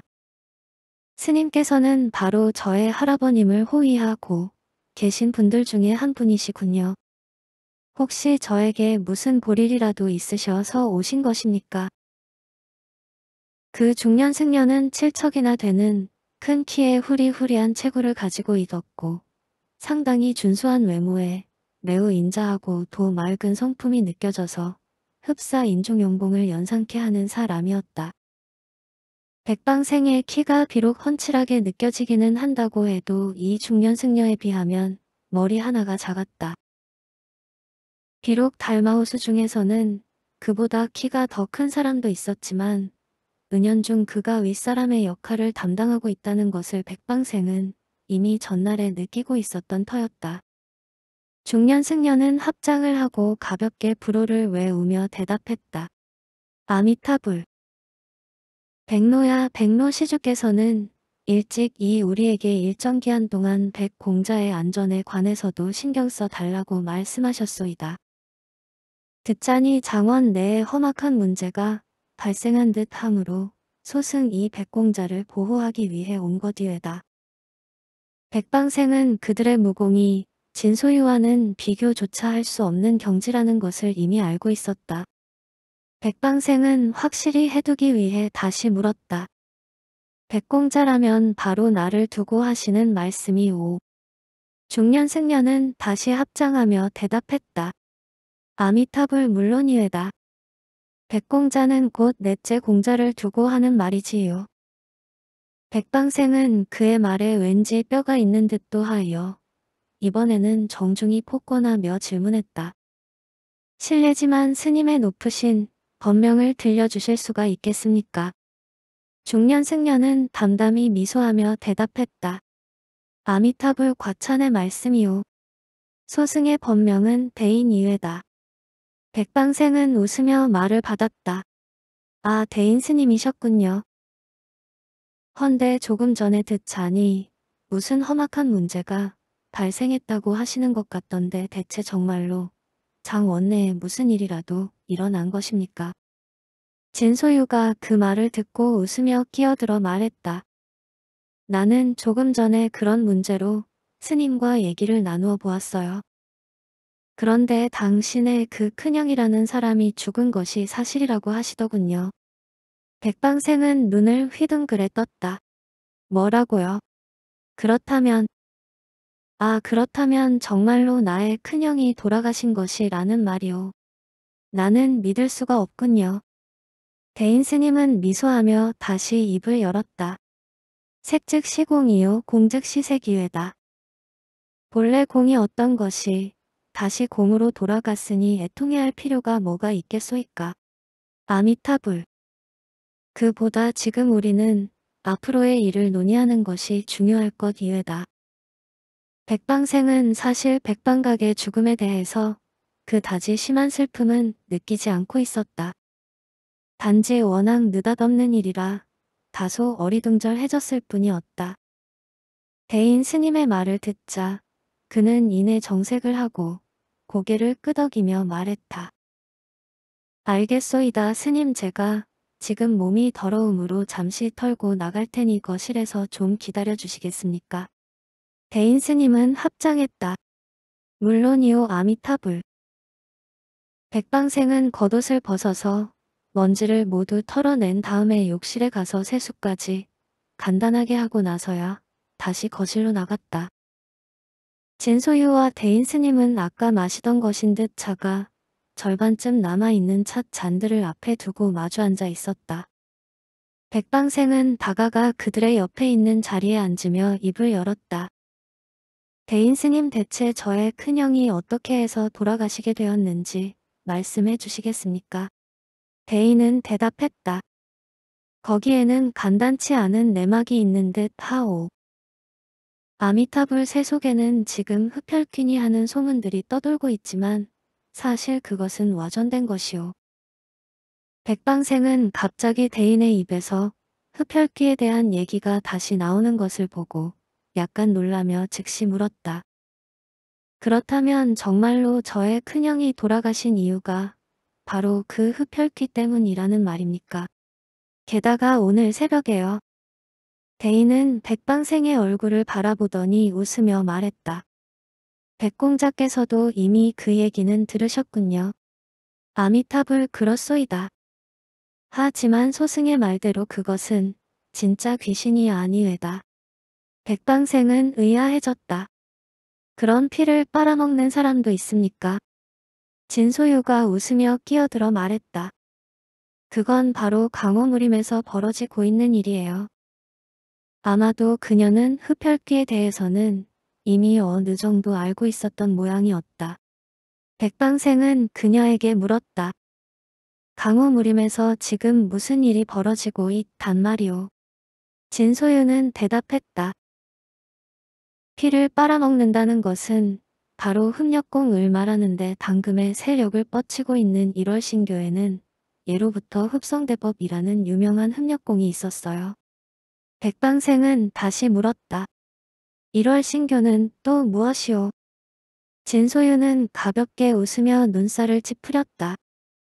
당신은 당금의 강호 정세에 대해서 거의 모르는군요. 1월 신교는 세외 8세의 하나인데 그걸 아직 모르다니 말이 되나요? 백방생은 안색을 다소 붉혔다. 난 사실 그럴 만한 기회가 별로 없었소. 그 세외 8세는 981방 5대 세가에 비교하면 어떻소? 대인은 백방생이 무안해 하는 것을 보고 웃으며 옆에서 설명해 주었다. 세외 8세란 바로 이 중원대륙뿐만 아니라 천하를 통틀어서 가장 세력이 막강한 8개의 집단을 말하는 것이오. 아미타불 그들은 세력은 막강하지만 심처에 깊이 은둔하여 강호에 나서지 않으므로 특별히 세외라는 이름이 붙은 것이오. 백방생도 그 얘기를 듣고 나니 기억이 희미하지만 문득 이전에 그런 얘기를 들었던 것 같은 느낌이 들었다. 백방생은 다시 물었다. 그럼 그 1월 신교는 중원에 있는 문파입니까? 대인은 말했다. 본래 중원 대륙은 천하무학의 본산이라고 할 수 있으므로 세외 8세의 무학도 모두가 중원에서 비롯된 것이라고 할 수가 있어. 하지만 그 1월 신교는 본래 중원에서 만들어졌으나서 역으로 가서 지금 그곳에 본거지를 두고 있는 상태이요. 백방생은 의아해졌다. 그럼 그 1월 신교는 과거에는 서역으로 갔다가 이번에는 다시 중원으로 돌아오려고 하고 있는 것이라는 말입니까? 대인은 말했다. 그들은 이제까지 세회라는 두 글자의 의미를 지켜왔으므로 앞으로도 그들이 강호에 나서서 어떤 혈겁을 일으키리라고는 생각하지 않소. 하지만 아미탑을 근래에 이르러 그들 가운데 몇몇의 세력이 강호상에서 약간의 문제들을 일으키고 있는 것이 사실이오. 백방생은 물었다. 그럼 1월 신교 이외에도 어떤 문파들이 또 문제를 일으키고 있다는 말입니까? 진소유가 대답했다.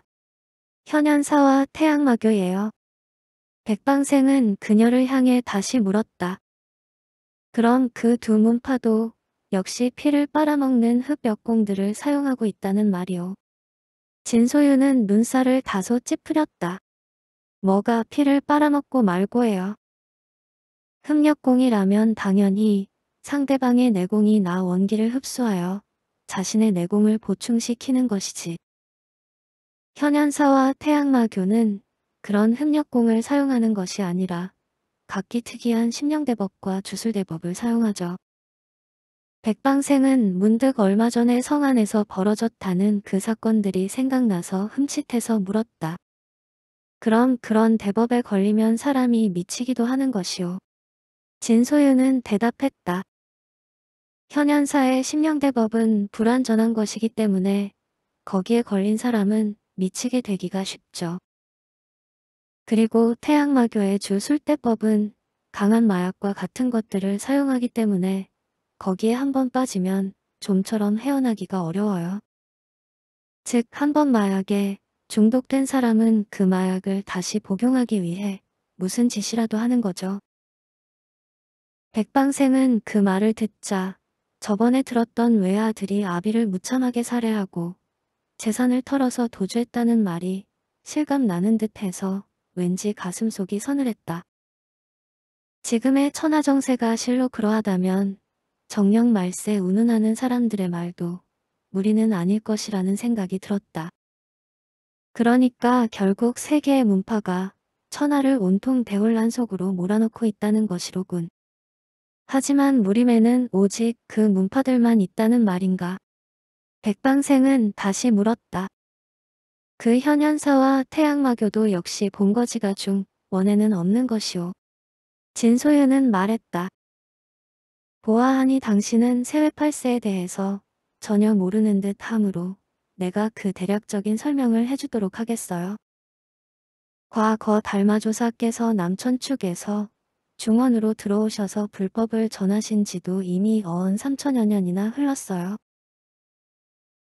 그동안 많은 문파들이 흥망성쇠를 거듭하고 덜어는 멸망했다가도 다시 부활하는 등의 부침이 있어 왔지만 그래도 가장 오랫동안 강호상에서 명성을 날려오고 있는 문파들은 역시 구파일방과 오대세가라고 할 수가 있겠지요. 백방생은 묵묵히 듣고 있다가 다시 입을 열었다. 나는 근래 만화교나 수라교 농림맹과 같은 흑도의 문파들도 구파일방 등에 못지않다고 듣고 있었는데 어째서 그것들은 빼는 것이오. 진소윤은 눈살을 찌푸렸다. 강호상의 문파는 수도 없이 많고 또한 그 중에는 그처럼 세력이 강대한 문파들이 있기는 해요. 하지만 나는 가장 전통이 우수한 문파들을 말하고 있는 거예요. 백방생은 웃으며 손을 내저었다. 알겠소. 방해하지 않을 테니 어서 말해보시오. 진소윤은 말했다. 그런데 대략 천년 전쯤에 무림의 한 사람의 불세출의 무학기제가 나타났어요. 그는 자칭 천수자라고 하며 철육무가를 세웠는데 그것이 바로 세외팔세의 시초가 되었죠. 그 이후로 강호의 무학은 발전을 거듭하여 천년 동안에 다시 일곱 명의 절대 고수들을 배출하게 되었는데 역시 그들도 각기 후 예를 남겨서 세외 8세 가운데 나머지의 문파들을 이루게 된 거죠.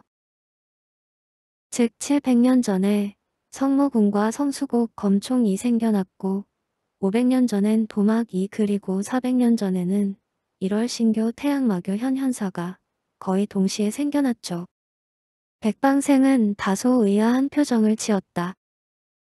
세외 8세가 천년 동안에 생겨난 문파라면 아마도 그 사이에 그와 비슷한 문파들도 덜어 생겨났었을 것이오. 그런데 유독 그 문파들만 특별하게 생각하는 이유가 뭐요? 진소윤은 말했다. 우선 그 여덟 문파에 전해져 내려오는 무학들은 그야말로 최상의 것들 이어서 도저히 유례가 없을 정도예요. 과거 천년 전에 천수자가 나타나서 새로운 무학의 경지를 보여주자 일부의 사람들은 그것을 파천왕적인 일대 사건이라고 하면서 그를 무학의 절대 종사라고 하여 더 받들기까지 했다고 하죠. 당시 무림의 태산 북두라고 하던 소림 본사에도 실로 그와 같은 경지의 무학은 하나도 없어드니까요. 게다가 두 번째의 이유는 그들이 한결같이 은둔하여 강호에 나서지 않고 있다는 것인데 그것은 사실 첫 번째의 이유와 서로 일맥상통하는 점이 있어요. 그러니까 그들 문파의 무학들이 너무나도 심오하기 때문에 오히려 정작 그것들을 연성해낼 수 있는 최고의 무학기제들을 찾기가 어려워서 그들은 거의 단맥으로 전해지고 있다는 사실이죠. 숫자도 적고 항상 무학연마에 정진해야 하기 때문에 그들은 거의 강호에 나설 여가가 없다는 거예요. 백방생은 다시 물었다. 그들 문파의 무학이 대체 어떤 경지에 있길래 그렇다는 말이오. 진소윤은 대답했다. 바로 대홍락의 광검 이상이라고 해요. 백방생은 그만 두 눈이 휘둥그레졌다. 과 광검 이상이라고. 그럼 최소한 관검이란 말인가? 대개 무학의 경지를 나누는 데 있어서 무슨 인륜이 절정이니 하고 말하기도 하지만 그러나 보다 엄격하게 말하자면 그것은 모두 네 단계로 나눌 수가 있다. 즉 자매판과 황화의 백연탄과 대홍락이 바로 그것이다. 자매판은 흔히 말하는 하류의 무공에서 인류까지 나누는 것으로 무학의 가장 기초에 해당된다. 소위 힘으로 무학을 운용하는 경지라는 의미이다. 하지만 거기에 인류라는 말이 붙은 것을 보면 수천 년 전에는 단지 그것이 최고의 무공이라고 생각했을지도 모르는 일이었다. 자매판의 경지는 내공이 이갑자에 이를 때까지인데 과거에는 더 이상 내공을 높이는 방법을 몰랐을 것이기 때문이었다.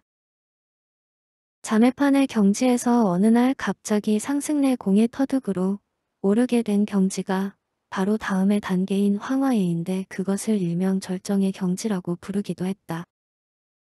왜냐하면 갑자기 내공의 운용에 장애가 업어지는 경지가 나타나자 그것을 최상이라고 생각했을 것이기 때문이었다. 지금 진소유가 도달해 있는 경지가 바로 그것으로서 백방생은 불과 얼마 전까지만 해도 그것을 얼마나 부러워했는지 모른다.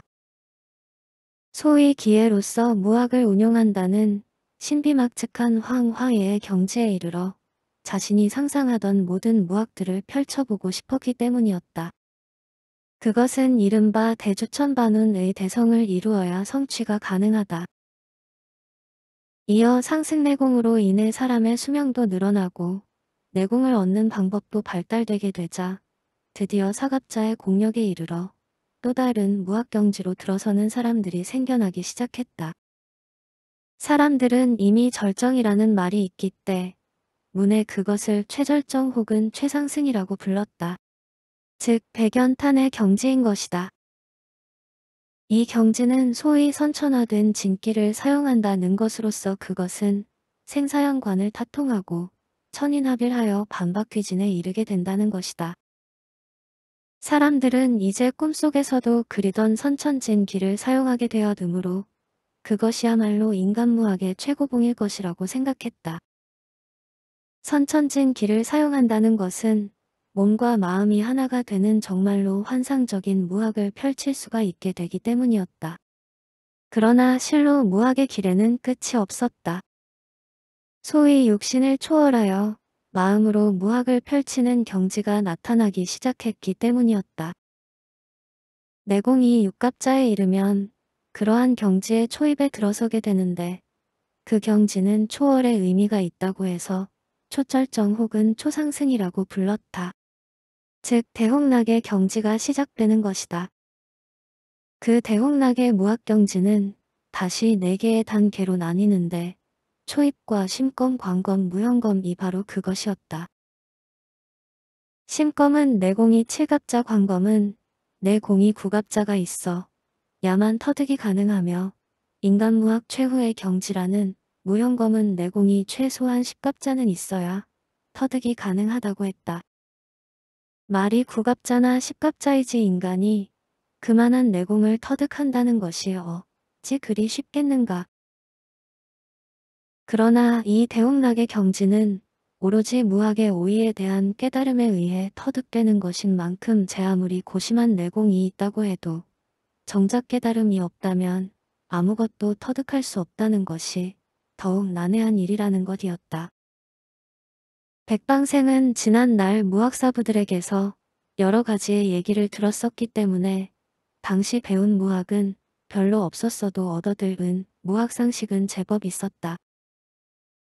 설령 지금 강호를 종행하고 있는 무리민들이라고 해도 모두가 반드시 무학에 대한 상식을 그보다 더 많이 알고 있다고는 말할 수가 없었다. 심검을 초인의 경지라고 했고 광검을 신입하의 경지 무형검을 신입의 경지라고 했으니 그럼 그들은 최소한 신인의 경지에 들어가는 과정의 무학들을 배우고 있다는 말인가. 같은 대홍락의 경지라도 차이는 많다. 예를 들어 심검과 광검의 경지는 서로 비슷한 듯 해도 기실 그 위력이 하늘과 땅처럼 엄청난 차이를 가지고 있는 것이다. 백방생은 잠시 아주 빠르게 그러한 모든 기억을 상기시키면서 생각을 굴리다가 이내 고개를 내저었다. 왠지 너무 나도 엄청나서 황당하다는 느낌까지 들었던 것이었다. 백방생은 망연해지려는 생각을 급히 지우면서 진소유에게 다시 질문했다. 하지만 듣자니 지금 그 세외 8세의 일부가 강호에 나타나고 있다는 것이 아니오. 진소유는 그가 잠시 넉나간 듯한 놀란 표정으로 생각을 굴리는 듯 하, 다가 다시 질문하는 것을 보고 웃으며 차분히 설명해 주었다. 본래 세외 8세 가운데에는 처음부터 천륜 무가처럼 새로 생겨난 것도 있지만 본래부터 존재하다가 갑자기 세력이 강성해져서 세외 8세에 들게 된 것들도 있어요. 그리고 후자의 경우는 자연 주류와 비주류로 나뉘게 되는 거죠. 주류는 그야말로 최고의 무학을 연성한 소수의 사람들, 인데 반의 비주류는 자연 그 숫자가 많고 전통적인 단체의식들이 몸에 배어 있겠죠. 백방생은 물었다. 그럼 지금 나타나고 있는 1월 신교 등의 무리는 바로 그 비주류라는 말이오. 진소윤은 말했다. 아직으로선 그럴 가능성이 많다고 할 수 있겠죠. 여덟 장 공포의 흡력공, 백방생은 고개를 갸웃거렸다. 그렇다면 주류일 가능성도 배제할 수 없다는 말이로군. 헌데 어째서 나는 이제까지 그들의 얘기를 별로 듣지 못했을까? 진소윤은 말했다. 세회 8세의 뿌리는 내가 이미 말했다시피 중원무림이 분명할 거예요. 하지만 하나의 산에 두 마리의 호랑이가 존재할 수가 없듯이 그들은 점차로 멀리 흩어지게 되었죠. 즉 동쪽 바다 끝에 태양마교의 본거지가 있으며 현현사는 북해 도막과 이루월 신교는 서역의 검총은 동해, 부산국의 성무궁은 대설산에, 그리고 철육무가는 곤륜산의 성수곡은 무릉산에 있게 된 거죠. 그들은 이 죄까지 은둔하여 세상에 나서지 않았으니 생각해보면 당신이 듣지 못한 것이 무리는 아닐 거예요. 백방생은 말했다. 어쨌든 그 가운데에 하나인 1월 신교의 마수가 이미 이곳 장원에까지 미쳤다니 정말 놀라운 일이오. 그만큼 알았으니 이제 우리가 어떻게 해야 할지에 대해서도 논의해 봐야 하는 것이 아니오. 참 지금 할아버님께서는 별거 없으시겠지요. 나중에 말은 대인에게 질문한 것이었다. 진소유는 그 말을 듣고 웃으며 끼어들었다. 정말 빨리도 조부의 안부를 묻는군요. 대인은 미소하며 합장한 뒤에 대답했다. 백로시주의 신변은 전과 거의 다름이 없소이다. 아미타불. 백방생은 다시 대인에게 물었다. 그럼 앞으로 우리가 어떻게 해야 안전하리라고 생각하십니까? 대인은 잠시 생각하는 듯 하다가 대답했다. 아미타불 모든 일을 미리 정해놓을 필요는 없소이다. 앞으로 상황에 따라서 그때 그때마다 소승이 임기응변식으로 방법을 말씀드리도록 하지요. 백방생은 고개를 끄덕였다. 알겠습니다. 그건 그렇고 기왕의 말이 나왔으니